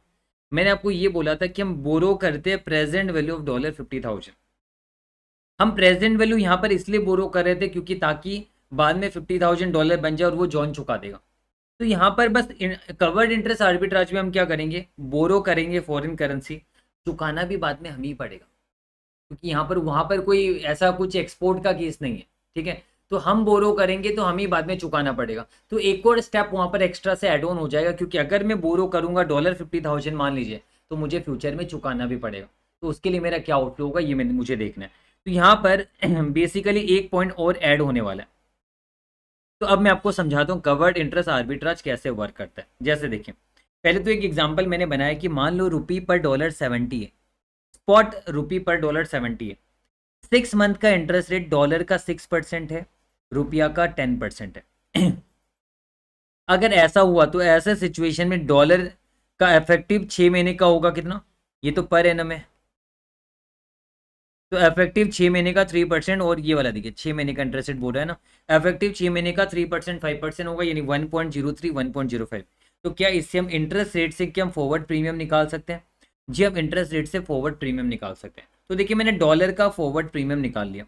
One point nine four one seven percentage अब इससे मैंने क्या सीखा है? मैंने ये सीखा है कि अगर स्पॉट रुपये पर डॉलर सेवेंटी है और डॉलर अगर फॉरवर्ड प्रीमियम में रहेगा सिक्स मंथ्स का तो सिक्स मंथ्स का थ्योरिटिकली सिक्स मंथ्स का फॉरवर्ड रुपी पर डॉलर हम निकाल सकते हैं। सेवेंटी स्पॉट रेट है। उसमें छः महीने का फॉरवर्ड प्रीमियम हम जोड़ देंगे प्रीमियम में तो प्लस कर देंगे डिस्काउंट होता है तो माइनस करते हैं यहाँ पर। तो प्रीमियम को हम प्लस कर देंगे one point nine four one seven percentage मैंने प्लस कर दिया। तो मेरा आएगा seventy one point three five nine two तो स्पॉट रेट मेरा आया सेवेंटी और सिक्स मंथ्स का फॉरवर्ड रेट आया मेरा seventy one point three five nine two तो अब मेरी बात सुनिए, अगर कोटेड छः महीने का फॉरवर्ड रेट भी यही रहेगा ना seventy one point three five nine two तो ऐसा सिचुएशन में कोई भी आर्बिट्राज गेन नहीं होने वाला। भले आप डॉलर में बोरिंग कर लीजिए, भले आप रुपया में बोरिंग कर लीजिए, कुछ भी कर लीजिए, आपका आर्बिट्राज गेन नहीं आएगा। क्योंकि कितने स्टूडेंट्स का दिमाग में ये आएगा? क्या दिमाग में आएगा? देखो ना, डॉलर की बोरोइंग में थ्री परसेंट का इंटरेस्ट है। और रुपया में फाइव परसेंट का इंटरेस्ट है। एक काम करते हैं, हम डॉलर में बोरो कर लेते हैं थ्री परसेंट इंटरेस्ट पे, और रुपया में फिर इन्वेस्टमेंट कर देंगे। तो अगर मान लो हंड्रेड डॉलर मैंने बोरो कर लिया थ्री परसेंट के इंटरेस्ट पे तो मेरा ब्याज इंटरेस्ट तो थ्री परसेंट ही लगेगा। फिर बाद में मैं जब इन्वेस्टमेंट करूँगा तो फाइव परसेंट के इंटरेस्ट में इन्वेस्टमेंट कर दूँगा तो टू परसेंट में कमा लूँगा, आपको ऐसा लगेगा। पर ऐसा होगा नहीं। क्यों नहीं होगा? क्योंकि एक्स्ट्रा आप नहीं कमा सकते, क्योंकि वैसे सिचुएशन में आपका रुपये पर डॉलर भी थ्योरिटिकली बढ़ के इतना हो जाएगा।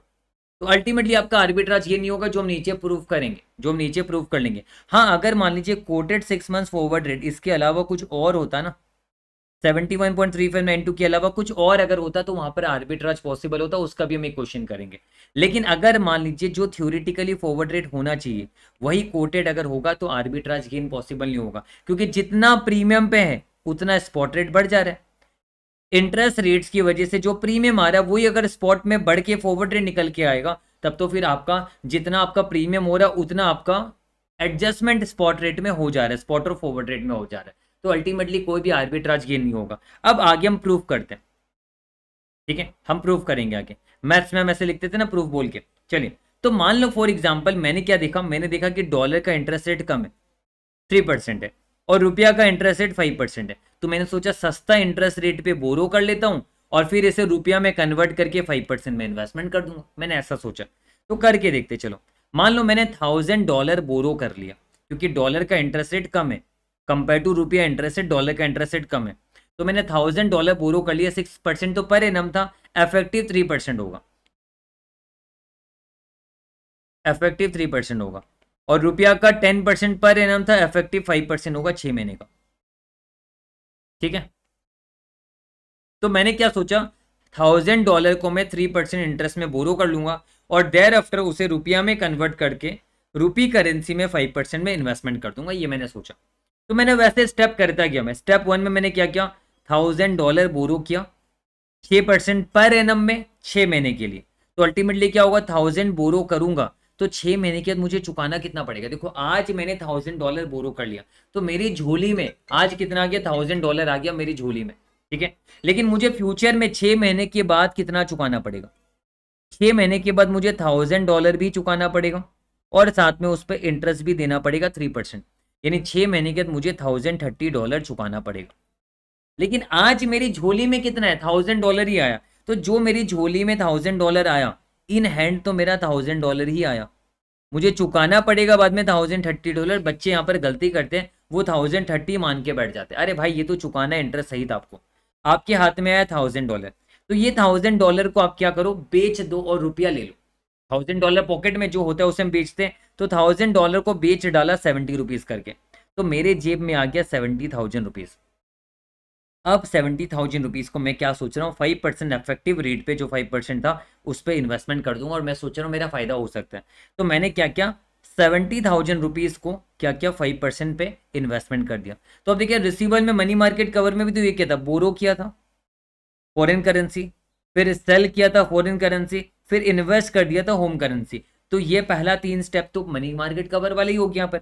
और यहाँ पर इन्वेस्टमेंट करने पर मुझे अल्टीमेटली इन्फ्लू आएगा छः महीने के बाद। सत्तर हज़ार रुपये में अगर आज इन्वेस्ट कर दूँगा छः महीने के लिए तो छः महीने के बाद मुझे इन्फ्लू मिलेगा इन्वेस्टमेंट करने पर। कितना? Seventy three thousand five hundred अब मैंने कहा ना, यहाँ पर एक नया स्टेप एड ऑन होगा स्टेप फोर क्यों एड ऑन होगा? क्योंकि जो आपने थाउज़ेंड डॉलर बोरो किया थाउज़ेंड थर्टी डॉलर आपको इंटरेस्ट से चुकाना भी पड़ेगा। मनी मार्केट कवर में ये चुकाना नहीं पड़ता था क्योंकि ये हमारा कस्टमर चुकाता था। पर यहाँ पर तो हमें ये चुकाना पड़ेगा थाउज़ेंड थर्टी डॉलर तो थाउज़ेंड थर्टी डॉलर हम चुकाएँगे। तो थाउज़ेंड थर्टी डॉलर चुकाने के लिए हमारे पास डॉलर होना भी तो पड़ेगा। आप बोलोगे, है ना, आपने बोरो किया था ना? तो थाउज़ेंड डॉलर जो हमने बोरो किया, उसको तो सेल करके रुपया ले लिया। और रुपया को फिर इन्वेस्टमेंट किया। हमारे हाथ में तो रुपया है। हमारे हाथ में कहाँ से डॉलर है? हमारे हाथ में तो रुपया है। पर हमें डॉलर खरीदना पड़ेगा क्योंकि डॉलर हमें इतना रीपेमेंट करना है थाउज़ेंड थर्टी तो थाउज़ेंड थर्टी डॉलर हमें रीपेमेंट आज नहीं छः महीने के बाद करना है। तो छः महीने का फॉरवर्ड रेट में हम क्या करेंगे? खरीदेंगे। और मैंने कहा, अगर seventy one point three five two मतलब ये भी खरीदने का जो कॉन्ट्रैक्ट है, ये भी हम आज ही कर लेंगे फॉरवर्ड कॉन्ट्रैक्ट ताकि आर्बिट्राज हंड्रेड परसेंट हो जाए। बाद में रेट क्या होगा, मैं मैटर नहीं करता। मतलब बोरो में आज करूँगा सेल भी आज करूँगा, और इन्वेस्टमेंट भी आज करूँगा। मुझे आज ही पता चल जाएगा कि छह महीने के बाद मेरा इतना इन्फ्लो होगा। और मुझे आज पता है कि छह महीने के मुझे डॉलर थाउज़ेंड थर्टी चुकाना है तो उसका भी मैं फॉरवर्ड कवर आज ही करके रख लूँगा, ताकि मुझे फ्यूचर में मगज मारी टेंशन नहीं चाहिए। तो मैंने थाउज़ेंड थर्टी डॉलर खरीदने का कॉन्ट्रैक्ट कर लिया फॉरवर्ड रेट में। और फॉरवर्ड रेट मैंने बोला, जो थ्योरिटिकल होना चाहिए, वही अगर होगा तो कोई आर्बिट्राज नहीं होना है। तो seventy one point three five nine two में मैं खरीदने का कॉन्ट्रैक्ट कर सकता हूँ थाउज़ेंड थर्टी डॉलर तो थाउज़ेंड थर्टी डॉलर अगर मैं seventy one point three five nine two में खरीदने का कॉन्ट्रैक्ट करता हूँ तो मुझे छः महीने के बाद इतने रुपये देने पड़ेंगे। Thousand dollar thousand thirty dollar चुकाने के लिए मुझे इतने रुपये देने पड़ेंगे खरीदने के लिए। तो अब देखिए छः महीने के बाद मेरा seventy three thousand five hundred ही आएगा और छः महीने के बाद मेरा इतना ही चला भी जाएगा पैसा, है ना डॉलर खरीदने पर। अल्टीमेटली मेरा गेन तो नील है। तो नेट गेन जो आर्बिट्राज गेन है, वो मेरा क्या आया? नील आया यहाँ पर। क्योंकि क्यों आया? क्योंकि आपका जितना इंटरेस्ट रेट डिफरेंशियल है, उतना आपका स्पॉट रेट में एडजस्ट होकर फॉरवर्ड रेट आ रहा है। जितना इंटरेस्ट रेट डिफरेंशियल है, इतना परसेंटेज है, क्योंकि हंड्रेड थ्री हंड्रेड फाइव इतना परसेंट का डिफरेंशियल है, यही आपका स्पॉट रेट में एडजस्ट हो रहा है। इसी वजह से यहाँ पर आर्बिट्राज नहीं हुआ और आपका अल्टीमेटली नेट आर्बिट्राज गेन जो है, वो नील आया हाँ ब्लैक ब्रोकन नाम कहाँ से लाते हो आप लोग ये सब नाम? हाँ स्टिल लाइव है अभी हम। ऐसा क्यों करना है? आप ये सब, नेहा जी, ऐसा क्यों करोगे आप? आप अलग से सीखो और ऐसे करो। Seventy three thousand five hundred क्यों करना? आपको इतना डॉलर खरीदना है तो अब रुपया से क्यों डिवाइड करोगे? कोई तुकी नहीं बनता यहाँ पर? इससे आप डिवाइड करने से लोचा क्या पता है क्या? आप फिर बाद में जितना आपके पास रुपया सभी को डॉलर में क्यों कन्वर्ट करोगे? जितना डॉलर आपको खरीदना, उतना का ही कन्वर्सन करो ना बेस इसको नहीं बना सकते हम। क्योंकि ये तो हमारे पास रुपया का इन्फ्लो आया आया। जितना डॉलर हमें खरीदना है, उतना का ही हम बेस बनाएँगे ना। थाउज़ेंड थर्टी तो चुकाना है। कल को रेट अलग होता, आप इसे डिवाइड करते तो आपका गलत हो जाता फिर। तो इससे मत करना। बेस देखो क्या है। मुझे इतना रुपया बेचना नहीं, मुझे इतना डॉलर खरीदना है। चाहे कितने ही रुपये क्यों ना लगे। तो इसी डॉलर को मैं बेस बनाऊँगा। और अल्टीमेटली मेरा आर्बिट्राज गेन जो है वो नील आ जाएगा। चलिए तो आई थिंक आपको ये अच्छे से समझ में आ गया। तो ये समझ में आ गया तो मैं एक आईसीए का क्वेश्चन को ही मैंने एग्ज़ाम्पल का रूप दिया। ये पूरा का पूरा आईसीए का क्वेश्चन ही है। जिसको मैंने एग्ज़ाम्पल का रूप दिया और मैं आपको समझाऊँगा यहाँ पर अच्छे से। तो मुझे बताइए, क्या आपको ये समझ में आया अच्छे से? और यहाँ पर देखिए, सारा सेम वही एमएमसी का है। बोरो सेल इन्वेस्ट बस यहाँ पर रीपेमेंट करने के लिए अलग से एंट्री है स्टेप फोर जो आपको ध्यान में रखना है कि छः महीने के बाद हमें इतना रुपया देना पड़ेगा। लेकिन फॉरवर्ड कॉन्ट्रैक्ट आज ही कर लेंगे।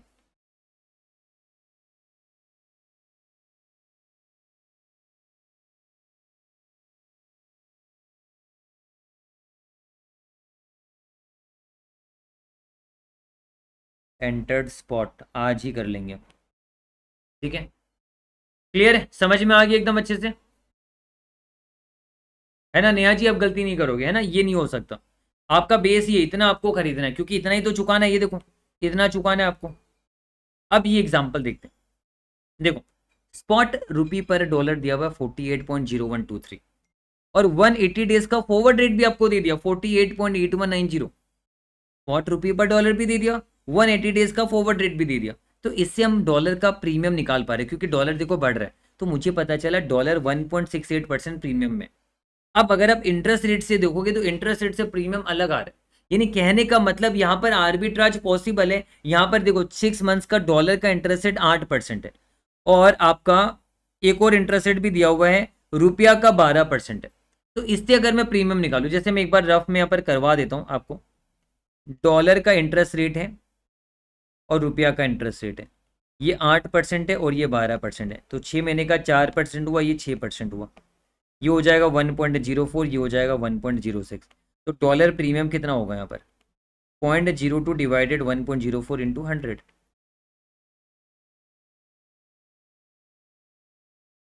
one point nine two three percent आ रहा है।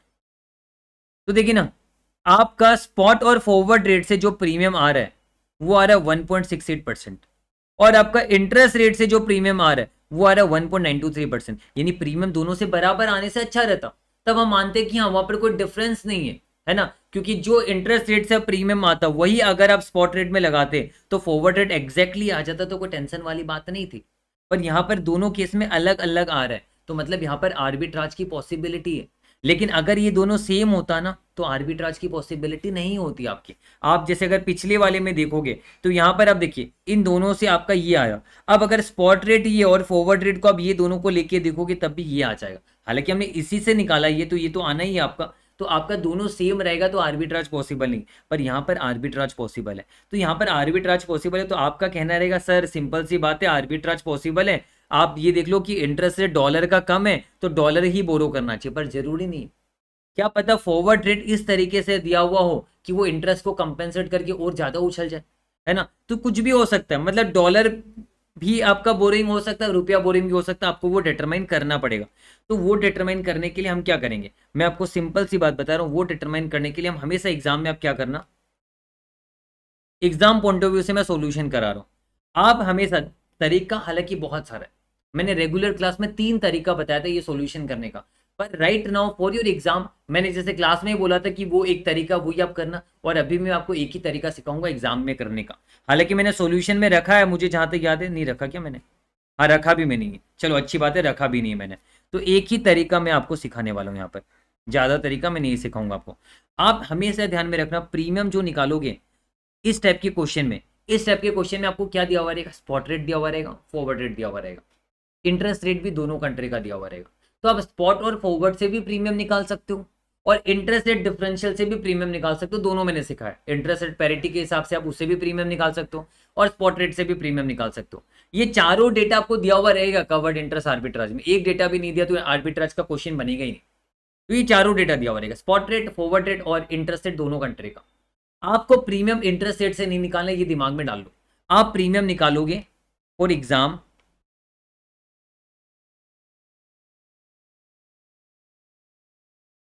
calculate premium only from spot and forward rates अब इंटरेस्ट रेट से प्रीमियम मत निकालना, मैं अभी आपको बता दे रहा हूँ, ठीक है? और जिसने क्लास में देखा, वो तो चलो होशियार हो गया तो अलग बात है, पर उन लोगों को मैं सजेस्ट करूँगा कि आप, आपका एग्ज़ाम में टाइम कम रहेगा। तो एग्ज़ाम में टाइम कम को कंसिडर करते हुए हम स्पॉट और फॉरवर्ड से ही हमेशा प्रीमियम निकालेंगे। तो स्पॉट रेट मेरा forty eight point zero one two three है। फॉरवर्ड रेट मेरा forty eight point eight one nine zero है। तो मेरा डॉलर का प्रीमियम आएगा one point six eight percent इन दोनों का डिफरेंस है है ना? Point eight zero six seven divided forty eight point zero one two three बीस ले लिया, ये मेरा प्रीमियम आएगा। अब मुझे देखना छः महीने का इंटरेस्ट रेट दोनों का दिया हुआ है, दोनों का दिया हुआ है। तो मैंने डॉलर का प्रीमियम निकाला तो दो डॉलर का लूँगा, जैसे कि क्वेश्चन ने तो दिया हुआ है दोनों का। डॉलर का भी इंटरेस्ट रेट दिया हुआ रहेगा, रुपया का भी इंटरेस्ट रेट दिया हुआ रहेगा। इसका आठ परसेंट है, इसका बारह परसेंट है। यानी छः महीने का चार परसेंट और छः परसेंट होगा। क्वेश्चन में दोनों डेटा दिया हुआ रहेगा। लेकिन आप क्या करोगे? आपने जबकि प्रीमियम डॉलर का निकाला है तो डॉलर का इंटरेस्ट रेट आप चेक करोगे कितना है। तो मैंने देखा छः महीने का डॉलर का इंटरेस्ट रेट आठ परसेंट तो पर एनम है। तो मैंने कहा छः महीने का चार परसेंट होगा। यानी इसका फैक्टर बनेगा वन पॉइंट ज़ीरो फोर। और आपको याद है, मैंने आपको कहा था कि एक कंट्री के इंटरेस्ट रेट फैक्टर पे, ये इंटरेस्ट रेट फैक्टर है डॉलर का। उसी में डॉलर का प्रीमियम प्लस कर दोगे डॉलर का डिस्काउंट होगा तो माइनस कर दोगे तो दूसरी कंट्री का इंटरेस्ट रेट आ जाएगा थ्योरिटिकली तो ये डॉलर का इंटरेस्ट रेट फैक्टर है।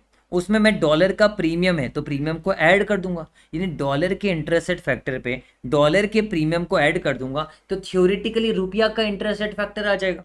है ना? तो ये देखिए थ्योरिटिकली रुपया का इंटरेस्ट रेट फैक्टर क्या होगा?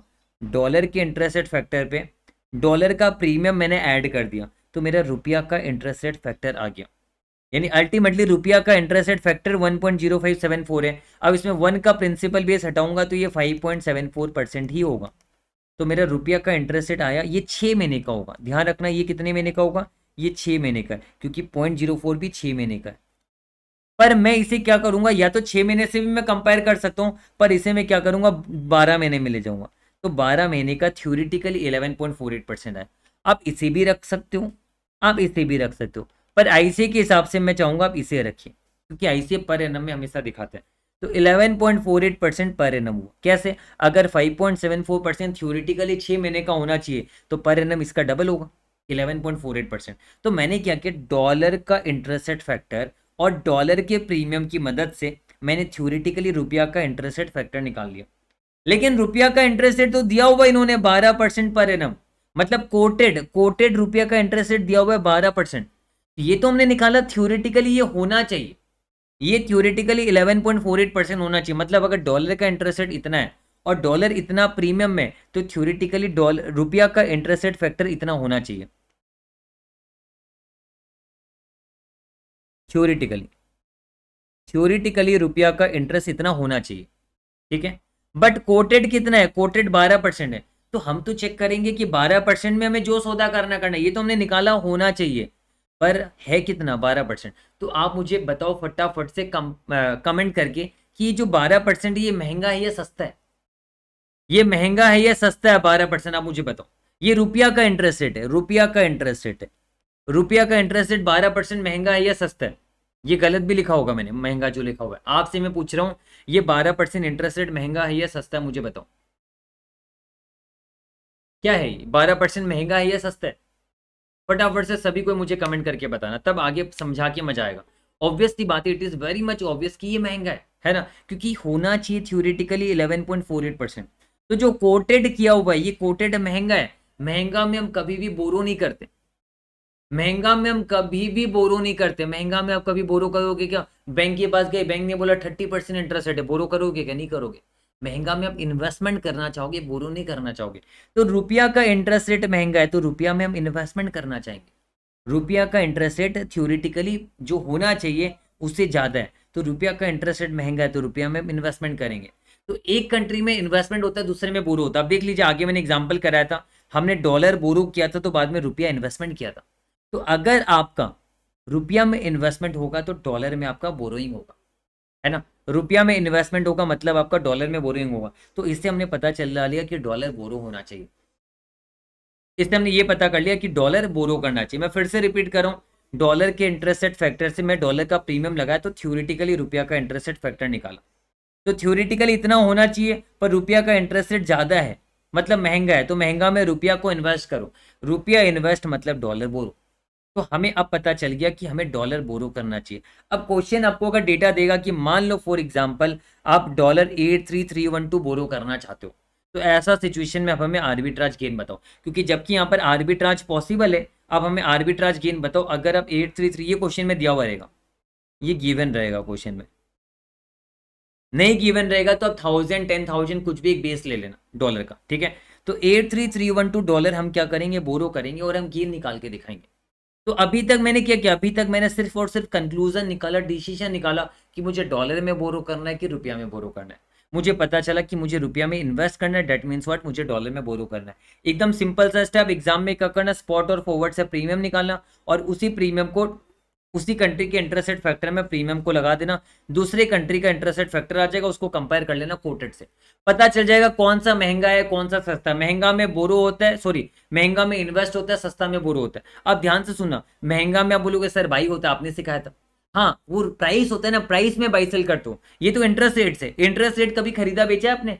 इंटरेस्ट रेट में बोरो या इन्वेस्टमेंट ही होता है इंटरेस्ट रेट में खरीदना बेचना नहीं होता है। तो अपना दिमाग थोड़ा अच्छे से लगाइए ठीक है? इंटरेस्ट रेट में खरीदना बेचना कभी नहीं होता इंटरेस्ट रेट में बोरो या इन्वेस्ट होता है। इसलिए महँगा में हमने कहा कि अगर इंटरेस्ट रेट है यहाँ पर, महँगा में इन्वेस्ट सस्ता में बोरो तो ये हम बोरो करेंगे। तो आप सोचो, अगर मैं eight three three one two dollar borrow करूँगा, चार परसेंट इफ़ेक्टिव होगा, आठ परसेंट तो परे में। तो मुझे छः महीने के बाद इतने डॉलर चुकाने पड़ेंगे। ये मुझे छः महीने के बाद चुकाना पड़ेगा, कैसे चुकाऊँगा? छः महीने के बाद खरीद के चुकाऊँगा इतना। लेकिन मेरे इन हैंड तो इतना ही आएगा। तो मेरे हाथ में इतना डॉलर आ गया।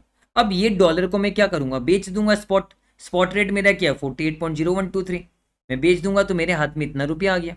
अब ये रुपया को मैं छह महीने के लिए इन्वेस्टमेंट कर दूँगा। रुपया का इंटरेस्ट रेट कितना? कोटेड वाला लेना कोटेड वाला। थ्योरिटिकल तो बस पता करने के लिए थ्योरिटिकल निकाला कि महँगा है कि सस्ता है। हम लेंगे हमेशा कोटेड वाला। तो छः परसेंट जो कोटेड वाला है, इस पे हम लेंगे, आप इन्वेस्टमेंट कर देंगे। यानी forty thousand forty lakh rupees को। सिक्स परसेंट में इन्वेस्टमेंट कर देंगे। इतना हमारा इन्फ्लो होगा छः महीने के बाद। तो वही हमने किया बोरो सेल फिर इन्वेस्ट इतना डॉलर बोरो किया, चुकाना बाद में इतना पड़ेगा। फिर ये डॉलर हैंड में ये डॉलर को बेच डाला। अब इतना रुपया हाथ में है तो रुपया को हम इन्वेस्टमेंट कर देंगे। हमारा छः महीने का इतना इन्फ्लो हो जाएगा। तो ये इन्फ्लो मेरा छः महीने के बाद हुआ। अब छः महीने के बाद मुझे इतने डॉलर चुकाने भी तो पड़ेंगे। तो मैं आज ही इतना डॉलर खरीदने का छः महीने का फॉरवर्ड कॉन्ट्रैक्ट कर लूँगा। तो मैंने इतना डॉलर खरीदना है छः महीने के बाद तो छः महीने का फॉरवर्ड रेट क्या है? ये वाला है। जो कोटेड है वही लेना हमेशा। Forty eight point eight one nine zero तो forty eight point eight one nine zero करके मैं इतना डॉलर खरीदूँगा छः महीने के बाद, जिसमें मेरा रुपया इतना लगेगा। अब कोई भी इससे डिवाइड मत करना, क्योंकि आपको इतना बेस है, इतना डॉलर आपको चुकाना है तो इतना डॉलर आप खरीदोगे। यानी अल्टीमेटली आपका आउटफ्लो इतना होगा। इनफ्लो इतना आएगा छः महीने के बाद रुपया इन्वेस्टमेंट से और डॉलर जो चुकाने पर इतना रुपया आपको देना पड़ेगा ताकि आप डॉलर खरीद के चुका सको। अल्टीमेटली आपका आर्बिट्राज आ जाएगा one zero one zero three ठीक है? ये एक शॉर्टकट मैंने यहाँ पर लिख रखा हुआ, आप नोट्स में देख लीजिएगा। शॉर्टकट बस लिखने का प्रेजेंटेशन एक शॉर्टकट मैंने बताया कि आपने डॉलर पहले बोलो बोरो किया, फिर डॉलर को रुपया में कन्वर्ट किया, फिर रुपया को इन्वेस्टमेंट किया तो इनफ्लो इतना आएगा। अब जो डॉलर चुकाना है, उसके लिए आपका इतना आउटफ्लो होगा तो अल्टीमेटली आर्बिट्राज गेन आ जाएगा आपका। तो यही है बस कवर्ड इंटरेस्ट आर्बिट्राज टफ नहीं है। एक बार आपको समझ में आ गया तो बिल्कुल टफ नहीं इसके चार स्टेप है। मनी मार्केट कवर जैसे पहला तीन स्टेप है बोरो सेल इन्वेस्ट चौथा स्टेप इसमें क्यों आता है? क्योंकि आपको रीपेमेंट करना है। जो डॉलर आपने बोरो किया या कोई भी फॉरेन करेंसी आपने बोरो किया, वो आपको रीपेमेंट करना है। तो वही चौथा स्टेप यहाँ पर एक्स्ट्रा आता है। बाकी similar to money market cover ही चलो तो आई थिंक आपको ये समझ में आ गया अच्छी तरीके से। एंड कवर्ड इंटरेस्ट आर्बिट्राज भी हमने अच्छे से समझ लिया। अब इसके बाद हम कुछ कुछ छोटे छोटे टॉपिक है डायरेक्ट कोट इनडायरेक्ट कोट वो सारी चीज़ें मैं आपको समझा दूँगा। तो मुझे एक बार आप बता दीजिए कवर्ड इंटरेस्ट आर्बिट्राज आपको समझ में आ गया क्या कमेंट करके? तो उससे मुझे मोटिवेशन मिलेगा और आगे फिर हम जो हमारे छोटे छोटे टॉपिक है यहाँ पर अभी आगे बहुत सारे, वो सारे हम डिस्कशन करेंगे। स्वैप पॉइंट्स है क्रॉस रेट है ट्राइंगुलर आर्बिट्राज है exposure foreign exchange exposure surplus fund अब मतलब इतने हैवी नहीं, अब जल्दी जल्दी हो जाएगा हमारा। पर ये सब चीज़ें आपको आना चाहिए, समझना चाहिए तो कोई भी भागेगा नहीं। सब कोई हमारे साथ अभी पढ़ाई करेगा, फटाफट से हम ख़त्म करेंगे सभी चीज़ों को। तो एक बार मुझे बता दीजिए परफेक्टली कवर्ड इंटरेस्ट आर्बिट्राज आपको समझ में आ गया क्या? तब हम आगे बढ़ सकते हैं। है ना? तो मैं आगे बढ़ सकता हूँ अभी मैं, आराम से? सब कराऊँगा सब कराऊँगा। टेंशन ना लो, सब होगा आपका। सब कुछ कराऊँगा, कुछ नहीं छोड़ूँगा। बाई चांस कोई एक टॉपिक आज छूट भी गया ना तो वो टॉपिक मैं कल सुबह कराऊँगा, पर कराऊँगा ज़रूर। छोड़ूँगा कुछ भी नहीं। कोशिश रहेगी अभी जितना ज़्यादा हो सके कवर कर लें। कुछ एक आध टॉपिक छूटेगा तो वो भी होगा। छोड़ूँगा कुछ भी नहीं मैं। किस चीज़ का वादा कर रहा हूँ मैं आपको। चलो तो अभी डायरेक्ट कोट इनडायरेक्ट कोट हम समझते हैं। ये हालाँकि इतना इंपॉर्टेंट नहीं, पर कभी क्वेश्चन क्या पता चार मार्क का पूछ ले। तो डायरेक्ट कोट होता है क्या इनडायरेक्ट कोट होता है क्या जैसे हम इंडिया में रहते हैं। तो इंडिया में रहते तो हर चीज़ का प्राइस रुपी में जानना चाहते हैं। हम ये नहीं बोलते कि एक रुपया में कितना कैमरा दोगे, हम ये नहीं बोलते कि एक पर रुपया आप मुझे कितना आईपैड दोगे, ऐसा कभी नहीं बोलते। हम किसी भी चीज़ का प्राइसिंग डिटरमाइन करते हैं इन टर्म्स ऑफ़ रुपी उससे हम डायरेक्ट कोड कहते हैं। यानी मान लो एक टमाटर का कितना प्राइस दस रुपया लोगे। अच्छा एक टमाटर का दस रुपया, है ना? एक कैमरा का पचास हज़ार रुपया, एक फ़ोन का बीस हज़ार रुपया, ठीक है?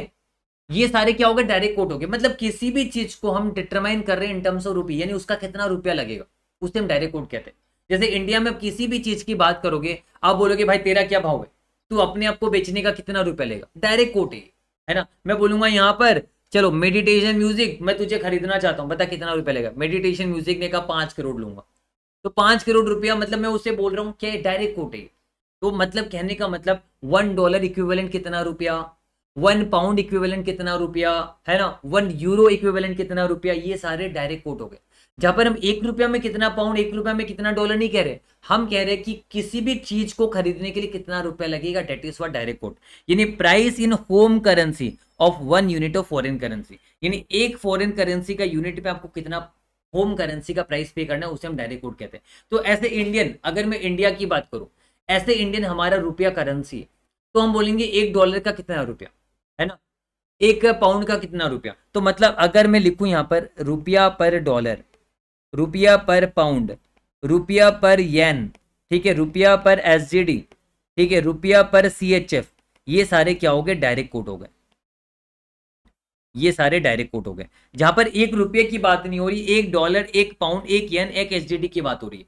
है ना? यानी रुपया को हमने कॉमोडिटी नहीं बनाया डॉलर वगैरह को कॉमोडिटी बनाया। रुपया को कंसिडरेशन बना रहे तो ये डायरेक्ट कोट हो गया। जैसे मैंने लिखा, एक मोबाइल इक्वल दस हज़ार रुपये, एक टोमेटो दस रुपया, एक टेबल दो हज़ार रुपया, वैसे एक डॉलर सत्तर रुपया, एक यन पॉइंट सेवन ज़ीरो रुपया, है ना? तो यहाँ पर एक रुपया की बात करनी करे, ये डायरेक्ट कोट हो गया।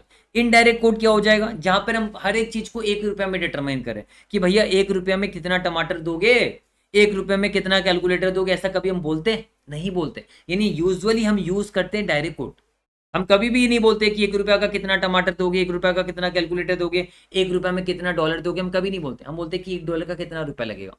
एक पाउंड का कितना रुपया लगेगा? लेकिन अगर आप एक रुपया की बात करोगे हर जगह पे तो ये इनडायरेक्ट कोट हो गया। तो आई होप आपको समझ में आ गया। तो वैसे सेम हर जगह की अमेरिका वालों के लिए डायरेक्ट कोट क्या होगा? अमेरिका वाले पूछेंगे कि एक रुपया में कितना डॉलर लगेगा? एक पाउंड में कितना डॉलर लगेगा? है ना? वो उनके लिए डायरेक्ट कोट हो गया। और एक डॉलर में कितना रुपए, एक डॉलर में कितना पाउंड वो उनके लिए डायरेक्ट कोट होगी। समझ में आया? आई होप समझ में आया यानी रुपी पर डॉलर रुपी पर पाउंड ये सब डायरेक्ट कोट है। डॉलर पर रुपी डॉलर डॉलर पर रुपी पाउंड पर रुपी यन पर रुपी ये सारे इनडायरेक्ट कोट है।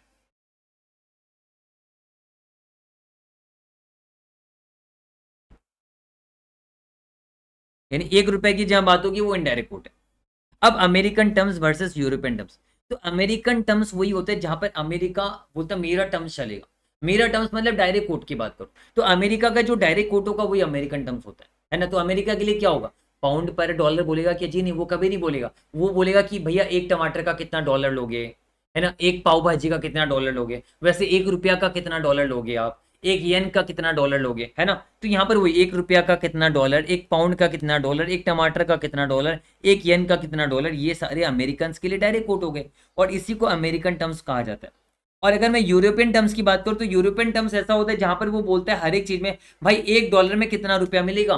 एक डॉलर में कितना पाउंड मिलेगा? एक डॉलर में कितना येन मिलेगा? वो इनडायरेक्ट कोट यानी यूरोपियन टर्म्स क्या हो गया? ये लिखा हुआ है इनडायरेक्ट कोट फॉर अमेरिकन और अमेरिकन टर्म्स क्या हो गया? उनका डायरेक्ट कोट यानी आपका ये उल्टा हो गया. इनडायरेक्ट कोट जो है वो यूरोपियन टर्म्स है और अमेरिका का जो डायरेक्ट कोट है वो अमेरिकन टर्म्स है. इतना इंपॉर्टेंट नहीं, हालाँकि आपके सिलेबस में तो मैंने आपको गोथ्रू करा दिया, बाकी नोट्स में आप गोथ्रू कर लीजिएगा. अब आता है आईएसओ कोड्स ये आपके सिंबॉलिक हो गए. जैसे सिंबॉलिक में हम क्या पढ़ते हैं? यन पर रुपी 1.77 है. इसका मतलब क्या है? इसका मतलब है वन रुपी में कितना यन यन पर रुपी एक रुपये की बात कर रहे हैं. रुपी पर डॉलर, एक डॉलर की बात कर रहे हैं, है ना? डॉलर पर यूरो, ये एक यूरो की बात कर रहे हैं। यूरो पर पाउंड, ये बात कर रहा है एक पाउंड की।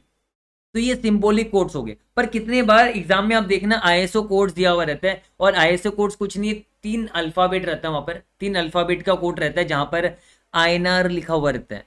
जापानी इन इसका आपको गूगल में देखना गूगल में फॉरेन करेंसी आईएसओ कोड्स मारना आपको पूरा मिल जाएगा। ठीक है? तो यहाँ पर ये कोड उल्टा दिया हुआ रहता है। मतलब अगर यन पर रुपी है ना सिंबॉलिक में यन पर रुपी ऐसा लिखा जाएगा तो आईएसओ कोर्स में इसका उल्टा लिखा जाएगा। यन इधर लिखा जाएगा। ये भी आपका यन पर रुपी है, इसको भी हम रीड करेंगे कैसे? इसको भी हम यन पर रुपी ही मानेंगे सिंबॉलिक में। ठीक है? और ये यूएसडी बाय आईएनआर है। ये आईएसओ कोर्स में उल्टा दिया हुआ ये रुपी पर डॉलर ही है। और ये यूरो बाय यूएसडी जो है ना, ये डॉलर पर यूरो ही है। और ये वाला यूरो बाय पाउंड ही है। आईएसओ कोर्स में उल्टा रहता है। कितने बार आईसीए क्या करता है? गड़बड़ी करता है। कितने बार आईसी मैं आपको सच बता रहा हूँ, वो गड़बड़ी करता है। इसलिए मैंने क्लास में भी रेगुलर क्लास में बताया था कि वो यहाँ पर गड़बड़ी करता है बहुत सारी जगह में। वो आईएसओ कोड्स देने के बावजूद भी वो सिम्बोलिक में चला जाता है। सिम्बोलिक देने के बावजूद भी वो आईएसओ में चला जाता है। कितने बार ऐसा होता है। तो इसके लिए आपको ध्यान में रखना है कि आपको ये पता चलना चाहिए, ज़्यादातर इसमें से करेंसी आपको दिख जाएगा। जो मैंने ट्रेंड को देखा है इसमें से करेंसी आपको दिख जाएगा। आपको ये ध्यान में रखना कि यन से बड़ा रुपया होता है, रुपया से बड़ा डॉलर होता है डॉलर से बड़ा यूरो होता है। हालाँकि आज के डेट में अगर आप देखोगे ना तो यूरो से बड़ा डॉलर हो गया। डॉलर से बड़ा यूरो नहीं प्रैक्टिकल आज के डेट में करंट सिचुएशन में। पर हम तो बुक तो ऐसे भी पुराना फॉलो कर रहे हैं। तो यहाँ पर आपको देखिएगा डॉलर से बड़ा यूरो यूरो से बड़ा पाउंड ये आपको दिखेगा। तो यहाँ पर से अगर आपको दिख रहा मान लो आपको लिखा हुआ येन पर रुपी येन पर रुपी लिखा हुआ, मान लीजिए पॉइंट वन फाइव तो हमें पता है, कभी भी येन पर रुपी पॉइंट वन फाइव हो ही नहीं सकता। क्योंकि रुपया स्ट्रॉन्गर है तो यन पर रुपी हमेशा वन से ज़्यादा होगा। तो इसका मतलब ये कोड उल्टा दिया हुआ ये पॉइंट वन फाइव हो ही नहीं सकता, ये रुपी पर येन है। जैसे मान लो फॉर एग्ज़ाम्पल डॉलर पर रुपी लिखा हुआ है। डॉलर पर रुपी लिखा हुआ है, मान लो, पचास। क्या कभी पॉसिबल है? एक रुपए में पचास डॉलर कभी पॉसिबल नहीं है? मतलब ये रुपये पर डॉलर है। मतलब मैं बस आपको बता के छोड़ देना चाहता हूँ कि कितनी बार ऐसा मिस्टेक होता है। ठीक है? अदरवाइज़ आपको ही ध्यान में रखना आईएसओ कोर्स उल्टा रहता है और सिंबॉलिक आपका सीधा रहता है। तो जब भी आईएसओ कोर्स में दिया हुआ है आप रिवर्स कर लेना, बाकी पर आप चेक कर लेना। चलो तो आई थिंक ये आपको समझ में आ गया अच्छी तरीके से। अब हम डिस्कस करेंगे इंटर बैंक रेट्स और मर्चेंट रेट्स ये भी बहुत सिंपल और बहुत ही इंपॉर्टेंट है फॉर योर एग्ज़ाम डिस्कस करें। जैसे हम देखते हैं, हम जब मार्केट में जाते हैं तो होलसेल भी होता है रिटेल भी होता है है ना? डिस्ट्रीब्यूटर्स भी होते हैं बहुत सारे। उसके बाद होलसेलर होते हैं रिटेल वगैरह होते हैं। तो वैसे बहुत सारे बैंक ऐसे डिस्ट्रीब्यूटर भी वर्क करता है। जैसे आरबीआई क्या करता है? रेगुलेट करता है एक्सचेंज रेट को। तो आरबीआई ने कोटेशन दिया हुआ सेवेंटी सेवेंटी टू मेरी बात सुनो। आरबीआई ने कोटेशन दिया हुआ रुपी पर dollar seventy oblique seventy two अब अगर आईसीआईसी बैंक जो कि आपका डीलर है अगर मैं एच डी एफ़ सी बैंक की बात करूँ, ये सब डीलर हो गए, या फिर कोई दूसरा इंस्टीट्यूशन है फाइनेंशियल इंस्टीट्यूशन ये सारे क्या हो गए डीलर हो गए। तो जब ये डीलर खरीदने को जाएँगे डॉलर तो ऑब्वियसली वो भी कस्टमर बन के ही जाएँगे। चाहे डीलर खरीदने को जाए तो वो भी सेवेंटी टू में ही खरीदेंगे और सेवेंटी में बेचेंगे। क्योंकि डीलर वहाँ पर क्या कर एक्सचेंज से खरीद रहा है, वो भी रो रो के खरीदेगा। क्योंकि आरबीआई ने ये रेट कोट किया हुआ है। तो डीलर भी जब खरीदेगा, वो सेवेंटी टू में खरीदेगा और सेवेंटी में बेचेगा। लेकिन एक फ़र्क है, डीलर पे इंटर बैंक रेट लगता है, जैसे आईसीआईसी बैंक हो गया एच बैंक हो गया, इन लोग पे इंटर बैंक रेट लगता है। इन लोग पे इसके ऊपर कोई मार्जिन वगैरह नहीं लगता है। लेकिन आपको पता है, अगर कस्टमर है, कस्टमर सीधा सबसे पहली बात वो इंटर बैंक से खरीद ही नहीं सकता डायरेक्टली उसको किसी ब्रोकर किसी डीलर के थ्रू जाना पड़ेगा। वो डायरेक्टली नहीं खरीद सकता। है ना? ये आरबीआई ने रेगुलेशन बनाया। तो यहाँ पर अगर मैं एक प्रतीक जगह कस्टमर हूँ मैं किसी आईसीआईसी बैंक या फिर किसी एच बैंक किसी डीलर के थ्रू ही खरीद सकता हूँ। तो अगर सोचो मैंने आईसीआईसी बैंक से कहा कि मुझे एक डॉलर खरीदना है तो आईसीआईसी बैंक भी क्या करेगा? इंटर बैंक से वन डॉलर खरीदेगा सेवेंटी टू में। एग्री करता हूँ सेवेंटी टू में खरीदेगा। क्या बताओ, वो मुझे भी सेवेंटी टू में बेचेगा क्या? क्या वो मुझे भी सेवेंटी टू में बेचेगा क्या? नहीं। वो सेवेंटी टू में खरीदेगा तो मुझे भी क्या सेवेंटी टू में बेचेगा वो? वो मेरे से थोड़ा ज़्यादा लेगा एक्स्ट्रा लेगा, उस एक्स्ट्रा को कहा जाता है मार्जिन मतलब आईसीसी बैंक ने मान लो सेवेंटी टू में खरीदा इंटर बैंक से. उसका कॉस्ट सेवेंटी टू लगा. पर जब वो मुझे बेचेगा तो मुझे भी ये रेट दिखाएगा वो. तो मैं समझूँगा अच्छा सेवेंटी टू में मुझे खरीदना है. पर सेवेंटी टू के ऊपर वो मार्जिन ऐड करेगा, वो मार्जिन लेगा मेरे से. यानी मेरे पे क्या लगता है पता है? मर्चेंट रेट्स लगता है. इंटर बैंक रेट्स डीलर पे अप्लाई होते हैं. ये डीलर पे अप्लाई होते हैं. और मर्चेंट रेट्स नॉन डीलर पे अप्लाई होता है। नॉन डीलर कौन हो गया? जैसे बोरोवर हो गया इन्वेस्टर हो गया एक्सपोर्टर हो गया इंपोर्टर हो गया कस्टमर हो गया। नॉन डीलर पे मर्चेंट रेट्स अप्लाई होता है, जहाँ पर मार्जिन का एडजस्टमेंट होता है। एक्स्ट्रा मार्जिन लिया जाता है। उसी को कहा जाता है मर्चेंट रेट्स तो आप देखिए यहाँ पर, जो बैंक्स इंस्टीट्यूशन है, जैसे डीलर्स है, उस पर इंटर बैंक रेट्स अप्लाई होता है। जैसे इन लोग का बाइंग रेट सेवेंटी टू ही होगा, और सेलिंग रेट सेवेंटी होगा, इसमें कोई मार्जिन नहीं होगा। लेकिन अगर मैं बात करूँ कस्टमर्स की कस्टमर्स कौन होगा? इंपोर्टर एक्सपोर्टर बोरोवर इन्वेस्टर है ना? इन पे क्या होगा? मर्चेंट रेट अप्लाई होगा। मर्चेंट रेट का मतलब ये हो गया कि इस पे ये 72 ही लगेगा। बाइंग रेट देखो, यहाँ पर भी 72 यहाँ पर भी 72 ही होगा। सेलिंग रेट भी 70 70 होगा। पर इसमें आपका एडजस्टमेंट होगा मार्जिन का। अब मार्जिन हमेशा पिएबल होता है कस्टमर के लिए। कस्टमर को हमेशा मार्जिन पे करना पड़ता है, उसका आउटफ्लो होता है। तो आप सोचो, जब मैं बाई करूँगा तो 72 मेरा क्या आउटफ्लो है। मैं बाई करूँगा तो 72 तो मुझे देना पड़ेगा। 72 के साथ साथ मुझे पॉइंट वन ज़ीरो परसेंट अगर मार्जिन है तो ये भी मुझे देना पड़ेगा। तो आउटफ्लो प्लस आउटफ्लो क्या होगा? प्लस हो जाएगा। मुझे कुल मिला के इतना पैसा देना पड़ेगा। लेकिन जब मैं बेचूँगा, अगर डॉलर बेचूँगा तो मुझे इनफ्लो आएगा सत्तर। पर वो मुझे सत्तर पूरा नहीं देगा। उस पर वो मार्जिन काट के देगा। क्योंकि मार्जिन तो हमेशा आउटफ्लो होता है। तो वो मुझे काट के देगा तो मुझे कम मिलेगा। इसलिए आपको समझना है आउटफ्लो आउटफ्लो प्लस होता है, पर इनफ्लो आउटफ्लो थोड़ा ना प्लस होगा। तो यहाँ पर बाई करने पर इतना रुपया आउटफ्लो होगा। मार्जिन हमेशा आउटफ्लो होता है प्लस कर दिया हमने।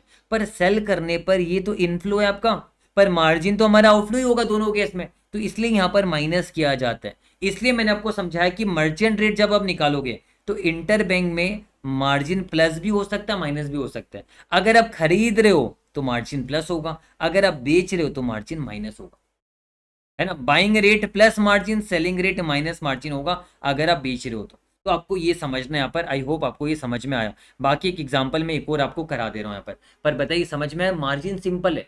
खरीदते समय पैसा आउटफ्लो होता है। मार्जिन भी आउटफ्लो होगा, प्लस होगा। बेचते समय पैसा इनफ्लो होता है। तो मार्जिन तो आउटफ्लो ही होना है तो मार्जिन माइनस होगा। तो सेलिंग में मार्जिन माइनस होता है बाइंग में मार्जिन प्लस होता है। किसके लिए? मर्चेंट के लिए कस्टमर के लिए। मर्चेंट रेट निकलता है। आई होप आपको ये समझ में आ गया अच्छे से। चलो तो अब ये एग्ज़ाम्पल एक डिस्कस कर लेता हूँ। स्पॉट रुपी पर डॉलर है सेवेंटी सेवेंटी टू तीन महीने का प्रीमियम दिया हुआ point five percent point six percent और मार्जिन दिया हुआ पॉइंट टू ज़ीरो परसेंट तो हमें थ्री मंथ फॉरवर्ड रेट निकालना है यहाँ पर। Three month forward rate interbank rate और मर्चेंट रेट तो अगर मैं इंटर बैंक रेट की बात करूँ तो इंटर बैंक रेट में ये मार्जिन नहीं आएगा। इंटर बैंक रेट अगर मैं निकालना चाहूँ तो उसमें मार्जिन नहीं आएगा, है ना? इंटर बैंक रेट में थोड़ा मार्जिन आता है।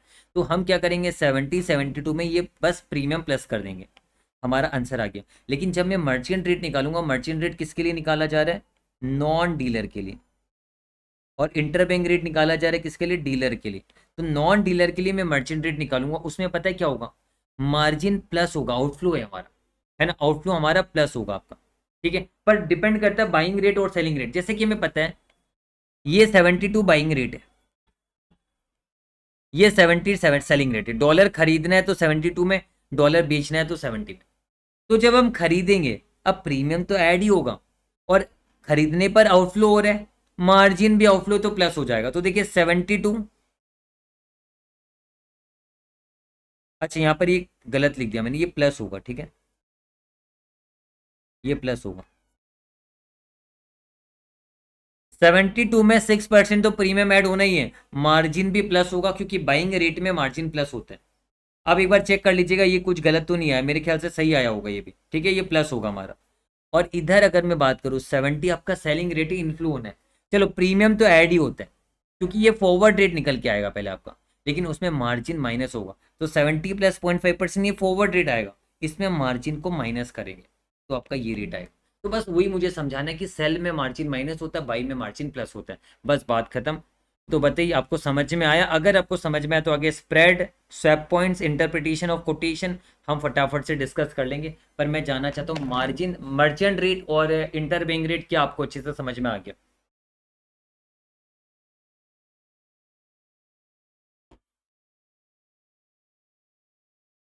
अगर आ गया तो फटाफट से मुझे बता दीजिए, तब मैं आगे प्रोसीड करता हूँ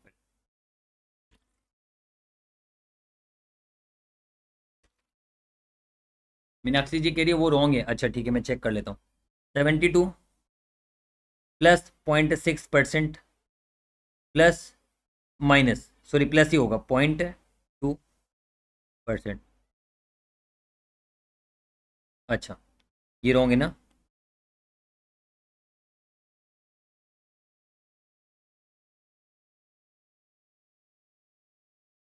ये आएगा।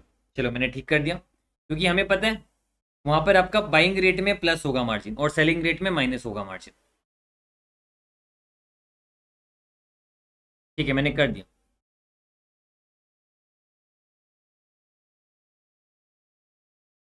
तो आई थिंक सिंपल है, कुछ इसमें टफ कुछ भी नहीं था। चलो, आगे बढ़ते हैं। आगे स्प्रेड स्प्रेड देखिए, एकदम सिंपल है। स्प्रेड का मतलब कि इन दोनों के बीच में जो स्प्रेड है, वो खा रहा है। यानी बैंक एक्सचेंज वाला 72 में आपको बेचेगा, हमें 72 में खरीदना पड़ेगा और 72 में 70 में बेचना पड़ेगा। यानी एक राउंड ट्रांजेक्शन में हमारा दो रुपये का नुकसान है।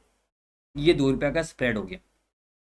और स्प्रेड का परसेंटेज क्या होता है? ऑब्वियस बात है सेवेंटी से हम ले लेंगे two by seventeen two hundred पर रियल लाइफ में मैं आपको बता दूँ, कितने बार स्प्रेड का परसेंटेज सेवेंटी टू से भी निकाला जाता है टू बाई सेवेंटी टू और कितने बार इन दोनों का यूजुअली इसके एवरेज से भी निकाला जाता है स्प्रेड का परसेंटेज पर फॉर योर एग्ज़ाम आप ये रखना कि जो बेड है उसी से डिवाइड करोगे। स्प्रेड का परसेंट निकालने के लिए आप क्या करोगे?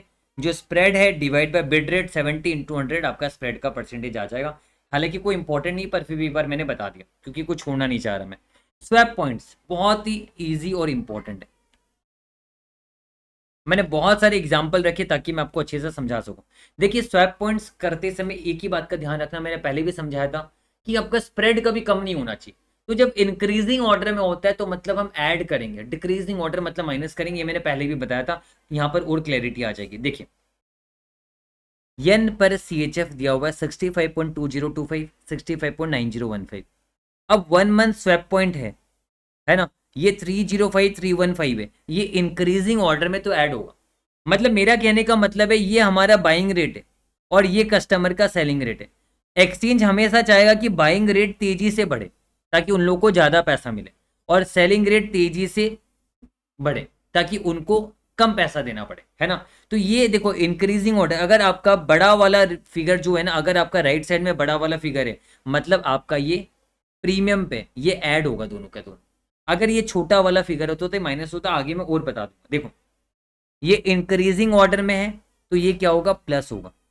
ये भी इंक्रीजिंग ऑर्डर में तो ये क्या होगा? प्लस होगा। ये भी देखो फाइव फोर्टीन इंक्रीजिंग ऑर्डर में प्लस होगा। ये भी इंक्रीजिंग ऑर्डर में प्लस होगा, ये भी इंक्रीजिंग ऑर्डर में प्लस होगा, पर आप देखो ये दोनों डिक्रीजिंग ऑर्डर में। टू ज़ीरो नाइन ज़ीरो से ज़्यादा छोटा है वन एट नाइन ज़ीरो तो हम यहाँ पर इसको प्लस नहीं कर सकते। प्लस करने पर आपका क्या होगा? स्प्रेड कम हो जाएगा। आपका स्प्रेड जो है ना वो कम हो जाए। एक बार आप करके देख लो। एक बार आप करके देखो sixty five point two zero two five plus करके देखो two zero nine zero point two zero nine zero करना और इधर sixty five point nine zero one five plus आप करना point one eight nine zero मैं ज़्यादा डिटेल में तो अभी बता नहीं सकता रिवीजन वीडियो में क्योंकि बहुत सारे एस्पेक्ट्स कवर करने तो आप देखिए यहाँ पर आपका जो स्प्रेड पहले वाला, जो बिगिनिंग का स्प्रेड है, वो आपका कम आएगा यहाँ पर। इसलिए ये अलाउड नहीं है। तो आपको क्या करना है, जब भी आप स्वैप पॉइंट्स लगाओगे तो आप चेक करना इंक्रीजिंग ऑर्डर में कि डिक्रीजिंग ऑर्डर में। अगर इंक्रीजिंग ऑर्डर में तो स्वैप पॉइंट्स ऐड होगा। और अगर डिक्रीजिंग ऑर्डर में तो स्वैप पॉइंट्स माइनस होगा आपका। इससे माइनस करोगे आप। तो ये पहले के पाँच तो इंक्रीजिंग ऑर्डर में तो प्लस हो जाएगा। अब प्लस हम कैसे करेंगे? ये हमें से लास्ट के डिजिट में एडजस्ट होता है। तो लास्ट का डिजिट मतलब लास्ट का तीन डिजिट में एडजस्ट होगा ये। ती, तीन तीन डिजिट है ना तो लास्ट का तीन डिजिट में एडजस्ट होगा। अब पॉइंट के बाद चार डिजिट है तो मैंने क्या लिख दिया? Point zero three zero five point zero three one five लिख दिया। अब देखिए यहाँ पर twenty five twenty eight last के दो डिजिट में एडजस्ट होगा। पर डेसिमल की बात तो चार डिजिट है तो मैं क्या करूँगा? Point double zero two five point double zero two eight लिख दूँगा और मैं इसको ऐड कर दूँगा। अब यहाँ पर देखो फाइव एक ही डिजिट लास्ट का में एडजस्ट होगा, पर टोटल चार डिजिट है तो क्या होगा? पॉइंट ट्रिपल ज़ीरो फाइव हो जाएगा, ये देखो। और यहाँ पर दो डिजिट कवर हो रहा है तो पॉइंट डबल ज़ीरो आ जाएगा ताकि पॉइंट के बाद चार डिजिट यानी लास्ट से एडजस्ट होता है लास्ट से एडजस्ट होता है, आपको हमेशा ध्यान में रखना है।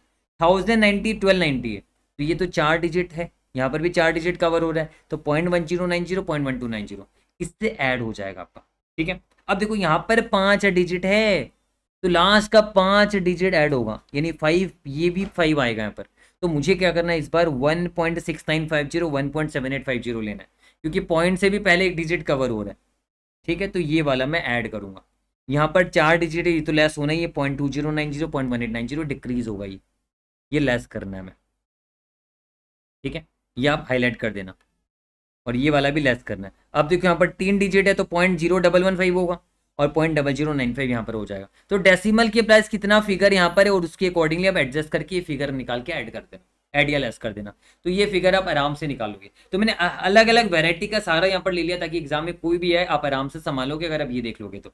तो सब पॉइंट तब आप आराम से संभालोगे फिर एक और मैंने यहाँ पर आंसर इसका निकाल के रखा हुआ है कुछ कुछ one month forward six month eight month ten month का निकाल रखा हुआ है। तो देखिए, आप स्वैप पॉइंट्स को ऐड करोगे स्पॉट में, कभी भी आप फॉरवर्ड यानी इस पे आगे आंसर निकाल के ऐड मत कर देना, सारे के सारे स्पॉट में ही ऐड होंगे। तो इंक्रीजिंग ऑर्डर में तो ऐड होता है डिक्रीजिंग ऑर्डर में तो रिड्यूस होता है आपका स्वैप पॉइंट्स तो ये हमारा क्या था? स्वैप पॉइंट्स था। स्वैप पॉइंट्स अलग होता है इंटरप्रिटेशन ऑफ़ कोटेशन अलग होता है। इन दोनों को सेम मत समझना, कभी सेम समझने की गलती मत कर देना एग्ज़ाम में अदरवाइज़ आपको परेशानी आ जाएगी। ये चीज़ का ध्यान रखना। तो अभी मैं इंटरप्रिटेशन ऑफ़ कोटेशन फटाफट से समझा देता हूँ। आप देखना, अगर आप मान लीजिए, अगर कोई मारवाड़ी है, कोई बिज़नेस मैन है, बनिया है तो मैं भी बनिया हूँ तो वो समझ जाएगा अच्छी तरीके से। आप देखना चाहते हो ना, भाई जी चावल का बोरा का क्या रेट लगाया? तो बोलेगा, हज़ार पचास सत्तर ऐसे बोल देते वो। या अगर आप क्रिकेट में सट्टा वगैरह लगाते हो तो वो लोग भाव बताते कि क्या भाव चल रहा है अभी? एक सौ दस पंद्रह, एक सौ दस बारह, ऐसे बोलते हैं। ठीक है, आपने सुना होगा, तीन सौ दस बीस, तीन सौ दस पच्चीस मतलब वो क्या बोलना चाहता है? अगर वो एक सौ दस पंद्रह बोलना, बोल रहे हैं मतलब वो एक सौ दस, एक सौ पंद्रह बोल रहे हैं। अगर भाई जी एक बोरा चावल का रेट क्या लगा? अगर वो बोलना चाह रहे हैं एक हज़ार पचास साठ मतलब वो बोलना चाह रहा है एक हज़ार पचास और एक हज़ार साठ मतलब वो ये कहना चाहता है कि अगर तू मेरे से खरीदेगा तो मैं तुझे एक हज़ार साठ लगाऊँगा। अगर तू मुझे बेचेगा तो मैं तुझे एक हज़ार पचास दूँगा। वो भी स्प्रेड खा रहा है भाई जी तो भाई जी भी तो बैठा हुआ स्प्रेड खाई गई, है ना? तो वो खरीदता भी, बेचता भी है तो बेचने खरीदने का रेट ऐसे देता है। मतलब वो एक हज़ार पचास एक हज़ार साठ नहीं बोलते हैं वो शॉर्टकट बोलते हैं। एक हज़ार पचास साठ है ना? या फिर वो बोलेगा एक हज़ार पाँच दस वो एक हज़ार पाँच एक हज़ार दस नहीं बोलेगा एक हज़ार पाँच एक हज़ार दस बोलेगा समझ में तो इस तरीके से ये होता है मतलब। आप सट्टा मैंने पहले जैसे लगाया मैं आ, मैंने एक टाइम पे थोड़ा कुछ टाइम तक बुक भी चलाया हुआ मैंने जब मैं कॉलेज में था। तो उस टाइम में मैंने बहुत नॉलेज लिया था कि कैसे क्या होता है ठीक है? अब तो मैंने छोड़ चुका हूँ बहुत टाइम से वो काफ़ी लॉस हुआ था उस टाइम में मेरा। करीबन उस टाइम में मेरे लिए बहुत मतलब तीस, चालीस हज़ार रुपये बहुत बड़ा अमाउंट था, बहुत लॉस हुआ था मेरा उस टाइम में। छोड़ो वो सब पुरानी बातों को। तो नुकसान हुआ था। तो उसके बाद मैंने कभी, अब मैं कभी कुछ नहीं करता ये सब। तो उससे मुझे काफ़ी आइडिया मिला और उसके बाद मुझे डेरिवेटिव पढ़ के भी बहुत मज़ा आया था। चलो तो अब यहाँ पर आप देखिए। रुपी पर dollar seventy point six five oblique nine five मतलब ये क्या कहना चाहता है? ये कहना चाहता है seventy point six five oblique seventy point nine five यानी नाइन फाइव तो आपका बीच आएगा ही लास्ट में। समझ में? अब उसके नीचे आप देख लो डेसिमल कहाँ लगाना है? तो लास्ट का दो डिजिट को कवर कर रहे हैं तो seventy point six five seventy point nine five हो जाएगा। अब देखिए यहाँ पर, अगर आपको कोई भाव देगा seventy point nine five oblique fifteen तो बोलोगे अच्छा ठीक है seventy point nine five oblique seventy point one five क्या ये पॉसिबल है? क्या आज का छोटा हो सकता है बिट से? कभी पॉसिबल नहीं देखने को ये लगी, आपको बोलेगा, भाव क्या चल रहा है भाई जी? Seventy point nine five oblique one five seventy point nine five oblique पंद्रह सत्तर पॉइंट पिचानवे ऑब्लिक पंद्रह। तो वो कभी भी ये भाव नहीं दे रहा, seventy point nine five oblique seventy point one five. मैंने जान मुझ के लिखा, आप एग्ज़ाम में जान मुझ के लिख के काटना। ये हो नहीं सकता। तो हम क्या करेंगे? इसके जस्ट पहले का डिजिट जो ज़ीरो है ना, वन फाइव तो एज इट इज़ रहेगा लास्ट का। इसके जस्ट पहले का डिजिट को हम एक बढ़ा देंगे। सेवेंटी को हम सेवेंटी वन कर देंगे। ये देखिए। ये होता है interpretation of quotation swap points में हम ऐड करते हैं। ये सारे को हम ऐड करते हैं। इंटरप्रिटेशन ऑफ़ कोटेशन में हम ऐड नहीं करते। लास्ट का फिगर सेम रहता है। बस आप में उसमें कुछ एडजस्टमेंट होना तो देखो फिफ्टीन यहाँ पर भी है। अब देखो next seventy point nine two five oblique one five तो यहाँ पर आप लिखोगे seventy point nine two five और ये लास्ट का दो डिजिट रिप्रेजेंट कर रहा है। तो लास्ट का दो डिजिट क्या seventy point nine one five हो सकता है? नहीं हो सकता, क्योंकि ये छोटा है। आज का छोटा कभी नहीं होगा। तो इस नाइन को, ये नाइन को मैं टेन बना दूँगा। टेन बना दूँगा मतलब ज़ीरो हो जाएगा तो मुझे यहाँ पर वन बनाना पड़ेगा। तो ये टेन बनाया तो इधर वन आ गया तो seventy one point zero one five आ गया ये। Next seventy point nine two five oblique six two five क्या ये हो सकता है? कभी नहीं हो सकता ये। खास कभी छोटा नहीं हो सकता। तो हम क्या करेंगे? सिक्स टू फाइव तो एज इट इज़ रखेंगे। उसके जस्ट पहले वाला डिजिट जो सेवेंटी है, उसको सेवेंटी वन कर देंगे। बस इतना ही आपको ध्यान में रखना। और येन पर डॉलर कितना चल रहा है भाई जी? एक सौ पाँच छह मतलब वो एक सौ पाँच, एक सौ छह बोलना चाह रहे हैं। और इधर येन पर रुपये कितना चल रहा है भाई जी? एक सौ पैंसठ, एक हज़ार पैंसठ, पैंतालीस। मतलब वो ये नहीं बोला एक हज़ार पैंसठ, पैंतालीस। आपको फिर वन थाउज़ेंड फोर्टी फाइव हो नहीं सकता। आपको वन वन फोर फाइव करना पड़ेगा। मतलब जो आपका कोटेशन में ये भाव दिया हुआ रहता है लास्ट के डिजिट वही रहेंगे यहाँ पर। ये बदलने वाले नहीं, और ये स्वैप पॉइंट्स नहीं, जो ऐड हो जाएँगे। आपको उसके पहले का फिगर को एडजस्टमेंट करके देखना होता है, क्योंकि आंस कभी भी छोटा नहीं हो सकता। आंस हमेशा बड़ा रहेगा। बिड हमेशा छोटा रहेगा। तो बताइए, हमको, हमें अब इंटरप्रिटेशन ऑफ़ कोटेशन समझ में आया या नहीं आया? जल्दी से मुझे बताओ। तो हमने स्वैप पॉइंट समझ लिया इंटरप्रिटेशन ऑफ़ कोटेशन समझ लिया स्प्रेड समझ लिया। अच्छा खासा चीज़ तो मैंने सिखाई दिया आपको। फिर हम कंट्रीब्यूशन अभी करेंगे क्रॉस रेट करेंगे अभी। ट्राइंगुलर आर्बिट्राज ये सब फटाफट करा देता हूँ मैं आपको। तो जल्दी से बोलो मुझे। आगे बढ़ सकते अब हम? समझ गए? थोड़ा सा एक मिनट का ब्रेक लेता हूँ। यहीं बैठा बैठा, आपके सामने बैठा रहूँगा। थोड़ा सा एनर्जी आ जाए।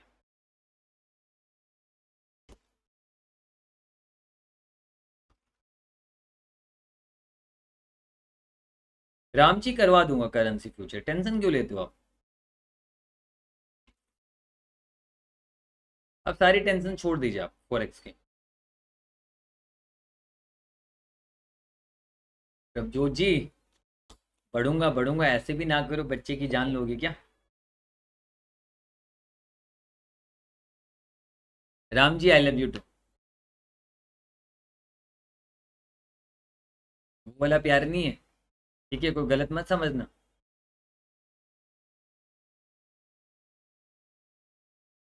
अच्छा राम जी, अपने साइन की पहली कमाई आपकी, ध्यान रखना, फिर बाद में मौके मत जाना।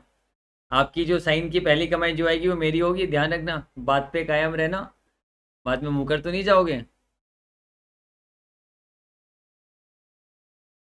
अच्छा निशान झा, निशान जी। चलो, कोई नहीं, राम जी भी अच्छा नाम है। मेरे पिया घर है वो राम जी ना? वो वाले राम जी हो आप? निवेदिता जी कह रही है, ड्राई फ्रूट्स खा लो, सर। उससे क्या होता है? एनर्जी आती है क्या? चलो ठीक है, मैं मंगवा लेता हूँ। खा लेता हूँ आपके कहने पर। मंगवा लेता हूँ। एक मिनट समय देना थोड़ा सा आप लोग भी रेस्ट ले लो। मतलब यहाँ पर रह के, कहीं दूर मत जाना। अच्छा कश्मीर से ज़रूर भेजना बारिक जी। वहाँ पर तो बहुत एकदम अच्छे ड्राई फ्रूट्स मिलते हैं ना।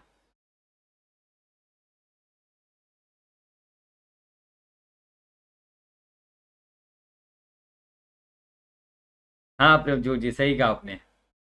आप रेगुलर वाली स्टूडेंट हो ना, इसलिए आपको पता है। उठा नहीं रही।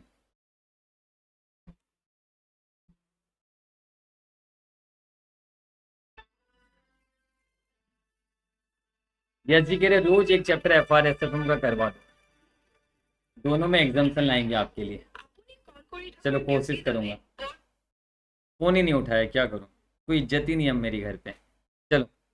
कंट्रीब्यूशन ऑन सेल्स अभी हम डिस्कस करते हैं फटाफट से। ठीक है? मज़ा आ रहा है ना सभी को? मज़े ले रहे हो ना ज़िंदगी के? अभी ले लो ये सारे मज़े, ये बाद में मिस करोगे सी बनने के बाद, ये सब क्लासेस मज़े ले लो अभी अच्छे से। देखो कंट्रीब्यूशन ऑन सेल्स एक क्वेश्चन ऐसा, इसलिए मैंने एक एग्ज़ाम्पल बना दिया ताकि आपका टॉपिक कवर हो जाए वहाँ पर। देखो, आपका मान लो तीन अलग अलग डिपार्टमेंट है, तीन अलग अलग जगह पे आप सेल्स करो ए बी और सी हालाँकि वहाँ पर कुछ कुछ कन्वर्सन भी, वो मैं यहाँ पर डिस्कस नहीं करा रहा, मैं आपको नॉर्मल सी बात कर रहा हूँ कॉस्टिंग से रिलेटेड यहाँ पर बात हो रही है। आपका सेल्स इतना हो रहा है। अब वेरिएबल खर्चा हमें पता है, जो कि आपका वेरिएबल होता है मतलब जितना प्रोडक्ट बनाओगे, उतना ही खर्चा पड़ेगा। तो वेरिएबल कॉस्ट हमारा इतना पड़ रहा है तो उससे हमारा कंट्रीब्यूशन आ जाएगा। Sales minus minus variable cost से हमारा कंट्रीब्यूशन आ जाएगा। कंट्रीब्यूशन हमारा आ चुका सभी का। तो अब कंट्रीब्यूशन से हम कंट्रीब्यूशन परसेंटेज निकाल सकते हैं। कैसे निकाल सकते हैं? हम एवरेज कंट्रीब्यूशन परसेंटेज निकालना चाहता हूँ मैं। एवरेज कंट्रीब्यूशन परसेंटेज मैं क्या करूँगा पता है? टोटल कंट्रीब्यूशन ले लूँगा। टोटल सेल्स ले लूँगा। Total contribution divide by total sales into hundred करूँगा, मेरा एवरेज कंट्रीब्यूशन परसेंटेज आ जाएगा। या फिर मैं ऐसे भी कर सकता हूँ। एवरेज कंट्रीब्यूशन का परसेंटेज निकालने के लिए मैं तीनों का एवरेज कर लेता हूँ कंट्रीब्यूशन का भी, और सेल का भी एवरेज कर लेता हूँ। तो देखिए कंट्रीब्यूशन ये है। तो इन तीनों को प्लस करके डिवाइड बाय थ्री कर दूँगा तो एवरेज कंट्रीब्यूशन आ जाएगा मेरा फोर्टी थाउज़ेंड और ये तीनों सेल को टोटल करके डिवाइड बाय थ्री कर दूँगा तो एवरेज सेल आ जाएगा। अब average sale divide by sorry average contribution divide by average sale करूँगा तो मेरा कंट्रीब्यूशन का परसेंटेज आ जाएगा। ये एकदम सिंपल सी चीज़ है, ऐसा क्वेश्चन आपका एक है। स्टडी मटेरियल में वो आप कर लीजिएगा। आराम से अगर ज़रूरत पड़ेगी तो मैं आगे उसको देख लूँगा कि एक वीडियो में एक्स्ट्रा है, उसमें मैंने एक डेढ़ घंटे में अच्छी खासे क्वेश्चन कवर करा है। वो नहीं तो आप फॉलो कर लीजिएगा। कुछ खास था नहीं। अब देखो क्रॉस रेट है। मैं आपको ये गारंटी के साथ बोल सकता हूँ, जो मैंने शुरुआत में आपको पढ़ाया है अप्रिसिएशन अप्रिसिएशन भी छोड़ दो, जो मैंने शुरुआत में आपको बिडा स्कोर कन्वर्सन पढ़ाया वो बिडा स्कोर कन्वर्सन को अप्लाई करके आप दुनिया की सारे क्वेश्चन कर सकते हो। आपको क्रॉस रेट की आवश्यकता ही नहीं पड़ेगी। पर फिर भी मैं आपको क्रॉस रेट समझा देता हूँ। ठीक है? अदरवाइज़ क्रॉस रेट की कोई आवश्यकता नहीं पड़ेगी आपको। पर फिर भी एक बार हम क्रॉस रेट डिस्कस कर लेते हैं। देखो रुपी पर डॉलर अदरवाइज़ कोई ज़रूरत ही नहीं इसकी। इससे उल्टा कंसेप्ट कितने बार हिल जाता है? क्योंकि यहाँ पर रुपी पर डॉलर है। ये रुपी बाई डॉलर नहीं है। ये आप ध्यान में रखना। रुपी पर डॉलर का मतलब वन डॉलर इक्वल कितना रुपया? ये रुपी बाई डॉलर नहीं है। पर क्रॉस रेट करोगे तो अब इसको रुपी बाई डॉलर की तरह ट्रीट कर दो। इसलिए मैं ये कंसेप्ट समझाने से थोड़ा कतराता हूँ मैं। और इसके बिना एंटायर फॉरेक्स हो सकता है। एंटायर फोरेक्स हालाँकि मेरा पुराना जो रिकॉर्डिंग था वहाँ पर मैंने इस, इसको समझाया नहीं था इस क्रॉस रेट को कवर ही नहीं किया था। बट अभी नए लेक्चर जो मैंने रिकॉर्ड किए रिसेंटली वहाँ पर मैंने क्रॉस रेट को कवर किया तो चलो ये क्रॉस रेट को भी मैं यहाँ पर आपको समझा देता हूँ कि क्या है। देखो रुपी पर dollar fifty five fifty six है। डॉलर पर pound one point two five one point two six है। यूरो पर pound one point two zero one point two two है। मैं बता दूँ इसके बिना भी कर सकते हो। अब यहाँ पर only for the purpose of cross rate मैं रुपी पर डॉलर को रुपी बाय डॉलर मानता हूँ, पर ऐसा है नहीं रियल में। फिफ्टी फाइव फिफ्टी सिक्स ये रुपये पर डॉलर ही होते हैं। और डॉलर पर पाउंड को डॉलर बाई पाउंड मानता हूँ one point two five oblique one point two six और यूरो पर पाउंड को यूरो बाई पाउंड मानता हूँ one point two zero oblique one point two two अब मेरी बात सुनो, मुझे क्या इन दोनों से मैं रुपी पर पाउंड निकाल सकता हूँ? देखो ना रुपी पर डॉलर है और यहाँ पर डॉलर पर पाउंड है। तो इन दोनों को अगर मैं मल्टीप्लाई कर दूँ तो डॉलर डॉलर कट हो जाएगा। जैसे देखिए रुपी बाय डॉलर और दूसरे वाला डॉलर बाय पाउंड तो इंटू डॉलर बाय पाउंड करूँगा, मैं मल्टीप्लाई कर दूँगा तो मेरा डॉलर डॉलर तो कट हो गया, है ना? और यहाँ पर भी क्या करूँगा, मैंने अल्टीमेटली किया क्या मल्टीप्लाई किया, यानी वन इंटू टू ये मान लो वन है, ये मान लो टू है, ये मान लो थ्री है। तो मैंने वन इंटू टू कर दिया अगर मैंने, अगर मैं वन इंटू टू करूँगा तो क्या करूँगा? Rupee by dollar dollar pound pound कर दूँगा मैं इक्वल क्या आएगा fifty five into one point two five और 56 six into one point two six आ जाएगा। आंसर आ गया मेरा और डॉलर डॉलर कट हो जाएगा। अल्टीमेटली रुपी पर पाउंड मेरा आ जाएगा, जो कि ये आंसर यहाँ पर भी मैंने लिखा हुआ है। चलो, अब मैं यहाँ पर से दिखा दे रहा हूँ आपको मैं। ये मिटा दे रहा हूँ। आप देखिए यहाँ पर वन इंटू टू किया मैंने। Rupee by dollar dollar by pound है ना? वन इंटू टू किया तो rupee by dollar dollar by pound ये मैंने लिख दिया दोनों। और इंटू किया तो fifty five into one point two five fifty six into one point two six होगा यहाँ पर। ये करने पर मेरा आंसर आ गया, जो कि क्या रुपी बाई पाउंड है। तो एक तो मैंने ये बताया, दूसरा एक और मैं बताना चाहता हूँ, अगर मैं टू बाई थ्री करूँ टू मल्टीप्लाइड बाई थ्री करूँ तो क्या होगा? देखो, यहाँ पर डॉलर बाय पाउंड है और यहाँ पर यूरो बाय पाउंड है।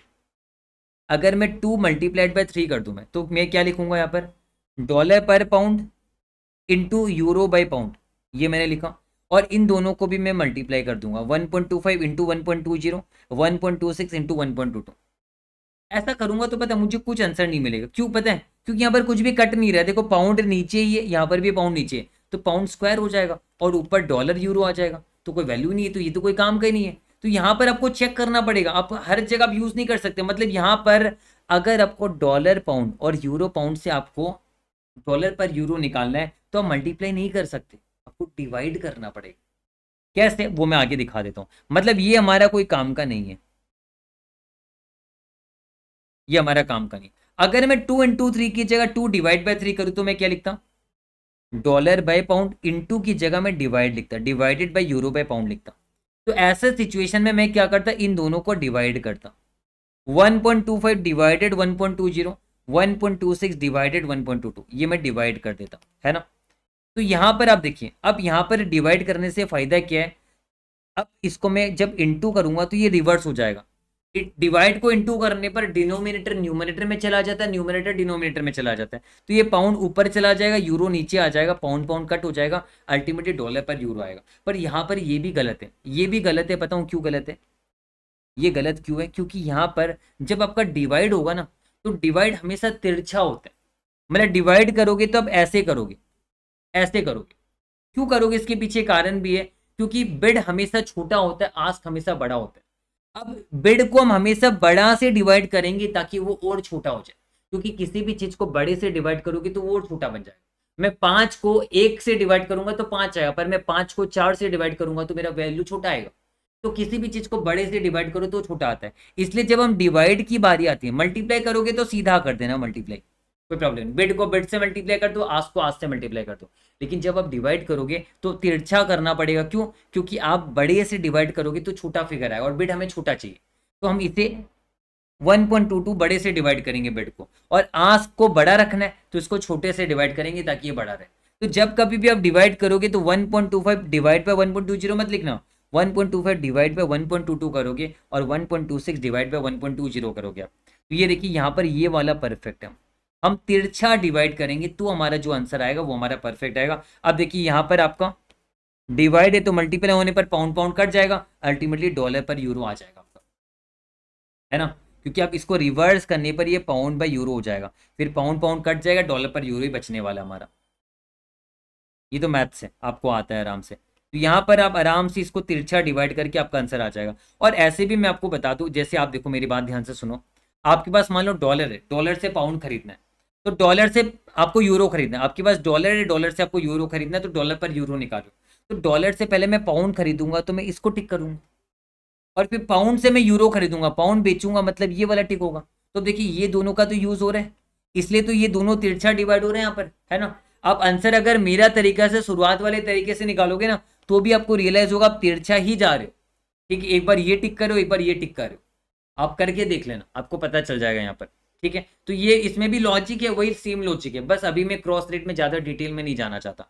तो आपको क्रॉस रेट में इतना ही समझना है कि जब आप मल्टीप्लाई करोगे तो स्ट्रेट अवे बिड को बिड से और आस को आस से मल्टीप्लाई करना। लेकिन जब आप डिवाइड करो तो बिड को आस्क से डिवाइड करोगे आस्क को बिड से डिवाइड करोगे। तिरछा जाओगे, आपको बस ये ध्यान में रखना एक और मैंने एग्ज़ाम्पल रखा है यहाँ पर। देखो सी एच एफ़ पर यन एस डी पर यन और डॉलर पर एस डी डी मान लो मुझे सी एच एफ़ पर डॉलर निकालना यहाँ पर। तो मैं क्या करूँगा? मैंने सोचा सी एच एफ़ पर यन है। मुझे सी एच एफ़ पर डॉलर निकालना है। अब नेक्स्ट वाले में भी यन है। यन को मुझे काटना है। तो यन डिनोमीटर में तो डिवाइड करूँगा, तभी तो कटेगा। तो divide by S D T by yen रखा। क्योंकि डिवाइड इसलिए रखा ताकि ये दोनों कट जाए। फिर अब मुझे एस टी को भी काटना है। एस डी टी यहाँ पर कहाँ पर है? डिनोमिनेटर में, है ना? तो यहाँ पर आप सोचो एस टी को काटना है तो यहाँ पर ये जब तिरछा करूँगा तो एस टी नीचे चला जाएगा। सॉरी जब मैं इसको इंटू करूँगा तो ये यहाँ पर क्या चला जाएगा? जैसे C H F by N है। इंटू करूँगा तो ये एन बाई एस हो जाएगा ये। अब वापस से एस मेरा डिनोमिनेटर में तो मुझे फिर से डिवाइड करना पड़ेगा डॉलर बाय एस तब मेरा अल्टीमेटली आएगा C H F by N into N by S D D into S D D by dollar और ultimately S D D S D D कटेगा एन एन कटेगा C H F by dollar हमारा आ जाएगा। तो कहने का मतलब दोनों को डिवाइड करना पड़ेगा, तभी हमारा सारा कटेगा। और जब हम डिवाइड करेंगे तो तिरछा करेंगे, यानी ये बिड है। बिड को जब आप आज से डिवाइड करो वो बिड ही तो रहेगा। फिर से आप आज से डिवाइड करोगे। अब किसी किसी बच्चे का ये रहता है कि हम इसको इससे डिवाइड करेंगे, फिर ऐसे जाएँगे, ऐसे नहीं। आप जब ये बिड को इससे डिवाइड करोगे तो आंसर आपका जो आएगा, वो बिड का ही आएगा, इन दोनों में, है ना? फिर से आपको आस्क से डिवाइड करना है। फिर आस्क को जब आप बिड से डिवाइड करोगे तो आपका आस्क का वैल्यू आएगा, फिर से आपको बिड को डिवाइड करना तो यहाँ पर ये ये ये ऐसे जा रहा है और यहाँ पर ऐसे जा रहा है। ऐसा नहीं कि आप ऐसे यहाँ पर कोई गेम नहीं खेल रहे हो। कि ऐसे ऐसे चलाओगे आप यहाँ पर। समझ में आया? आप ऐसे ही जाओगे और ऐसे ही जाओगे मतलब। ठीक है? तो कोई यहाँ पर गेम नहीं चल रहा हमारा कि हम पहले यहाँ जाएँगे, फिर ऐसे करेंगे, फिर ऐसे करेंगे ऐसे करेंगे। ऐसा नहीं होने का समझ आ गया आपको? क्योंकि बेड से आस का डिवाइड करोगे बेड ही आएगा। फिर से आस से डिवाइड करना है आपको। फिर से बड़ी से डिवाइड करना है। समझ में आया? ताकि बेड और छोटा हो जाए।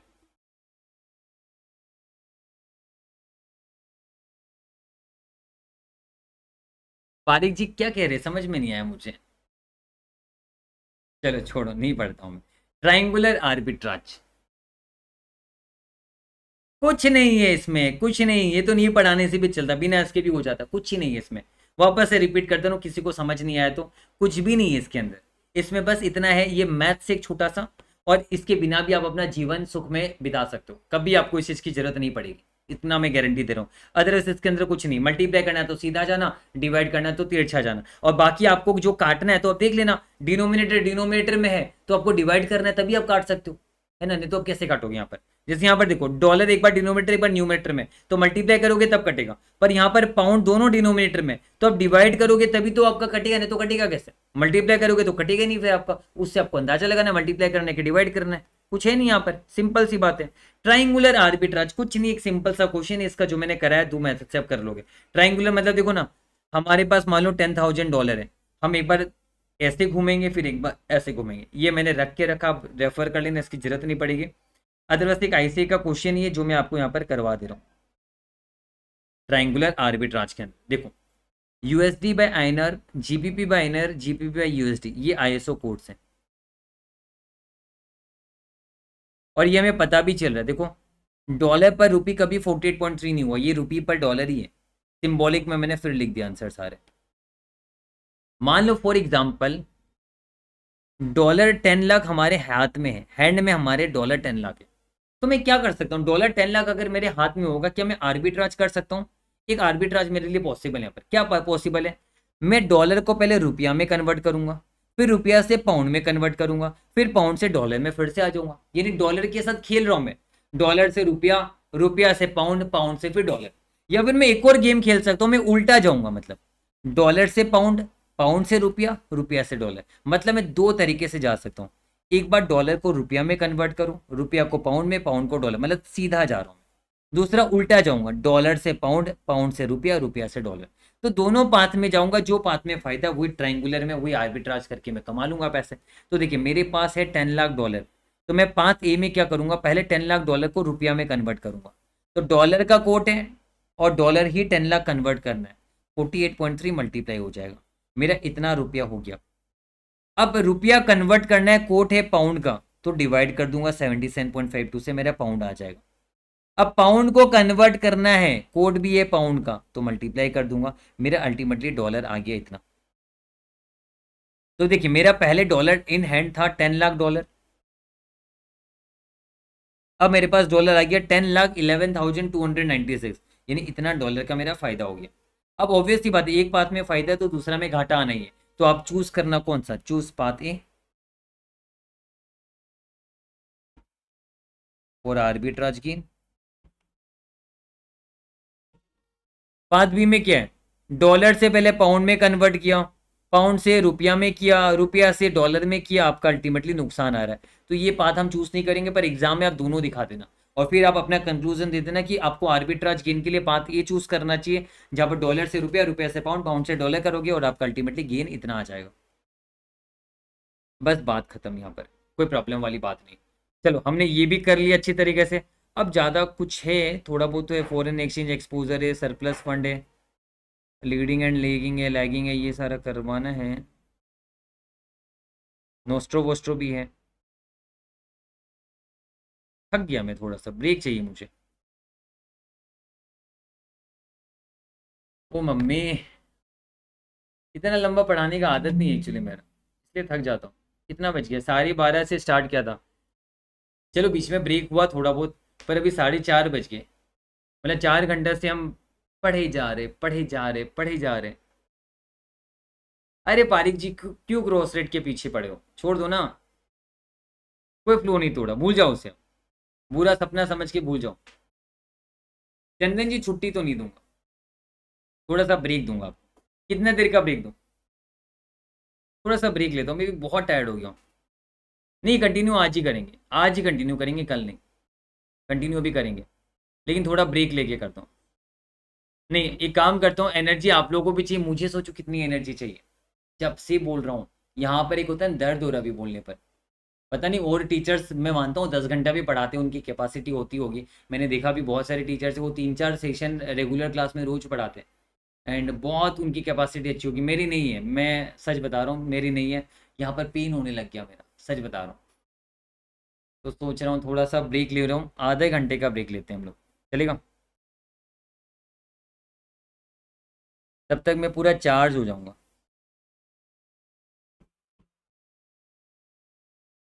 उसके बाद हम पढ़ेंगे। आधे घंटे का नहीं, पच्चीस मिनट का लेते हैं। पाँच बजे हाजिर हो जाएँगे। ठीक है, विनीत जी, ड्राई फ्रूट्स खा लूँगा, जूस भी पी लूँगा। ठीक है नहीं विदिता जी, पक्का जूस पी लूँगा अभी। चलो ठीक है, आधा घंटा बना देता हूँ। लो, आप भी खुश रहो, मैं भी खुश रहता हूँ। ठीक है तो आधे घंटे के बाद मिलते हैं हम।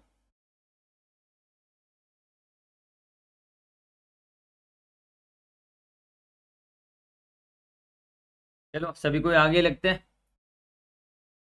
ब्रेक खत्म अब हमारा, है ना?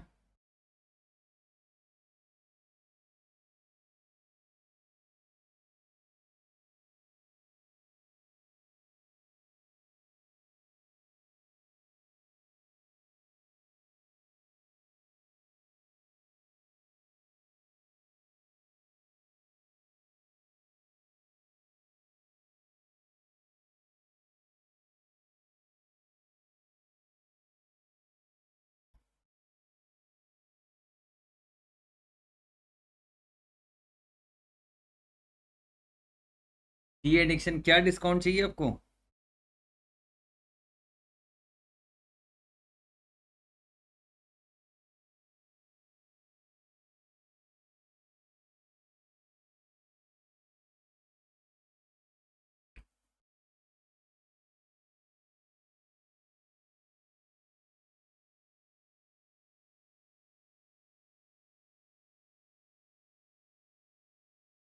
अभी खा रहा हूँ। जिसमें तो लेट गया था मैं, कुछ ही नहीं खाया।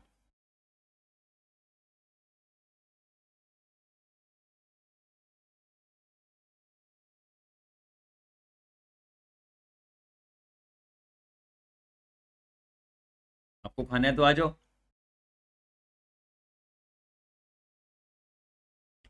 हाँ निवेदित दही मैंने खा लिया। अभी खा ही तो रहा हूँ।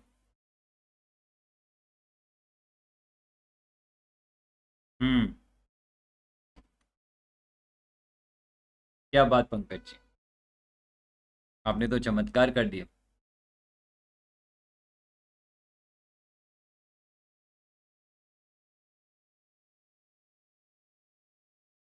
अमित जी, फ़र्क तो है। मैं जी, कोई टाइम वैसा फिक्स नहीं है, कभी आता हूँ, कभी नहीं आता हूँ।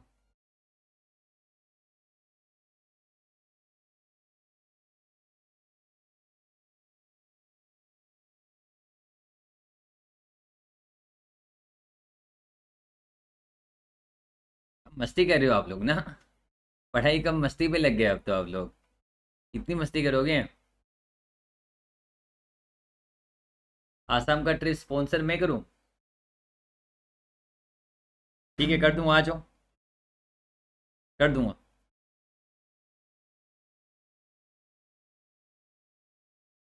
ये देखो भाई, अभी सी एडिक्शन में कोर्स की बेइज्जती कर रहे हैं। कह रहे छः हज़ार में कोर्स दे दो। वो बेजती है मेरी, पैसों की बात बात पैसों की नहीं, बात है बेजती कर रहे हो आप मेरे कोर्स की। मतलब ये समझते हो कि मैं अच्छा नहीं पढ़ाता हूँ। मेरी बेजती कर दी यहाँ पर। किसने? क्या नाम है? सी एडिक्शन मेरे कोर्स की बेजती कर दी, देख लो आप।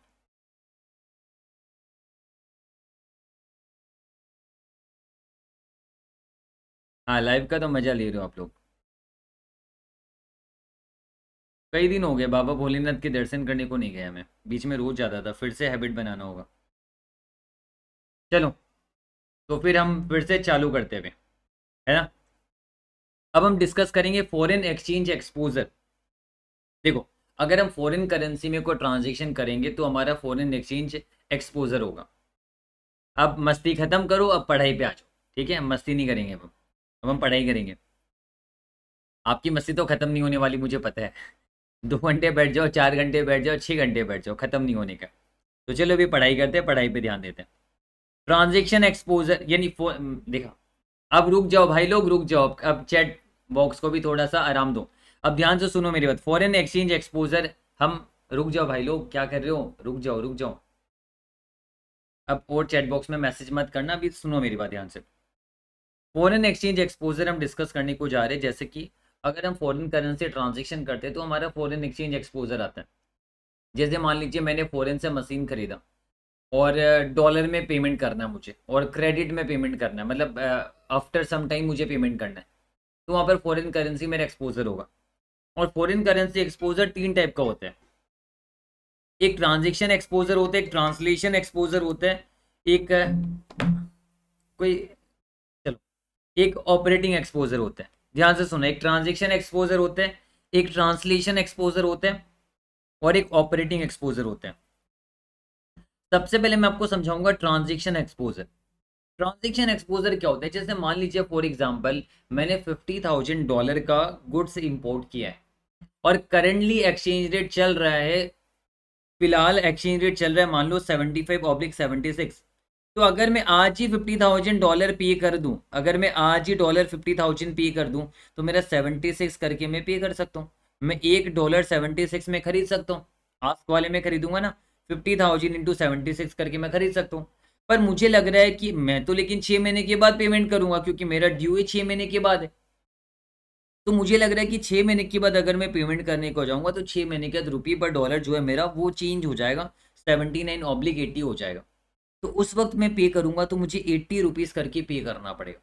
तो सोचो ना, अगर मैं आज ही पे कर देता तो सेवेंटी सिक्स रुपीज़ करके मुझे चार्ज लगता मेरा पर डॉलर पर जबकि मैं फ्यूचर में पे करूँगा और मुझे लग रहा है कि एक्सपेक्टेड एट्टी रुपीज़ हो जाएगा तब तक तो मुझे एट्टी रुपीज़ करके डॉलर खरीदना पड़ेगा छः महीने के बाद। तो यहाँ पर मेरा फॉरेन करेंसी ट्रांजेक्शन के चलते तो एक्सपोजर आया ही मैं। अगर मैं फॉरेन करेंसी ट्रांजेक्शन नहीं करता तो मेरा डॉलर का कोई एक्सपोजर ही नहीं होता। तो मेरा ट्रांजेक्शन एक्सपोजर यहाँ पर, कितने का? चार रुपया का पर डॉलर मेरा ट्रांजेक्शन जो फॉरेन करेंसी ट्रांजेक्शन का, उसके चलते मेरा लॉस आ रहा है। Loss due to transaction exposure आ रहा है मेरा। कितने का? फोर रुपीज़ का पर डॉलर तो फिफ्टी थाउज़ेंड डॉलर में कितने का? रुपीज़ टू लाख का लॉस है ये। ये क्या है? लॉस है ड्यू टू ट्रांजेक्शन एक्सपोजर अब आप बोलोगे, सर, क्या प्रॉफिट भी हो सकता है? जी हाँ। प्रॉफिट भी हो सकता है। ड्यू टू ट्रांजेक्शन एक्सपोजर आपका प्रॉफिट भी हो सकता है लॉस भी हो सकता है। May also happen due to transaction exposure. तो ट्रांजेक्शन एक्सपोजर आपको समझ में आया, है ना? मान लीजिए फॉर एग्जांपल मैं एक्सपोर्टर होता, ध्यान से सुनना। मान लीजिए फॉर एग्जांपल मैं एक्सपोर्टर होता। तो मुझे फिफ्टी थाउज़ेंड डॉलर मान लीजिए छः महीने के बाद मिलता, अगर मैं एक्सपोर्टर होता तो। तो ऐसा सिचुएशन में अगर आज मिल जाता तो सेवेंटी फाइव रुपीज़ करके मैं ट्रांसलेट करवाता। अगर छः महीने के बाद मिलता तो मैं सेवेंटी नाइन रुपीज़ करके ट्रांसलेट करवाता। हालाँकि मिलेगा तो छः महीने के बाद तो छः महीने के बाद मैं ट्रांसलेट करूँगा तो मेरा ज़्यादा फ़ायदा है। तो ऐसा सिचुएशन में मेरा फोर रुपया का फ़ायदा होता। यानी टू लाख रुपीज़ का प्रॉफिट होता अगर मैं एक्सपोर्टर होता तो है ना? क्योंकि मुझे ज़्यादा पैसे मिलते बाद में। तो प्रॉफिट भी हो सकता है, ट्रांजेक्शन एक्सपोजर की चलती लॉस भी हो सकता है आपका। तो ट्रांजेक्शन एक्सपोजर कुछ नहीं है, जो आपका स्पॉट एक्सचेंज रेट है, और जब आपको पैसे मिलने या देने, उस टाइम में जो एक्सपेक्टेड एक्सचेंज रेट होगा, उन दोनों का जो फ़र्क है, वही आपका प्रॉफिट या लॉस होगा ड्यू टू ट्रांजेक्शन एक्सपोजर तो ट्रांजेक्शन एक्सपोजर आई थिंक आपने समझ लिया अच्छे से। अब देखिए इसका मीनिंग भी लिखा हुआ है। Effect of an exchange rate change exchange rate में जो चेंज होगा उसका इफ़ेक्ट ऑन आउटस्टैंडिंग ऑब्लिगेशन या फिर रिसीबल भी हो सकता है। Debt existed before exchange rate change but were settled after the exchange rate changes यानी आपका एक्सचेंज रेट जो पहले था चेंज होने से पहले, और बाद में चेंज होने पर जो फ़र्क है, उसका जो इफ़ेक्ट है, वो ट्रांजेक्शन एक्सपोजर है, जो मैंने एग्जांपल के साथ आपको अच्छे से समझा दिया। अब इसके बाद ट्रांसलेशन एक्सपोजर ये एग्ज़ाम के लिए इतना इंपॉर्टेंट नहीं है। ये अकाउंटिंग पर्पज के लिए इंपॉर्टेंट होता है, और इसे अकाउंटिंग एक्सपोजर भी माना जाता है। ट्रांसलेशन एक्सपोजर अगर आप एफआर पढ़ोगे तो एफआर में इंडस ट्वेंटी वन में भी हमने देखा ट्रांसलेशन डिफरेंस जो आता है, वही ट्रांसलेशन एक्सपोजर है। जैसे मान लीजिए यहाँ पर भी मैं सेम क्वेश्चन लेता हूँ। मैंने एट्टी थाउज़ेंड डॉलर का एसेट परचेज किया और मुझे ये अमाउंट आज पे नहीं करना छः महीने के बाद मुझे पे करना है, ठीक है? अब क्या हुआ? Spot rupee per dollar seventy five seventy six है। तो मैंने क्या किया? एट्टी डॉलर करके परचेज किया तो मैं अपने बुक्स में तो रुपी में दिखाऊँगा। फंक्शनल करेंसी मेरा रुपी है। तो मैंने एट्टी थाउज़ेंड डॉलर को ट्रांसलेट किया रुपी में और रुपी में मैंने एसेट दिखा दिया और पेबल भी इतने का मैंने दिखा दिया। अब मान लो ड्यू डेट नहीं आया बट थर्टी फ़र्स्ट मार्च को आपका रिपोर्टिंग पीरियड एंड होता है क्लोज होता है। तो उस दिन अकाउंटिंग पर्पज के लिए हम क्या करते हैं? ट्रांसलेशन करते हैं, है ना? और उस दिन हमारा पेबल जो है, ये मॉनेटरी आइटम है, ये हम क्या करते हैं? अकाउंट्स में पढ़ाऊँगा पढ़ाया मैंने इंडस ट्वेंटी वन यूट्यूब में भी है रिविजनरी वीडियो तो पेबल जो है, ये मैं रीमेजर करूँगा। जो मेरा मॉनेटरी आइटम है, उसे मैं रीमेजर करूँगा। तो यहाँ पर मेरा पेबल जो है वो कितना रहेगा? एट्टी थाउज़ेंड डॉलर ही है। बट अब उसे मुझे मेज़र करना पड़ेगा एट्टी रुपीज़ करके। क्योंकि थर्टी फ़र्स्ट मार्च को एक डॉलर खरीदने का दाम है एट्टी रुपीज़ अब मैं अगर इस डेट में खरीदने को जाऊँगा तो एट्टी रुपीज़ करके मेरा कॉस्ट पड़ेगा। तो सिक्सटी फोर लाख का मेरा लाइबिलिटी आना चाहिए। तो ये लाइबिलिटी जो है sixty lakh eighty thousand cut किया। अब सिक्सटी फोर लाख की लाइबिलिटी दिखेगी मेरी। समझ आया? तो यानी ultimately three lakh twenty thousand का मेरा ट्रांसलेशन लॉस है। ट्रांजेक्शन लॉस भी ये मान सकते हैं हम, लेकिन ये नहीं होगा, क्योंकि ये मैंने लिखा है, पर ये तब होगा जब मान लो ये आपका, ये तो ट्रांजेक्शन एक्सपोजर हम तब दिखा सकते हैं, जब आपका मान लो सेटलमेंट डेट भी थर्टी फ़र्स्ट मार्च होता। अगर सेटलमेंट डेट भी थर्टी फ़र्स्ट मार्च होता तो सेटलमेंट डेट का आपका क्या एक्सपेक्टेड चेंज है, वो हम कंसिडर करते हैं। हालाँकि मान के चल रहे कि सेटलमेंट डेट कुछ और होगा, पर हाँ इतना मैं आपको बता दे रहा हूँ transaction exposure translation exposure same भी हो सकता है प्रोवाइडेड थर्टी फ़र्स्ट मार्च को अगर आपका सेटलमेंट होना है तो।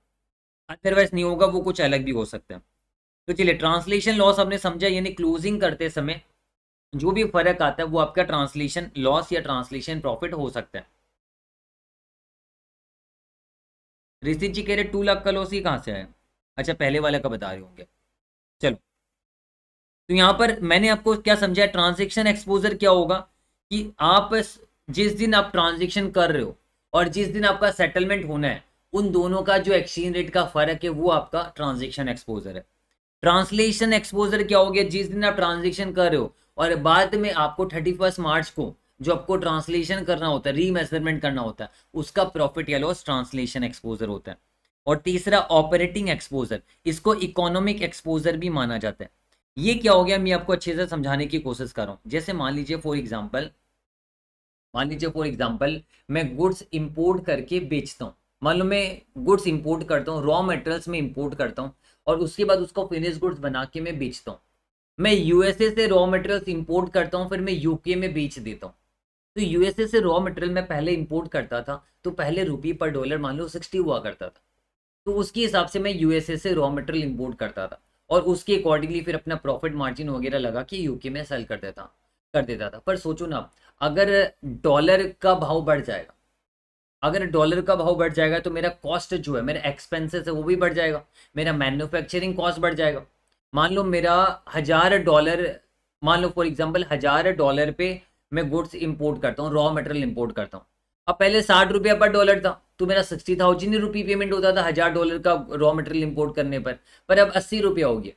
तो मेरा रॉ मटेरियल का खर्चा अब साठ हज़ार की जगह अस्सी हज़ार रुपया पड़ेगा। तो मेरा कॉस्टिंग बढ़ गया ना हालाँकि रेट वही है, पहले भी हज़ार डॉलर लगता था, अब भी हज़ार डॉलर लग रहा है। पर आपका खर्चा जो है मैन्युफैक्चरिंग कॉस्ट आपका बढ़ जा रहा है क्योंकि आपका एक्सचेंज रेट में फ़र्क आ गया। तो अब अगर मेरा एक्सचेंज रेट में फ़र्क आएगा, जिसके चलते मेरा अल्टीमेटली मैन्युफैक्चरिंग कॉस्ट बढ़ेगा। मैन्युफैक्चरिंग कॉस्ट बढ़ने के बाद मेरा अल्टीमेटली क्या होगा, जो सेल प्राइस है, वो भी मुझे बढ़ाना पड़ेगा। क्योंकि पहले जिस प्राइस में मैं सेल करता था, उस प्राइस में मैं सेल नहीं कर पाऊँगा। तो मेरा सेल प्राइस भी बढ़ जाएगा। तो जब प्राइस बढ़ता है तो डिमांड कम हो जाता है प्रोडक्ट का, ये आपने सीखा है। प्राइस और डिमांड इनवर्सली रिलेटेड होता है। तो मान लो फॉर एग्ज़ाम्पल पहले मैं यूके में पाँच हज़ार यूनिट बेचता था। कितने? पाँच हज़ार यूनिट बेचता था। अब जबकि मेरा कॉस्ट बढ़ जा रहा है है ना? तो कॉस्ट बढ़ने के चलते मेरा ऑपरेटिंग एक्सपेंसेस बढ़ जा रहा है ऑपरेटिंग एक्सपेंसेस मेरा बढ़ जा रहा है, जिसके चलते मेरा सेल का प्राइस भी बढ़ जाएगा। और उसके चलते जहाँ पहले पाँच हज़ार यूनिट मेरे बिकते थे, अब पता चला साढ़े चार हज़ार यूनिट ही बिक रहे मेरे। तो मेरा प्राइस बढ़ा जिसके चलते मेरा डिमांड कम हो गया, है ना? जो डिमांड मेरा पाँच हज़ार यूनिट मेरा बिकता था, वो डिमांड अब मेरा कम हो गया। तो बताओ, मेरा ऑपरेटिंग लॉस हुआ कि नहीं हुआ? तो पहले जो मेरा रेवेन्यू बुक होता था फाइव थाउज़ेंड यूनिट्स में, अब मेरा रेवेन्यू बुक हो रहा है साढ़े चार हज़ार यूनिट पे। तो ये मेरा क्या हो गया? ये one of the economic exposure हो गया मेरा, है ना? तो इकोनॉमिक एक्सपोजर वही होता है कि आपका इकोनॉमी में डिक्लाइन आना, अगर एक्सचेंज रेट आपका एडवर्सली चेंज होगा, आपके फेवर में चेंज नहीं होगा तो आपका इकोनॉमिक वैल्यू डिक्लाइन करेगा। है ना? आपका इकोनॉमिकली आपके फर्म में इंपैक्ट पड़ेगा उसका, जिसके चलते आपका रेवेन्यू गिर सकता है। और हमें पता है रेवेन्यू गिरेगा तो अल्टीमेटली कैश फ्लोज गिरेगा। और कैश फ्लोज गिरेगा तो ultimately value of the firm भी गिर सकता है, जो मैंने security valuation sorry corporate valuation जो मैंने पढ़ाया रेवेन्यू गिरेगा तो कैश फ्लो गिरेगा free cash flow free cash flow गिरेगा तो ultimately value of the firm भी गिरेगा ये ओवरऑल फर्म का वैल्यू भी गिर सकता है। तो that is what operating exposure या फिर इकोनॉमिक एक्सपोजर जहाँ पर डिमांड और प्राइस इनवर्सली रिलेटेड होता है। प्राइस बढ़ेगा तो डिमांड गिरेगा। प्राइस गिरेगा तो डिमांड बढ़ जाएगा हमारे यहाँ पर। और अल्टीमेटली हमारा क्या होगा? मान लो अगर 500 यूनिट हम एक्स्ट्रा मान लो ड्यू टू प्राइस डिक्रीज अगर प्राइस गिरता है तो हमारे लिए फेवरेबल है। और अगर हम 500 यूनिट एक्स्ट्रा बेच पाएँगे तो हमारा एक्स्ट्रा प्रॉफिट आएगा, है ना? एक्स्ट्रा प्रॉफिट आ रहा है मान लो एक लाख रुपए का। तो ये इकोनॉमिक एक्सपोजर की वजह से प्रॉफिट आ रहा है। इसका एक बहुत ही अच्छा क्वेश्चन है जो आईसीए ने रखा हुआ है क्वेश्चन और वो क्वेश्चन मैंने ऑलरेडी डाला हुआ है ओमेगा इलेक्ट्रॉनिक नाम से। अब यूट्यूब में सर्च करना ओमेगा इलेक्ट्रॉनिक्स प्रतीक जगाते आपको क्वेश्चन मिलेगा। वो इसी से रिलेटेड है, जहाँ पर ट्रांजेक्शन एक्सपोजर और ऑपरेटिंग एक्सपोजर ये दोनों कवर हो जाएगा। तो अगर ये कंसेप्ट का आपको क्वेश्चन भी करना है, मैंने आपको समझा दिया। अगर फिर भी आपको इसका क्वेश्चन भी करना है आईसी का तो ओमेगा इलेक्ट्रॉनिक्स नाम का क्वेश्चन है। आप यूट्यूब में सर्च करना Omega electronics Prateek Jagati. And possible हुआ तो मैं डिस्क्रिप्शन में लिंक छोड़ दूँगा, ठीक है?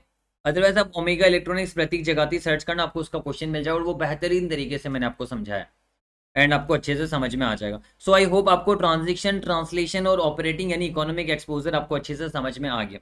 फटाफट से मैंने रिवाइज करा दिया। अब आगे नेक्स्ट हम डिस्कस करेंगे सरप्लस फंड इसे हम इंटरनेशनल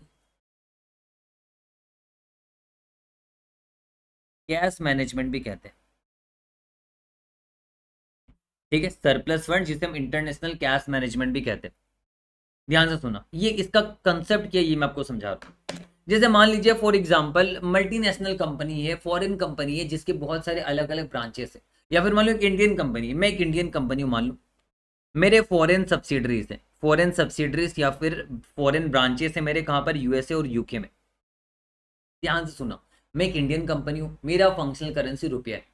मेरा एक फॉरेन सब्सिडरीज यूएसए में भी है, एक मेरा फॉरेन सब्सिडरी यूके में भी है। यूके यानी जहाँ पर पाउंड चलता है यूएसए में क्या चलता है? डॉलर चलता है। तो इट माइट बी पॉसिबल कि मान लो मेरा कुछ पीरियड के लिए मेरे पास सरप्लस फंड पड़ा हुआ है। मान लो फॉर एग्ज़ाम्पल 500 करोड़ का मेरे पास सरप्लस फंड पड़ा हुआ रुपया में, जो मुझे आने वाले तीन महीने के तक की दरकार नहीं हालाँकि वर्किंग कैपिटल का ये हिस्सा होगा, पर आगे सीज़न नहीं है, जिसके चलते 500 करोड़ की मुझे ज़रूरत नहीं पड़ेगी आने वाले तीन महीने तक, जो कि फ्री पड़ा हुआ तो बताओ मैं क्या करूँगा? ये 500 करोड़ को कहीं पर इन्वेस्ट कर दूँगा तीन महीने के लिए, जहाँ पर मुझे बेहतर रिटर्न मिल जाए, है ना? सेम वैसे यूएसए और यूके में भी मान लो सरप्लस फंड पड़ा हुआ है। एक के पास डॉलर टेन मिलियन का सरप्लस फंड पड़ा हुआ है, एक के पास पाउंड फाइव मिलियन का सरप्लस फंड पड़ा हुआ है। तो देखो, मेरे पास भी सरप्लस पड़ा हुआ है 500 करोड़ रुपये में, ठीक है? और यूएसए के पास भी सरप्लस फंड पड़ा हुआ है डॉलर में टेन मिलियन डॉलर और यूके के पास यूके सब्सिडरी जो हमारी है उसके पास भी पाउंड पाउंड में पड़ा हुआ है surplus fund surplus funds pound five million का। और इन सभी को चार महीने तक, आने वाले चार महीने तक मान लो पैसों की ज़रूरत नहीं है। तो यहाँ पर दो तरीका हो सकता है इन्वेस्टमेंट करने का। जबकि तीनों के पास सरप्लस पैसे पड़े हुए हैं, चार महीने तक ज़रूरत नहीं है, हम दो तरीका कर सकते हैं। एक तो होता है सेंट्रलाइज मैनेजमेंट सेंट्रलाइज मैनेजमेंट में क्या होता है कि यूएसए के जितने सरप्लस फंड पड़े हुए हैं, ये इमीडिएटली रुपया में कन्वर्ट होंगे और हेड ऑफ़िस में भेज दिए जाएँगे। और यूके के पास भी जो सरप्लस फंड पड़ा हुआ है, ये भी इमीडिएटली आपका कन्वर्ट हो जाएगा रुपया में और आपका हेड ऑफ़िस में भेज दिया जाएगा। अब हेड ऑफ़िस में बहुत सारे रुपये हो जाएँगे। 500 करोड़ रुपया तो ही ये दोनों भी रुपया में स्पॉट कन्वर्ट करके हेड ऑफ़िस में भेज दिया जाएगा। तो हेड ऑफ़िस के पास बहुत सारे रुपये होंगे और हेड ऑफ़िस क्या करेगा? खुद से सारे के सारे पैसे को इन्वेस्टमेंट करेगा। मान लो ऐसा भी हो सकता है कि कोई सब्सिडरी के पास डेफिसिट है, उनको पैसों की ज़रूरत है। तो हेड ऑफ़िस क्या करेगा? उसी पैसे में से, बहुत सारे पैसे है ना, उसी पैसे में से क्या करेगा? थोड़े से पैसे निकाल के उसको दे देगा। यानी ये सारा मैनेजमेंट कौन करेगा? हेड ऑफ़िस मैनेजमेंट करेगा। तो यानी एक ही प्लेस में अगर मैनेजमेंट होता है, उसे हम कहते हैं सेंट्रलाइज मैनेजमेंट क्या कहते हैं? सेंट्रलाइज मैनेजमेंट आपने सुना भी होगा सेंट्रलाइज एसी सेंट्रलाइज एसी अलग अलग रूम में अलग अलग एसी नहीं होते, एक सिंगल एसी होता है जो कि सेंट्रलाइज होता है, जो कि सभी कमरों को मैनेज करता है। है ना? तो आप सेंट्रलाइज एसी का कंसेप्ट लगा सकते हो। तो वैसे यहाँ पर सेंट्रलाइज मैनेजमेंट में क्या होगा? सारे के सारे फंड्स हेड ऑफ़िस में इमीडिएटली पुल किए जाएँगे और वहाँ से फिर इकट्ठा इन्वेस्टमेंट किया जाएगा। तो जैसे कि देखिए सेंट्रलाइज मैनेजमेंट में क्या होगा? सारे के जितने सरप्लस कैश फंड है सब्सिडरीज के हेड ऑफ़िस के ब्रांचेस के, वो सारी इमीडिएटली पुल किए जाएँगे हेड ऑफ़िस में।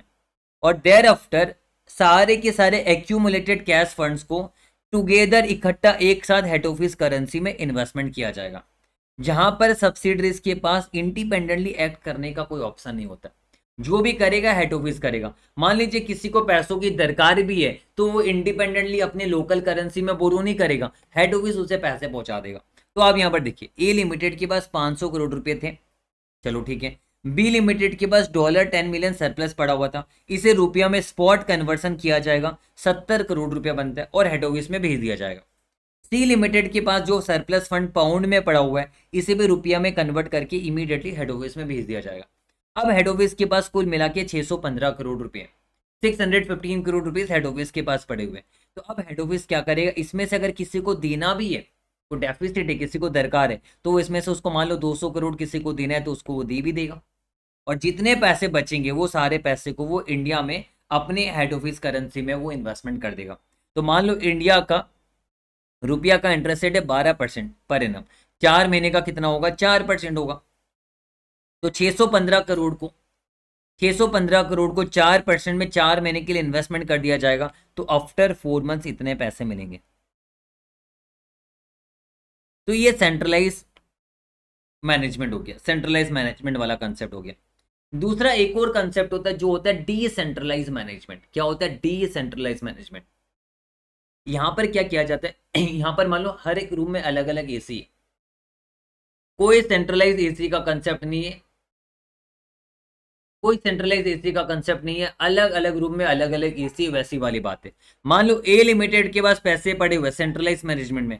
ए लिमिटेड अपना इंडिपेंडेंट इन्वेस्टमेंट करेगा। बी लिमिटेड के पास पैसे पड़े हुए वो अपने इंडिपेंडेंट इन्वेस्टमेंट करेगा। सी लिमिटेड के पास पैसे पड़े हुए, वो अपने इंडिपेंडेंट इन्वेस्टमेंट करेगा। और अगर किसी को पैसों की डेफिसिट भी है दरकार भी तो वो अपना लोकल करेंसी में बोरो करेगा। यानी यहाँ पर इन्वेस्टमेंट या बोरोइंग जो भी होना है, वो इनके लोकल करेंसी में इंडिपेंडेंटली होगा।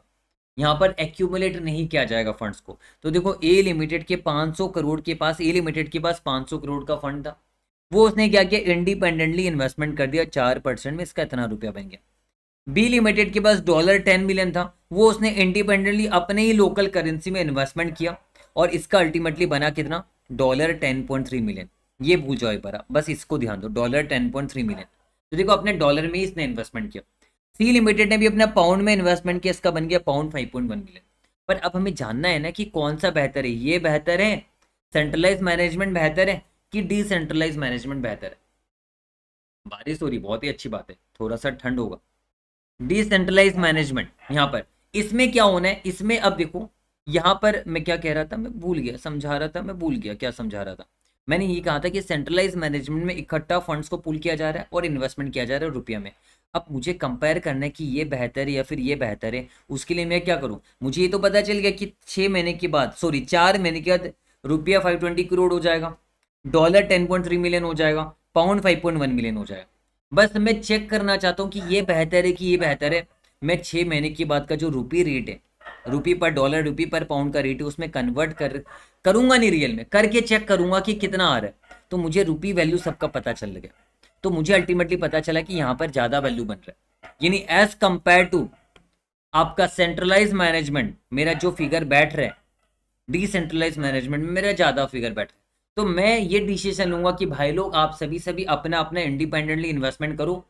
और फिर बाद में अगर हम फॉरवर्ड रेट में भी एंटर करते हैं तो हमारा अल्टीमेटली ज़्यादा पैसा बन रहा है यहाँ पर। तो हम चूज़ करेंगे क्या? हम चूज़ करेंगे डिसेंट्रलाइज मैनेजमेंट तो वो तो डिपेंड करेगा क्वेश्चन आपसे पूछेगा एग्ज़ाम में क्वेश्चन आपसे पूछेगा डेटा देगा, बोलेगा, बताओ सेंट्रलाइज मैनेजमेंट यानी फंड्स को पुल करना बेहतर है कि इंडिपेंडेंटली इन्वेस्टमेंट करना बेहतर है? आप दोनों में निकालो कि अल्टीमेटली लास्ट में कितना रुपया का फ्लो हो रहा है। जहाँ रुपया का फ्लो ज़्यादा रहा वो आप चूज़ कर लोगे। बस सिंपल है, इतना ही है, इसमें और कुछ नहीं है। मतलब यहाँ पर आपको दो चीज़ ध्यान में रखना है। एक तो सेंट्रलाइज मैनेजमेंट जहाँ पर सारे के सारे पैसे हेड ऑफ़िस में पुल होंगे। किसी को पैसे चाहिए तो वहीं से दिए जाएँगे और वहीं से इकट्ठा इन्वेस्टमेंट होगा। डिसेंट्रलाइज मैनेजमेंट में क्या होगा? इंडिपेंडेंटली सबको अपना अपना बोरोइंग या इन्वेस्टमेंट करेंगे। चलो तो सरप्लस फंड्स का इतना ही कंसेप्ट था। International cash management I hope आप आराम से समझ गए होंगे और आप आराम से संभाल लोगे यहाँ पर। अब हम करेंगे हैजिंग करेंसी रिस्क का टेक्निक तो मैंने ऑलरेडी आपको बताया था हैजिंग करेंसी रिस्क में जो हैज़ रिस्क रहता है, जो करेंसी फॉरेन करेंसी में जो रिस्क रहता है, उसको हैज़ करने का मैंने पहले आपको ऑलरेडी तरीका बताया था फॉरवर्ड कवर है मनी मार्केट कवर है, वो हमने ऑलरेडी समझ भी लिया था. तो forward cover money market cover भी इसका हिस्सा है जो हमने ऑलरेडी पहले डिस्कस कर लिया था. मैंने लिखा हुआ भी मनी मार्केट हैजिंग और फॉरवर्ड कवर भी इसी का हिस्सा है, जो हमने ऑलरेडी सीख लिया हैजिंग करने का टेक्निक जो है. अब कुछ कुछ टेक्निक और है जो मैं आपको समझा दे रहा हूँ। ये इतना ज़्यादा एग्ज़ाम के लिए रेलेवेंट या इंपॉर्टेंट नहीं पर फिर भी हम फटाफट से डिस्कस कर लेते हैं। जैसे पहला कंसेप्ट है लीडिंग एंड लैगिंग इसे आप थोड़ा सा इंपॉर्टेंट समझ सकते हो। इसके रेलेवेंट में क्वेश्चन भी है, वो क्वेश्चन भी मैं आपको बता दूँगा क्या है। देखो, यहाँ पर लीडिंग और लैगिंग का मतलब क्या होता है? जैसे मान लीजिए फॉर एग्ज़ाम्पल मैं गुड्स मैंने इम्पोर्ट किया, फिर से वो ले रहा हूँ फिफ्टी थाउज़ेंड डॉलर का मैंने गुड्स इम्पोर्ट किया। फिफ्टी थाउज़ेंड डॉलर का, देखो प्रतीक जगाती ने यहाँ पर गुड्स इंपोर्ट किया यूएसए से फिफ्टी थाउज़ेंड डॉलर का, जिसका पेमेंट इसे आज नहीं करना, तीन महीने की बात करना है। आज पेमेंट नहीं करना मुझे, तीन महीने की बात करना आज स्पॉट रेट चल रहा है सेवेंटी रुपीज़ पर डॉलर, पर मुझे लग रहा है कि तीन महीने के बाद रुपी पर डॉलर बढ़ के टेन परसेंट हो जाएगा, सेवेंटी सेवन हो जाएगा। तो मेरी बात सुनो, अगर मैं आज डॉलर पेमेंट कर दूँ तो फिफ्टी थाउज़ेंड इंटू सेवेंटी करके मुझे पेमेंट करना पड़ेगा। पर वही अगर मैं तीन महीने के बाद पेमेंट करता हूँ तो तीन महीने का डॉलर राइस हो जाएगा रुपी पर डॉलर सेवेंटी सेवन हो जाएगा और अल्टीमेटली मुझे सेवेंटी सेवन करके खरीदना पड़ेगा। तो आप मुझे बताइए, मुझे क्या तीन महीना इंतज़ार करना चाहिए? अगर मैं अपना पैसा बचाना चाहता हूँ तो मुझे तीन महीना इंतज़ार करना चाहिए कि मुझे स्पॉट आज ही पेमेंट करना चाहिए, क्योंकि आज ही अगर मैं पेमेंट कर दूँ सप्लायर को तो फिफ्टी थाउज़ेंड इंटू सेवेंटी यानी थर्टी फाइव पाँच ज़ीरो थर्टी फाइव लाख देना पड़ेगा। वही अगर मैं फ्यूचर में पेमेंट करता हूँ तो fifty thousand into seventy seven हो जाएगा और मुझे अच्छा खासा देना पड़ेगा। Three eighty five. आप बताइए, मुझे मुझे क्या करना चाहिए? आज पेमेंट करना चाहिए मुझे कि मुझे कितना? तीन महीने के बाद पेमेंट करना चाहिए। फटाफट से मुझे कमेंट करके बताइए, तभी मैं आगे बढ़ूँगा, अदरवाइज़ मैं आगे नहीं बढ़ूँगा। मुझे क्या करना चाहिए? मुझे आज पेमेंट करना चाहिए कि मुझे तीन महीने के बाद पेमेंट करना चाहिए फटाफट कमेंट करो।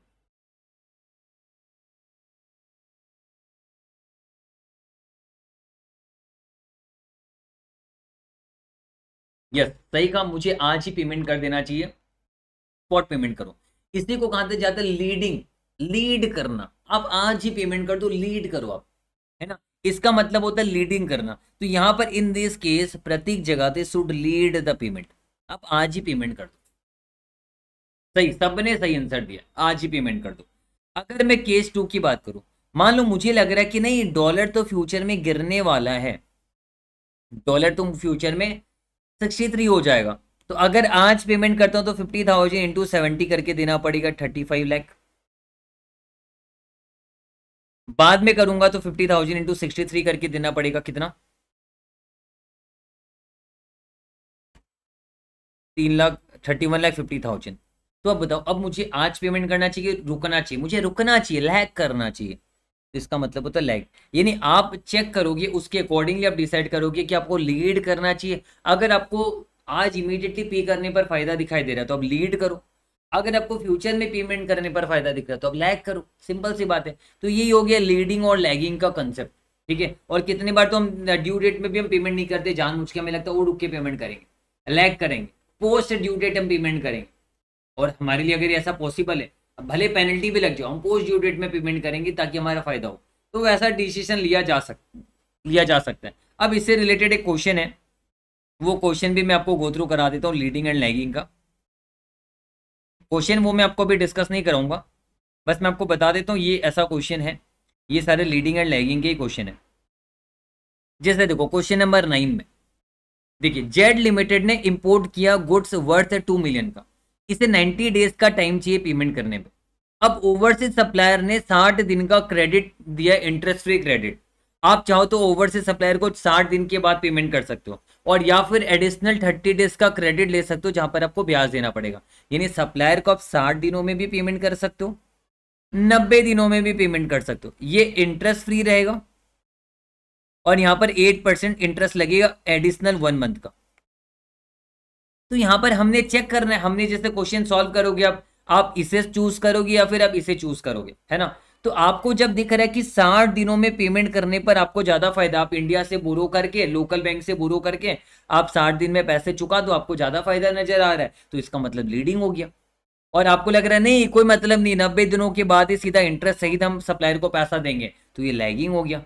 तो आपको ये देखना है कि आप कौन सा चूज़ करोगे? लीडिंग चूज़ करोगे कि साठ दिन में पेमेंट कर देना, कि नब्बे दिनों के बाद पेमेंट करना, कि लैगिंग चूज़ करोगे? लैगिंग मतलब डिले करके, साठ दिनों में पेमेंट नहीं करना, नब्बे दिनों के बाद पेमेंट करना। इसका क्वेश्चन का सॉल्यूशन आपको मैंने एक रिवीजन वीडियो में, आपको ये क्वेश्चन के रिवीजन मिल जाएँगे। डिस्क्रिप्शन में लिख दे दूँगा, जहाँ पर मैंने पिछले अटेम्प्ट में ही, जो एग्ज़ाम से पहले मैंने करीबन 25 के आसपास इंपॉर्टेंट 25 टू 30 याद नहीं, मुझे इतना क्वेश्चन मैंने इंपॉर्टेंट क्वेश्चन सारे कराए थे बड़े बड़े उसमें ये क्वेश्चन भी इंक्लूडेड है। तो अब इसका आंसर तो आप खुद से निकाल ही ले हुए। हाँ तो यहाँ पर आपका अल्टीमेटली साठ दिनों में पहले पेमेंट करोगे, वो लीडिंग है। अब रुक के पेमेंट करोगे, वो लैगिंग होगी, बस बात खत्म, इतना ही है, इसमें और कुछ नहीं है। चलो तो लीडिंग एंड लैगिंग आपको समझ में आ गया। Question number nine question bank का आप रेफर कर सकते हो एसएम का क्वेश्चन नंबर ट्वेल्व जो मैंने अभी आपको डिस्कस करवाया। अब नेटिंग भी सिंपल है। नेटिंग भी कुछ खास नहीं है नेटिंग और मैचिंग दोनों सेम कंसेप्ट ही हो गया। नेटिंग और मैचिंग दोनों सेम कंसेप्ट है। नेटिंग में बेसिकली क्या होता है, जैसे इंट्रा ग्रुप कंपनीज़ मान लीजिए होल्डिंग सब्सिडरी के बीच में ट्रांजेक्शन हो रहा है। तो इंट्रा ग्रुप कंपनीज़ के बीच में नेटिंग हो जाता है। जैसे मान लो मैं होल्डिंग कंपनी हूँ आप सब्सिडरी कंपनी हूँ। मुझे आपको पचास हज़ार डॉलर आप फॉरेन सब्सिडरी हो मेरी। मुझे आपको पचास हज़ार डॉलर पे करना है। मैंने आपसे कुछ गुड्स लिया। और बदले में आपको भी मुझसे तीस हज़ार डॉलर देने मुझे आपको पचास हज़ार डॉलर देने आपको मुझे तीस हज़ार डॉलर देने तो हम नेट कर लेते ना। नेट में बोलेंगे बीस हज़ार डॉलर ही मुझे आपको देना है। वही नेटिंग हो गया। मतलब जो लेन देना है उसको काट दिया। जैसे रिसीवल है मेरा रिसीवल थर्टी थाउज़ेंड डॉलर है। मेरा पेएबल ट्वेंटी थाउज़ेंड डॉलर है। तो रिसीवल पेएबल को काट के नेटिंग में टेन थाउज़ेंड डॉलर का जो सौदा करने वो सौदा कर लेंगे। बस बात खत्म सिंपल सी बात है। एक कॉलम्बस सर्जिकल का क्वेश्चन है, मैं आपको दिखा रहा हूँ। ठीक है? उसमें भी नेटिंग का कंसेप्ट लगाया गया। सिंपल है नेटिंग कुछ है ही नहीं।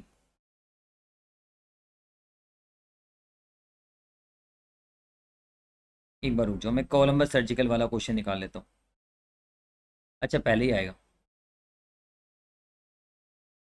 ये रहा। यहाँ पर देखो, इसको pound four lakh eighty thousand payable है इसका। और साथ में इसने क्या किया? इसने एक्सपोर्ट भी किया जहाँ पर इसको one lakh thirty eight thousand pound receivable है। कस्टमर को पेबल आपको रिसीबल है। तो यहाँ पर pound four lakh eighty thousand payable आ रहा है और आपका pound one lakh thirty eight thousand आपका रिसीबल आ रहा है।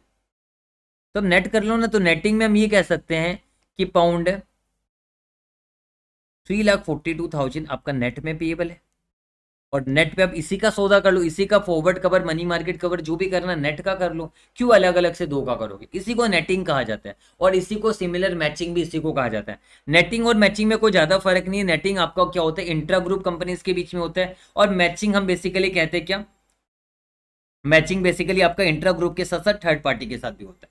यानी आप देख लीजिए यहाँ पर। Netting and matching almost same है। नेटिंग आपका टर्म अप्लाई होता है जब आप ग्रुप ऑफ़ कंपनीज़ के बीच में सौदा हो रहा है इंट्रा ग्रुप कंपनीज़ के बीच में हो रहा है। Whereas matching intra group के साथ साथ थर्ड पार्टी को भी मैचिंग कहा जाता है। तो ये सब वर्ड्स कोई काम का नहीं एग्ज़ाम के लिए रेलिवेंट भी नहीं है। आप ध्यान नहीं दोगे तो भी चलेगा, बिल्कुल रेलिवेंट नहीं है। और चौथा एक हैचिंग टेक्निक तो बेकार है, कुछ है नहीं इसमें, कि आप सिंपल सी बात है, आपको आप एक्सपोर्ट कर रहे हो। आप डॉलर में बिलिंग मत करो, आप अपनी होम करेंसी में बिलिंग कर दो, रुपया में बात खत्म, है ना? और अगर आप इंपोर्ट करो तो अब रुपया में सीधा आप इंपोर्ट करो बोलो रुपया दूँगा। पर ऐसा रियलिटी में पॉसिबल नहीं है। हर जगह ऐसा पॉसिबल नहीं, क्योंकि आप देखना जैसे क्रूड ऑयल वगैरह के केस में, आप चाह कर भी दूसरे करेंसी में डील नहीं कर सकते, आपको डॉलर में ही डीलिंग करना पड़ेगा। तो कुछ कुछ जगह में कंपिटिटर्स ने ऑलरेडी कुछ कुछ करेंसी कोट कर रखा हुआ है, आपको उसी कोटेड करेंसी में ही डीलिंग करना पड़ेगा, दूसरे में डीलिंग नहीं कर सकते। हालाँकि फिर भी यहाँ पर आपको ये पढ़ाना चाहता है इसे कि आप डोमेस्टिक करेंसी में इन्वॉइसिंग कर दो, बात खत्म। इसलिए कोई रेलेवेंट नहीं एग्ज़ाम के लिए। मनी मार्केट कवर हमने सीख लिया है। फॉरवर्ड कवर मैंने आपको सिखा दिया hedging through future and options में आपको कल कराऊँगा ये। मैं अभी कराऊँगा और एक दो टॉपिक लेकिन ये वाला मैं आपको कल कराऊँगा। कल फ्रेश माइंड के साथ ये करेंगे क्वेश्चन भी करेंगे, ठीक है? अब इसके बाद मैं क्या कराना चाहता हूँ आपको, मैं मैं नोस्ट्रो वोस्ट्रो लोरो एक बार ये फटाफट कराऊँगा। ये टॉपिक आप फटाफट ध्यान दे देना अच्छे से। ये टॉपिक मैं आपको एक बार अभी करा देना चाहता हूँ अभी के लिए। मैंने क्या कहा? करेंसी फ्यूचर्स करेंसी ऑप्शन में आपको कल पक्का कराऊँगा झूठ नहीं बोल रहा, पक्का कराऊँगा। मैंने कहा ना, जो अभी बात मत करो प्लीज़ ध्यान दो। अभी आप फालतू का कमेंट कर रहे हो। एक बार रुक जाओ ना। पहले पढ़ लो, फिर आप ध्यान नहीं दोगे, बाद में वीडियो तो हट जाएगा। और बाद में बोलोगे, सर, समझ नहीं, आप वीडियो रखिए वीडियो रखिए। वीडियो तो रखूँगा नहीं मैं। वीडियो हट जाएगा और आप अभी पढ़ नहीं रहो क्यों? टाइम पास करो। पढ़ लो अच्छे से। है ना? तो टाइम पास मत करो अभी अच्छे से। नोस्ट्रो वोस्ट्रो लोरो ये तीन चीज़ पढ़ेंगे ठीक है? आपने वो, वो पिक्चर देखी हमारा दिल आपके पास है आपका दिल हमारे पास है है ना? पिक्चर का नाम है ना शायद? तो नोस्ट्रो का मतलब क्या होता है है? हमारा दिल आपके पास है और वोस्ट्रो का मतलब होता है आपका दिल हमारे पास है। इस तरीके से आप समझ सकते हो ठीक है? कैसे मैं आपको समझा रहा हूँ देखो।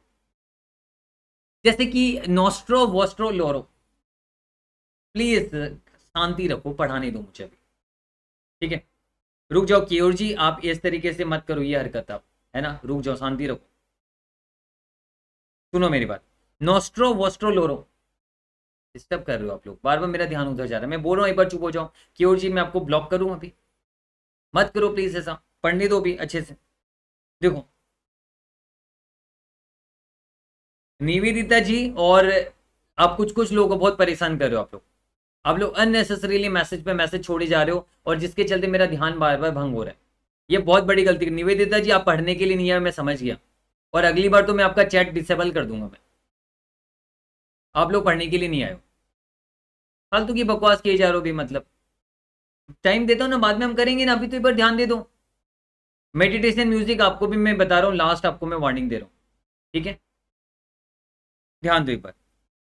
कोई चैट नहीं करेगा प्लीज़ अभी, कुछ टाइम नोस्ट्रो, वोस्ट्रो और लोरो की बात करें हम यहाँ पर, नोस्ट्रो अकाउंट क्या होता है कि जहाँ पर आपको सॉरी नहीं बोलना अभी अभी आप मैसेज मत कीजिए, अभी आप पढ़ने दीजिए, पढ़ाने दीजिए मुझे।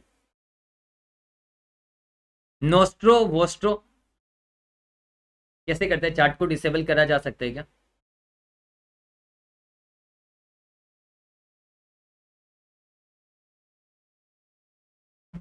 बहुत मतलब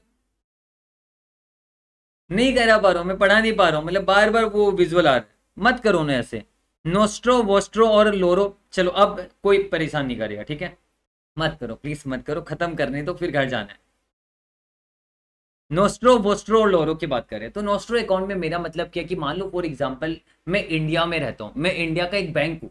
स्टेट बैंक ऑफ़ इंडिया में इंडिया का हद यार मेडिटेशन आपको क्या हो रहा है? मुझे समझ में नहीं आ रहा है। मैं बोल रहा हूँ मैसेज मत करो मत करो। आप लोग कर ही जा रहे हो, समझ ही नहीं रहे हो आप लोग। आप चाहते हो कि मैं भी छोड़ दू? ठीक है, मैं नहीं पढ़ाता छोड़ देता हूँ। जाओ। सभी को जाओ मैसेज करते रहो। सुनते ही नहीं हो मतलब कोई रेस्पेक्ट नाम की चीज़ ही नहीं। इतना डिसरेस्पेक्ट करते हो क्या आप? ये सिखाया कि आपको स्कूल और कॉलेज में?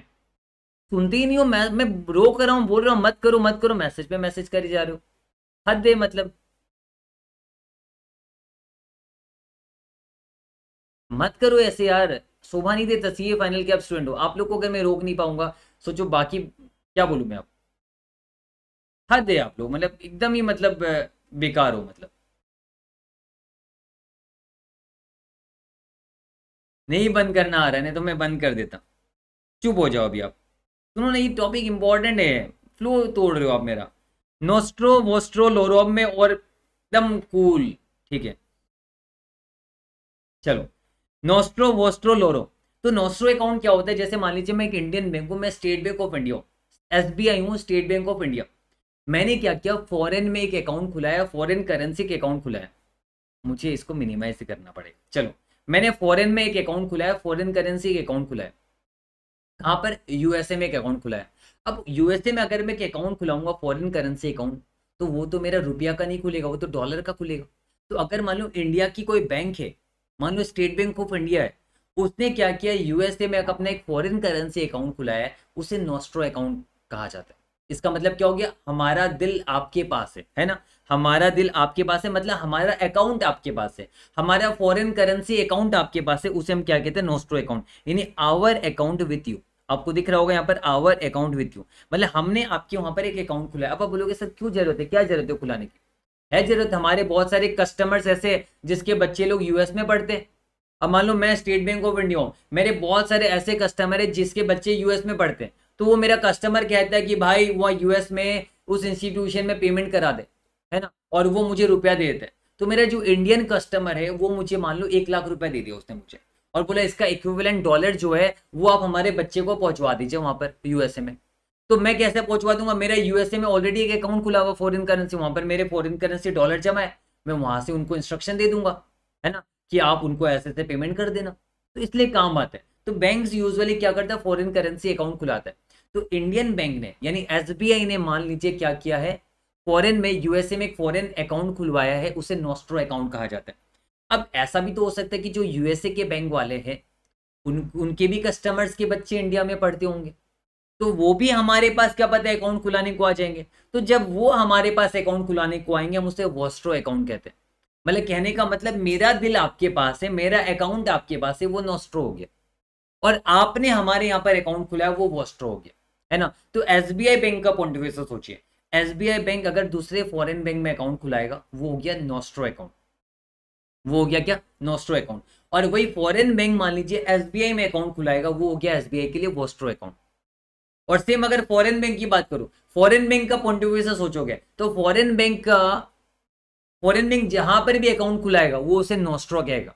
और उसके पास कोई खुलाएगा, वो उसे वोस्ट्रो कहेगा। मतलब आपको इतना समझना है, आप एक पार्टी हो, आपने बाहर में अकाउंट खुलाया नोस्ट्रो आपके पास किसी ने अकाउंट खुलाया वोस्ट्रो तो नोस्ट्रो वोस्ट्रो समझ में आएगी नोस्ट्रो मतलब मेरा अकाउंट आपके पास है।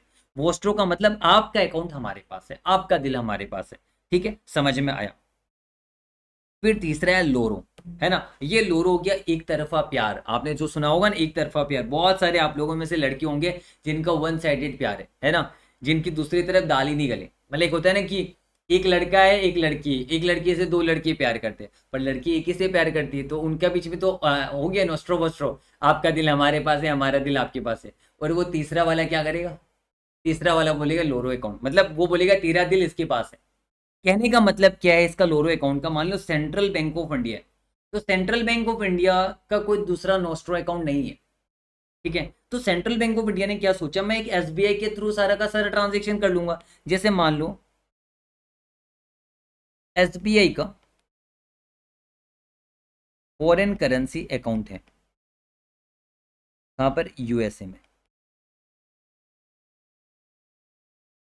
तो जब अगर एसबीआई के जो भी कस्टमर्स के बच्चे यूएसए में पढ़ रहे हैं, ये एसबीआई के कस्टमर्स बोल रहे हैं कि आप फॉरेन का पेमेंट करेंगे तो एसबीआई करवा देगा, अपने इस अकाउंट से करवा देगा, जो फॉरेन करेंसी अकाउंट है।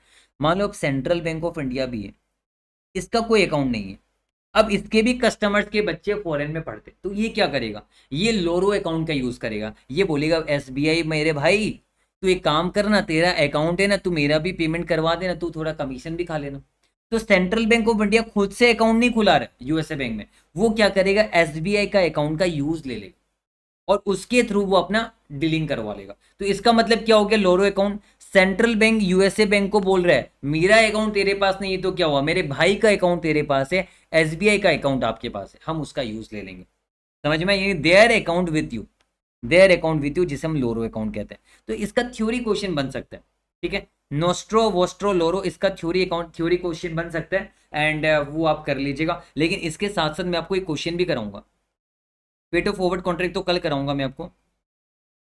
क्वेश्चन मैंने रखा था कहाँ गया वो? कहाँ चला गया?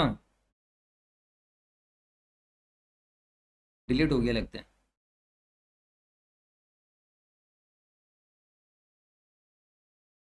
चलो, एक क्वेश्चन में करा देता हूँ। ठीक है?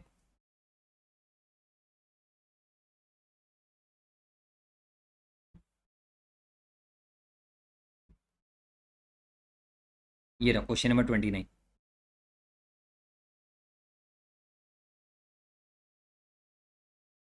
इसमें एक्सचेंज कैश पोजीशन इसका ही क्वेश्चन है। चलो एक्सचेंज पोजीशन कैश पोजीशन का क्वेश्चन है। तो ये क्वेश्चन अभी हम कर लेते हैं। तो इससे आपका नोस्ट्रो वाला पूरा एक ही क्वेश्चन अच्छा ये है, ये करने से हमारा काम हो जाएगा। चलिए तो फिर हम ये क्वेश्चन फटाफट से देख लेते हैं, ठीक है? तो फिर नोस्ट्रो अकाउंट भी नोस्ट्रो का नोस्ट्रो वोस्ट्रो लोरो का कंसेप्ट भी क्लियर हो जाएगा और उससे रिलेटेड एक क्वेश्चन है, वो भी आपका क्लियर हो जाएगा। अब देखो, ये क्वेश्चन कराने से पहले मैं आपको एक चीज़ समझाना चाहता हूँ। जैसे कि आपने पासबुक वगैरह देखा होगा, है ना? अगर हम मान लीजिए आप ऐसे कोई नॉर्मल इंसान, आप अगर एसबीआई में अपना अकाउंट खुलाओगे तो एसबीआई आपको एक पासबुक देगी। और पासबुक में जब भी पैसे आएँगे, वो आपका अकाउंट को क्रेडिट करेगी। है ना? क्रेडिट करेगी। वो आपको पासबुक देती है। अब मान लो फॉर एग्ज़ाम्पल आप कभी चेक इशू करोगे। तो आप चेक इशू करोगे तो ऐसा सिचुएशन में आप देखना, आपने चेक इशू कर दिया। पर आपने जिसको चेक इशू किया, उसने बैंक में पेमेंट नहीं किया। तो उससे क्या होगा? आपका जो अपना लेजर है, वो लेजर में तो आपका पैसा कम हो जाएगा। जैसे मान लो, मैं कैश लेजर भी मेंटेन करता हूँ। अपने घर पे। और एक पासबुक भी है जो बैंक ने मुझे दिया हुआ है। मेरा मान लो वन लाख का पैसा पड़ा हुआ है वन लाख रुपया पड़ा हुआ है जो कि दोनों जगह पे रिफ्लेक्ट कर रहा है। मेरे यहाँ पर डेबिट बैलेंस रिफ्लेक्ट करेगा, पासबुक तो बैंक मेंटेन कर दिया, वो क्रेडिट बैलेंस दिखाएगी।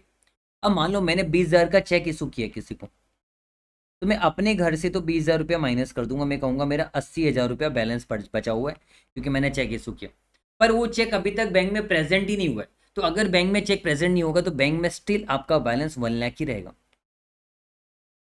है ना? वैसा ही कुछ कंसेप्ट यहाँ पर होने वाला है। तो यहाँ पर भी जैसे स्टेट बैंक ऑफ़ इंडिया ने मान लीजिए फॉरेन में अपना अकाउंट खुला है तो फॉरेन भी अपना एक पासबुक मेंटेन करेगी, ठीक है? और हम भी अपना एक लेजर मेंटेन करेंगे। तो जो हम अपना लेजर मेंटेन करते हैं, उसे कहते हैं एक्सचेंज पोजीशन जो हम अपना लेजर मेंटेन करते हैं, उसे कहते हैं एक्सचेंज पोजीशन और जो बैंक हमारा पासबुक मेंटेन करती है, उसे कहते हैं कैश पोजीशन तो ये स्कूल में आपने सीखा हुआ है. एच एस फ़र्स्ट ईयर में सीखा हुआ है इलेवन ट्वेल्व में सीखा हुआ है. वही मैं आपको हाँ बैंक रिकन्सिलेशन स्टेटमेंट का कंसेप्ट ये वही है. बीआरएस की तरह ही है आपका. तो यहाँ पर आप देखिए, यहाँ पर क्या लिखा हुआ है? ये एक तरह से लेजर बुक है कैश बुक है, ये एक तरह से पासबुक है हमारा.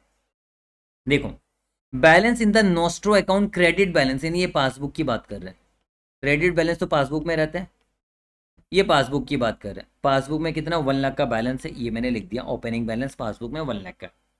हमारा ओपनिंग पोजीशन ओवर बोटी ये लेजर की बात कर रहे हैं। ज़्यादा डीप में जाऊँगा नहीं। रेगुलर क्लास में मैंने पूरा ये सब समझाया हुआ, अभी मैं रिवीजन करा रहा हूँ, ज़्यादा डीप जाऊँगा नहीं। तो ये फिफ्टी थाउज़ेंड हमारे यहाँ पर क्या हो गया?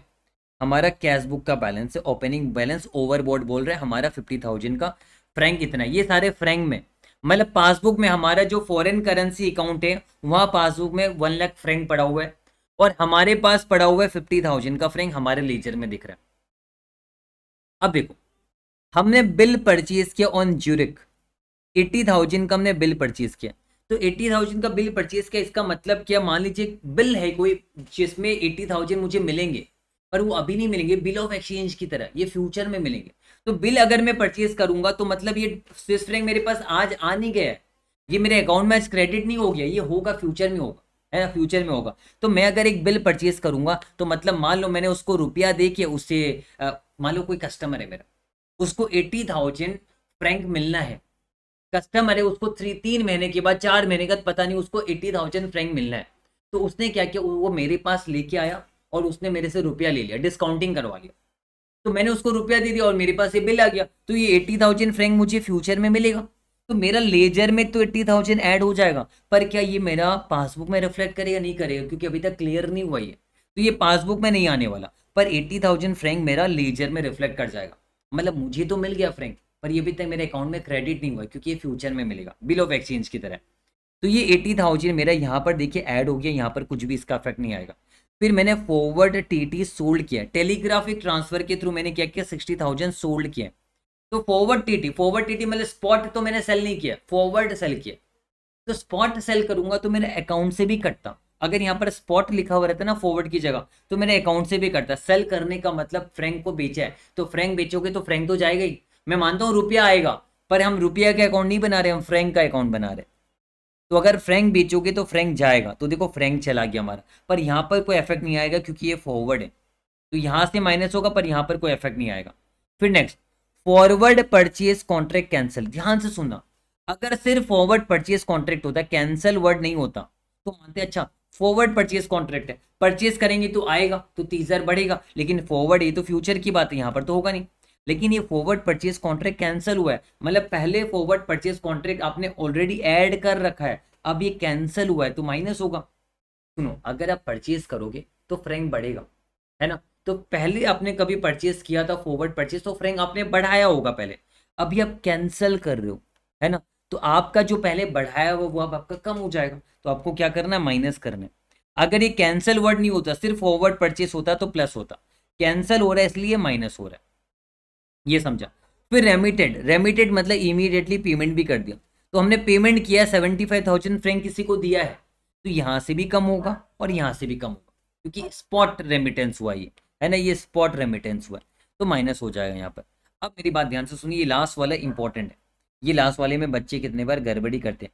ड्राफ्ट ऑन ज्यूरिक कैंसिल अब मेरी बात सुनो, जब हम ड्राफ्ट इशू करते हैं ना तो हमारे घर से जाता है। जैसे मान लो मेरा कोई कस्टमर है, मैं एसबीआई बैंक हूँ मेरा कोई कस्टमर है, उसका बच्चा स्विस मतलब फ्रैंक में उसका कुछ पेमेंट करना है, वो पढ़ाई कर रहा है। फॉरेन करेंसी पेमेंट हो रहा है। तो मेरे पास कस्टमर आया, उसने बोला कि तीस हज़ार पेमेंट करवा दो आप ड्राफ्ट एक इशू कर दो। तो मैंने उससे रुपया लेके ड्राफ्ट इशू कर दिया। तो जब मैं ड्राफ्ट इशू करूँगा तो फ्रैंक मेरा घर से जाएगा, पर यहाँ पर ड्राफ्ट इशू किया हुआ? कैंसिल हो रहा है। तो फिर से एडबैक होगा। मतलब जब मैंने ड्राफ्ट इशू किया होगा तो फ्रैंक मेरे घर से गया होगा। मतलब मेरे लेजर से कम हुआ होगा। हालाँकि ड्राफ्ट तो बाद में क्लियर होता है। तो क्लियर तो हुआ नहीं, लेकिन ये कैंसिल हो गया। तो जब मैंने ड्राफ्ट इशू किया था, तब मैंने माइनस किया होगा। पर अभी तो कैंसिल कर रहा हूँ तो ये रिवर्स होगा, ये प्लस हो जाएगा। तो थर्टी थाउज़ेंड मेरा यहाँ पर प्लस हो जाएगा। और ज़्यादा डीप में नहीं समझा रहा हूँ, मुझे उम्मीद आपको समझ में आ रहा है। तो यहाँ पर अब क्या किया, मैंने सारे एडजस्टमेंट कर दिए यहाँ तक। इससे मुझे क्लोजिंग बैलेंस पता चल गया। मुझे पता चला, मेरा यहाँ पर five thousand negative Swiss franc है, और यहाँ पर twenty five thousand positive Swiss franc है, ये मुझे पता चला। अब क्वेश्चन आगे क्या बोल रहा है? What steps would you take if you are required to maintain a credit balance? Credit balance मतलब पासबुक में कितना रखना है? थर्टी थाउज़ेंड रखना है। तो अगर मुझे थर्टी थाउज़ेंड का क्रेडिट बैलेंस रखना है तो मैं क्या करूँगा? पाँच हज़ार स्पॉट परचेज कर लूँगा। स्पॉट फॉरवर्ड दोनों कर सकते हो, पर स्पॉट परचेज करने से फ़ायदा है कि यहाँ पर भी आपका जो पाँच हज़ार नेगेटिव है, वो ज़ीरो हो जाएगा। तो मैं पाँच हज़ार आप फॉरवर्ड परचेज करके बाद में फॉरवर्ड यहाँ पर भी कुछ और कर सकते था। पर एक बार मैं मानता हूँ कि मैंने स्पॉट परचेज किया पाँच हज़ार का मैंने स्पॉट परचेज कर दिया। तो ये तीस हज़ार हो गया। पच्चीस हज़ार पहले से था, मुझे तीस हज़ार चाहिए तो पाँच हज़ार मैंने स्पॉट परचेज़ किया। तो और यहाँ एक और लॉजिक है, यहाँ पर फॉरवर्ड परचेज नहीं कर सकते, मैंने गलती से बोल दिया था, क्यों नहीं कर सकते? क्योंकि अगर मैं फॉरवर्ड परचेज करूँगा तो मेरा कैश पोजीशन बढ़ेगा नहीं। मुझे स्पॉट परचेज करना पड़ेगा, तभी मेरा पासबुक में रिफ्लेक्ट करेगा। तो यहाँ पर तो फॉरवर्ड परचेज में ऐसा भी नहीं कर सकता। फॉरवर्ड नहीं कर सकता मैं यहाँ पर, क्योंकि मुझे अपने पासबुक को बढ़ाना है। पासबुक को इमीडिएटली बढ़ाने का एक ही उपाय स्पॉट परचेज करो। क्योंकि फॉरवर्ड करता तो यहाँ पर रिफ्लेक्ट होता ही नहीं। तो स्पॉट परचेस ही होगा यहाँ पर। स्पॉट परचेस हम करेंगे ताकि पासबुक में रिफ्लेक्ट हो। और स्पॉट परचेज करेंगे तो लेजर में भी रिफ्लेक्ट होगा पासबुक में भी रिफ्लेक्ट होगा। दोनों जगह पर रिफ्लेक्ट हो जाएगा आपका। अब ये तीजर हो गया। अब जबकि स्पॉट में तो दोनों जगह पर रिफ्लेक्ट होगा अल्टीमेटली ज़ीरो आ गया। अब क्वेश्चन हमें क्या बोला कि आप ओवरबोर्ड पोजीशन रखिए टेन थाउज़ेंड का अपने नोस्ट्रो अकाउंट में भी। तो मेरा जो लेजर है, इसमें मुझे टेन थाउज़ेंड का ओवरबोर्ड पोजीशन रखना है। फ़िलहाल ज़ीरो है। तो मैं टेन थाउज़ेंड का फॉरवर्ड परचेज कर देता हूँ। यहाँ पर कोई इफ़ेक्ट आएगा नहीं। यहाँ पर टीजर का टीजर मेंटेन होगा। और यहाँ पर भी मेरा दस हज़ार का मेंटेन हो जाएगा। तो मैंने एक तो स्पॉट परचेज किया जिससे दोनों जगह इफ़ेक्ट आया और फिर मैंने फॉरवर्ड परचेज दस हज़ार का किया जिससे यहाँ पर कोई इफ़ेक्ट नहीं आया, सिर्फ़ यहाँ पर इफ़ेक्ट आया और मेरे दोनों बैलेंस जो मेंटेन होना चाहिए एज पर क्वेश्चन वो बैलेंस मेरा मेंटेन हो जाएगा। तो मैंने फटाफट से क्वेश्चन आपको रिवाइज कराया। आई होप आपको ये समझ में आ गया। तो हमारा ये सारा पार्ट हमारा क्लियर हो चुका है, सब कुछ कंप्लीट हो चुका है। अब मैं आपको बता दूँ हमारा क्या क्या पार्ट बचा हुआ है। हमने सब कुछ रिवीजन किया, सब कुछ कवर अप किया। सिर्फ़ हमारा दो चीज़ बचा हुआ है, एक तो फॉरेक्स टू फॉरवर्ड कॉन्ट्रैक्ट बचा हुआ है, वो आई थिंक मेरा पैंतालीस मिनट के आसपास लेगा। पैंतालीस मिनट के आसपास फॉरेक्स टू फॉरवर्ड कॉन्ट्रैक्ट लेगा। और इसके अलावा बचा हुआ currency future and currency option वो भी पकड़ लीजिए, आधा घंटा से पैंतालीस मिनट लगेगा। तो कल डेढ़ घंटा की क्लास होगी आई थिंक डेढ़ घंटा की क्लास होगी, जहाँ पर ये दो टॉपिक बचा हुआ है। ये दो टॉपिक हम पूरा खत्म कर देंगे। बाकी हमने फोर एक्स एंटायरली आज ही हमने निपटा दिया, पूरा रिविजन किया हमने। और बस वो बचा हुआ जो हम कल क्लास ले लेंगे। ओवरबोर्ड मीन्स मतलब लेजर में आपका डेबिट बैलेंस होगा। हमारे पास हमारे पास जो बैलेंस रहता है, वो तो डेबिट होता है। बैंक का क्रेडिट हमारे लिए डेबिट होता है तो उनका क्रेडिट हमारा डेबिट ही होगा। रेमिटेंस बाय टीटी का मतलब है आपने रेमिट किया, आपने पेमेंट किया टेलीग्राफिक ट्रांसफ़र के थ्रू हम फॉरेन पेमेंट करते हैं, है ना? तो फॉरेन पेमेंट हम जब करेंगे तो स्पॉट पेमेंट करेंगे ना रेमिटेंस हो जाएगा। तो यहाँ से भी आपका पेमेंट हो रहा है तो पेमेंट होने पर फ्रेंक मेरा लेजर से भी कम होगा, मेरा कैश पोजीशन पासबुक से भी कम हो जाएगा।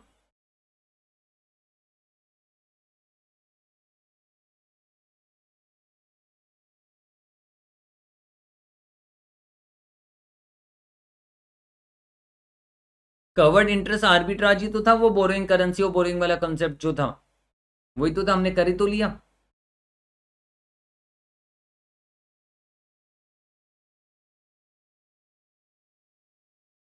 किसी को कोई दिक्कत है तो मुझे बताना, फटाफट से। किसी को कोई दिक्कत है तो मुझे बताओ। काफ़ी ज़्यादा टायर्डनेस हो गई आज तो। इतना लंबा खींचे, साढ़े बारह बजे से पढ़ रहे हैं, अभी छः बज गया। कोई डाउट किसी को कुछ दिक्कत है तो पूछ लो फटाफट। गोयल जी ट्रायंगुलर आर्बिट्राज तो करा ही दिया हमने। आप, आपने देखा नहीं होगा, हमने करा है कवर ये ट्रायंगुलर आर्बिट्राज करा तो था। यस हंड्रेड परसेंट किया हमने। ये रहा। ट्रायंगुलर आर्बिट्राज कर लिया हमने।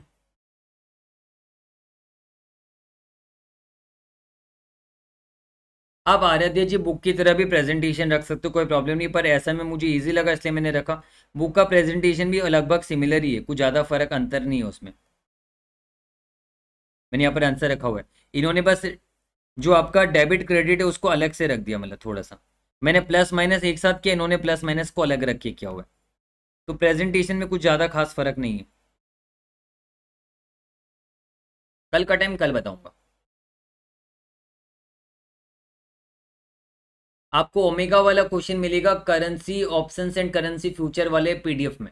नीचे मिलेगा। Currency future and currency option वाले पीडीएफ में मिलेगा। ओमेगा इलेक्ट्रॉनिक्स का क्वेश्चन इससे बड़ी लाइव आज तक मैंने नहीं करी। ये मेरा पहला टाइम है जहाँ पर मैंने इतना लंबा लाइव क्लास लिया। रेगुलर क्लास में भी इतना लंबा लाइव क्लास नहीं हुआ होगा हमारा। कल करेंगे ना यस जी लेट एक्सटेंशन वाला। फॉरेक्स वेटो फॉरवर्ड कॉन्ट्रैक्ट का हिस्सा है वो। सर इलेस्ट्रेशन फोर देखो ऐसे का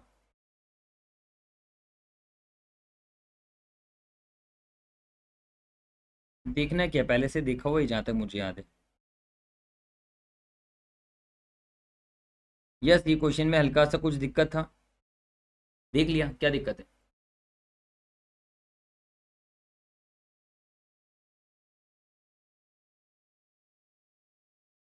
दिव्यानी जी वरुण जी नोस्ट्रो वोस्ट्रो तो कर ही लिया अभी हमने। कंसेप्ट आप कहाँ थे?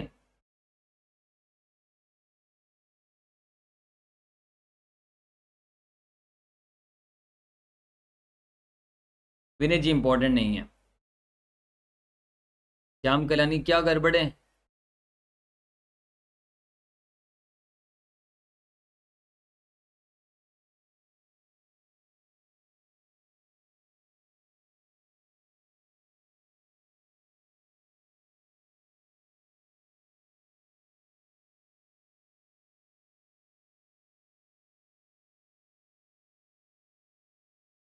बोला ना, कल करेंसी फ्यूचर ऑप्शन करवाऊँगा। चिंता मत करो, करवा दूँगा कल। सी एडिक्शन मुझे भी नहीं पता। आगे तो मैं एफ़ आर की प्लान कर रहा हूँ। एस एफ़ एम में ज़्यादा कुछ नहीं कराऊँगा। एफ़ आर का प्लानिंग है। एस एफ़ एम में डेरिवेटिव्स वगैरह की वीडियो ऑलरेडी पहले वाले ना, वो देख लीजिएगा। वो भी अच्छे हैं। कोई प्रॉब्लम नहीं है वहाँ पर। तो आज की क्लास हमारी ख़त्म है। किसी को कुछ दिक्कत है, कुछ डाउट है तो पूछो, मैं थोड़ी देर हूँ आप लोगों के साथ।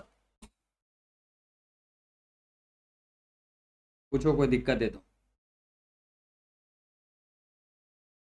अदरवाइज़ आज की क्लास हमारी ख़त्म होती है। बहुत लंबा चला फोर एक्स का क्लास बट मज़ा आया ना। एक बार से बता दो क्लास करके मज़ा आया नहीं आया? सच बताना, नहीं आया तो एकदम बिंदास बोलो, मज़ा नहीं आया। कोई दिक्कत नहीं सच बोलना चाहिए। नहीं आया तो नहीं आया। मज़ा आया तो हाँ नहीं आया तो नहीं आया, कोई प्रॉब्लम नहीं। बस सच बता दो। कि कैसा लगा अल्टीमेटली क्या एक्सपीरियंस रहा आज का? मैं चाहता तो रिकॉर्डेड भी दे सकता था, पर मैंने जामुझ के लाइव लिया, उसके पीछे एक तो कारण ये था कि मुझे रखना नहीं था, और दूसरा चीज़ मुझे लगा लाइव से क्या होगा, एक इंटरेक्शन बनेगा और साथ साथ हमारा कंप्लीट भी हो जाएगा, आपका मेरा साथ के साथ कंप्लीट हो जाएगा। और लाइव में थोड़ा सा इंटरेक्शन अच्छा बनता है। यस रघुवर जी, अब तो रेस्ट ही करूँगा, कुछ नहीं करूँगा, बहुत थक गया हूँ मैं। अभी जाके एकदम आराम से बेड में लेट के एक मूवी देखूँगा, अच्छी से, कोई अच्छी सी मूवी है तो मुझे कमेंट करके बता दो। साउथ मूवी बॉलीवुड तो मत बताना। कोई साउथ मूवी अच्छी सी आपको लगता है, ऐसे तो देखा हुआ ये सारा मूवी पर कोई ढूंढूँगा आज जाके, कोई अच्छी सी मूवी ढूंढ के देखने का मन है।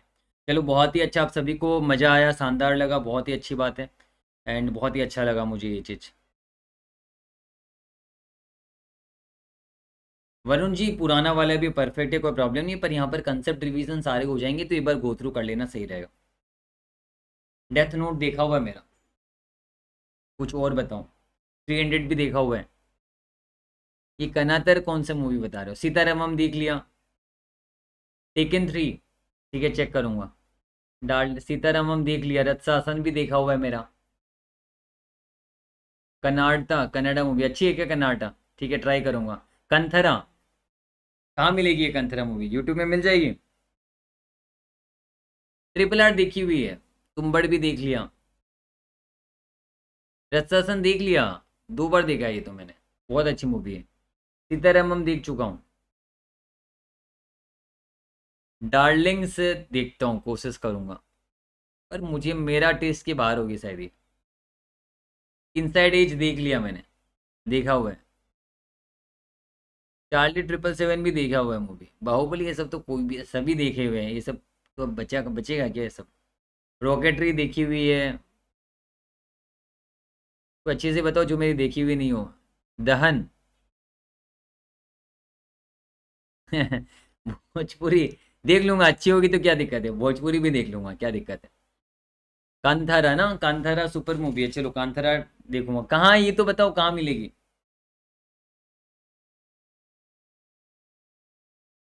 दीपांशु जी आईपैड एग्ज़ाम में तो आईपैड में नहीं लिखोगे पेन पेपर में लिखोगे। तो बेटर है पेन पेपर रखो आईपैड ऐसे बहुत अच्छा रहता है पर पेन पेपर में प्रैक्टिस होनी चाहिए आपके एग्ज़ाम के लिए। कार्तिक है टू देखा हुआ है। ब्रह्मास्त्र बॉलीवुड मेरा टेस्ट के बाहर है। वहाँ पर खाली अननेसेसरी मसाला डालते बॉलीवुड एकदम बेकार हो गया आजकल। आप लोग को मज़ा आता है क्या बॉलीवुड मूवी देख के बताना? मुझे तो मज़ा नहीं आता आजकल। जब से मैं साउथ देखने लगा हूँ ना कुछ सालों से मुझे बॉलीवुड से चिड़ हो गई अब। क्रिमिनल जस्टिस देख लिया मैंने। इसको सर रहने देना यूट्यूब पर। ये तो पॉसिबल नहीं है। हमेशा आप लोग ये बोलते हो, रहने देना रहने देना। पहले म्यूचुअल फंड भी नहीं था, फिर लास्ट में रहने दिया। इतना रिक्वेस्ट करते हो कि बाद में मुझे मजबूर कर देते हो। पर इस बार तो मैंने पहले से मन बनाया कि नहीं वोरेक्स का रहने नहीं दूँगा। क्रिमिनल जस्टिस सीज़न थ्री, लेकिन बहुत बड़ा हो जाता है ना, इसलिए देखने का मन नहीं करता अभी। अभी मुझे दो तीन घंटे का शॉर्ट देखना है कोई, बस, ज़्यादा लंबा नहीं। यस बॉलीवुड मुझे पसंद नहीं, बॉयकॉट वाली बात नहीं है, पर मुझे पसंद नहीं है। बेकार हो गया आजकल। सिर्फ़ उन लोग कॉमर्शियलाइजेशन में रहते और ज़्यादातर मूवीज़ देखो ना, उनकी क्या है, खाली साउथ की कॉपी करते जितनी मूवी आ रही है देखना लाइन बैलेंस सिर्फ़, अपना कोई कंसेप्ट ही नहीं उनका। सिर्फ़ साउथ की हिट मूवी को कॉपी करके उठा देते हैं। सेरेन डीपीटी देखो नाम प्लीज़ ठीक है सेरेन डीपीटी ना देखूँगा चेक करूँगा ये भी। कांथारा कहाँ था ना, किसी ने वो भी एक बार चेक करूँगा।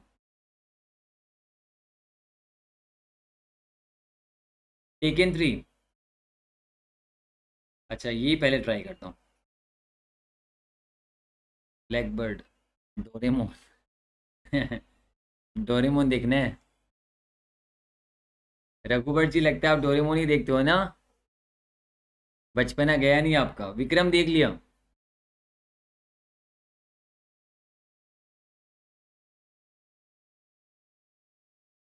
शर्मा सर कहाँ से आ गया यहाँ पर? मैं शर्मा सर नहीं हूँ। आप दूसरी क्लास में आ गए भटक भटक के। सही क्लास में जाओ आप। मिन्नल मुरली। बोल रहे कितने जन सर प्लीज़ रहने दो रहने दो रहने दो। क्या रहने दूँ? बहुत मिस कर रहा हूँ आपके लेक्चर सीए बनने के बाद भी देखा। अच्छा सीए बन गया सुमित जी कॉन्ग्रेचुलेशन बहुत ही अच्छी बात है।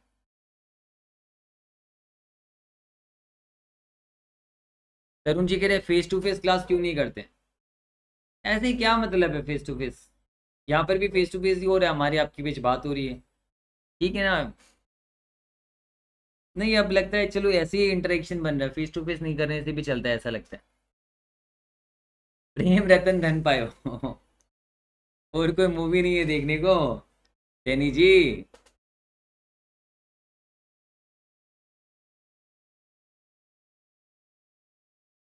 विक्रम वेदा देख लिया।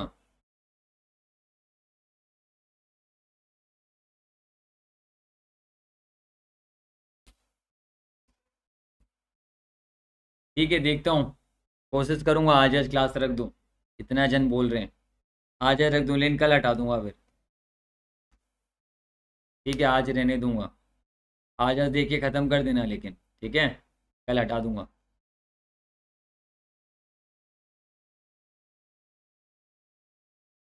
ये मेडिटेशन म्यूज़िक पूरा पागल हो गया ना? कुछ भी कहता है। क्या क्या कह रहे हो? ये हमारी भावजी और भैया। आपको पढ़ाई वढ़ाई नहीं करनी, सिर्फ़ मस्ती करनी है ना?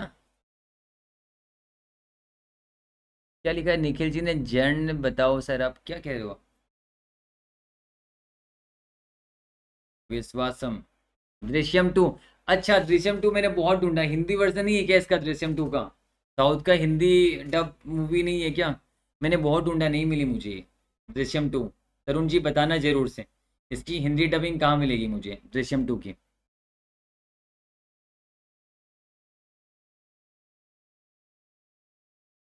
अब तो रामायण देखो सर, फिर जब सब देख लिया। वो भी देख लिया, रामायण भी देख लिया। बॉलीवुड की आदि पुरुष आदि पुरुष आ रही है। वो देख लेना, वो भी रामायण ही है। अटैक ऑन टाइटन एनिमे अच्छी है क्या?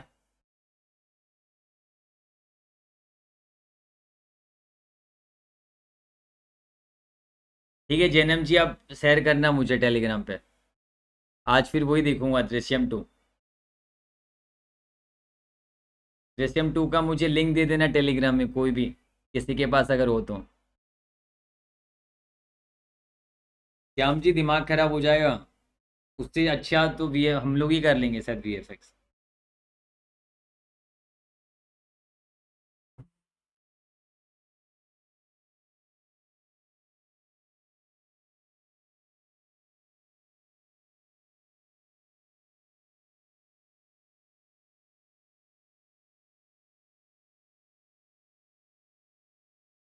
Demon Slayer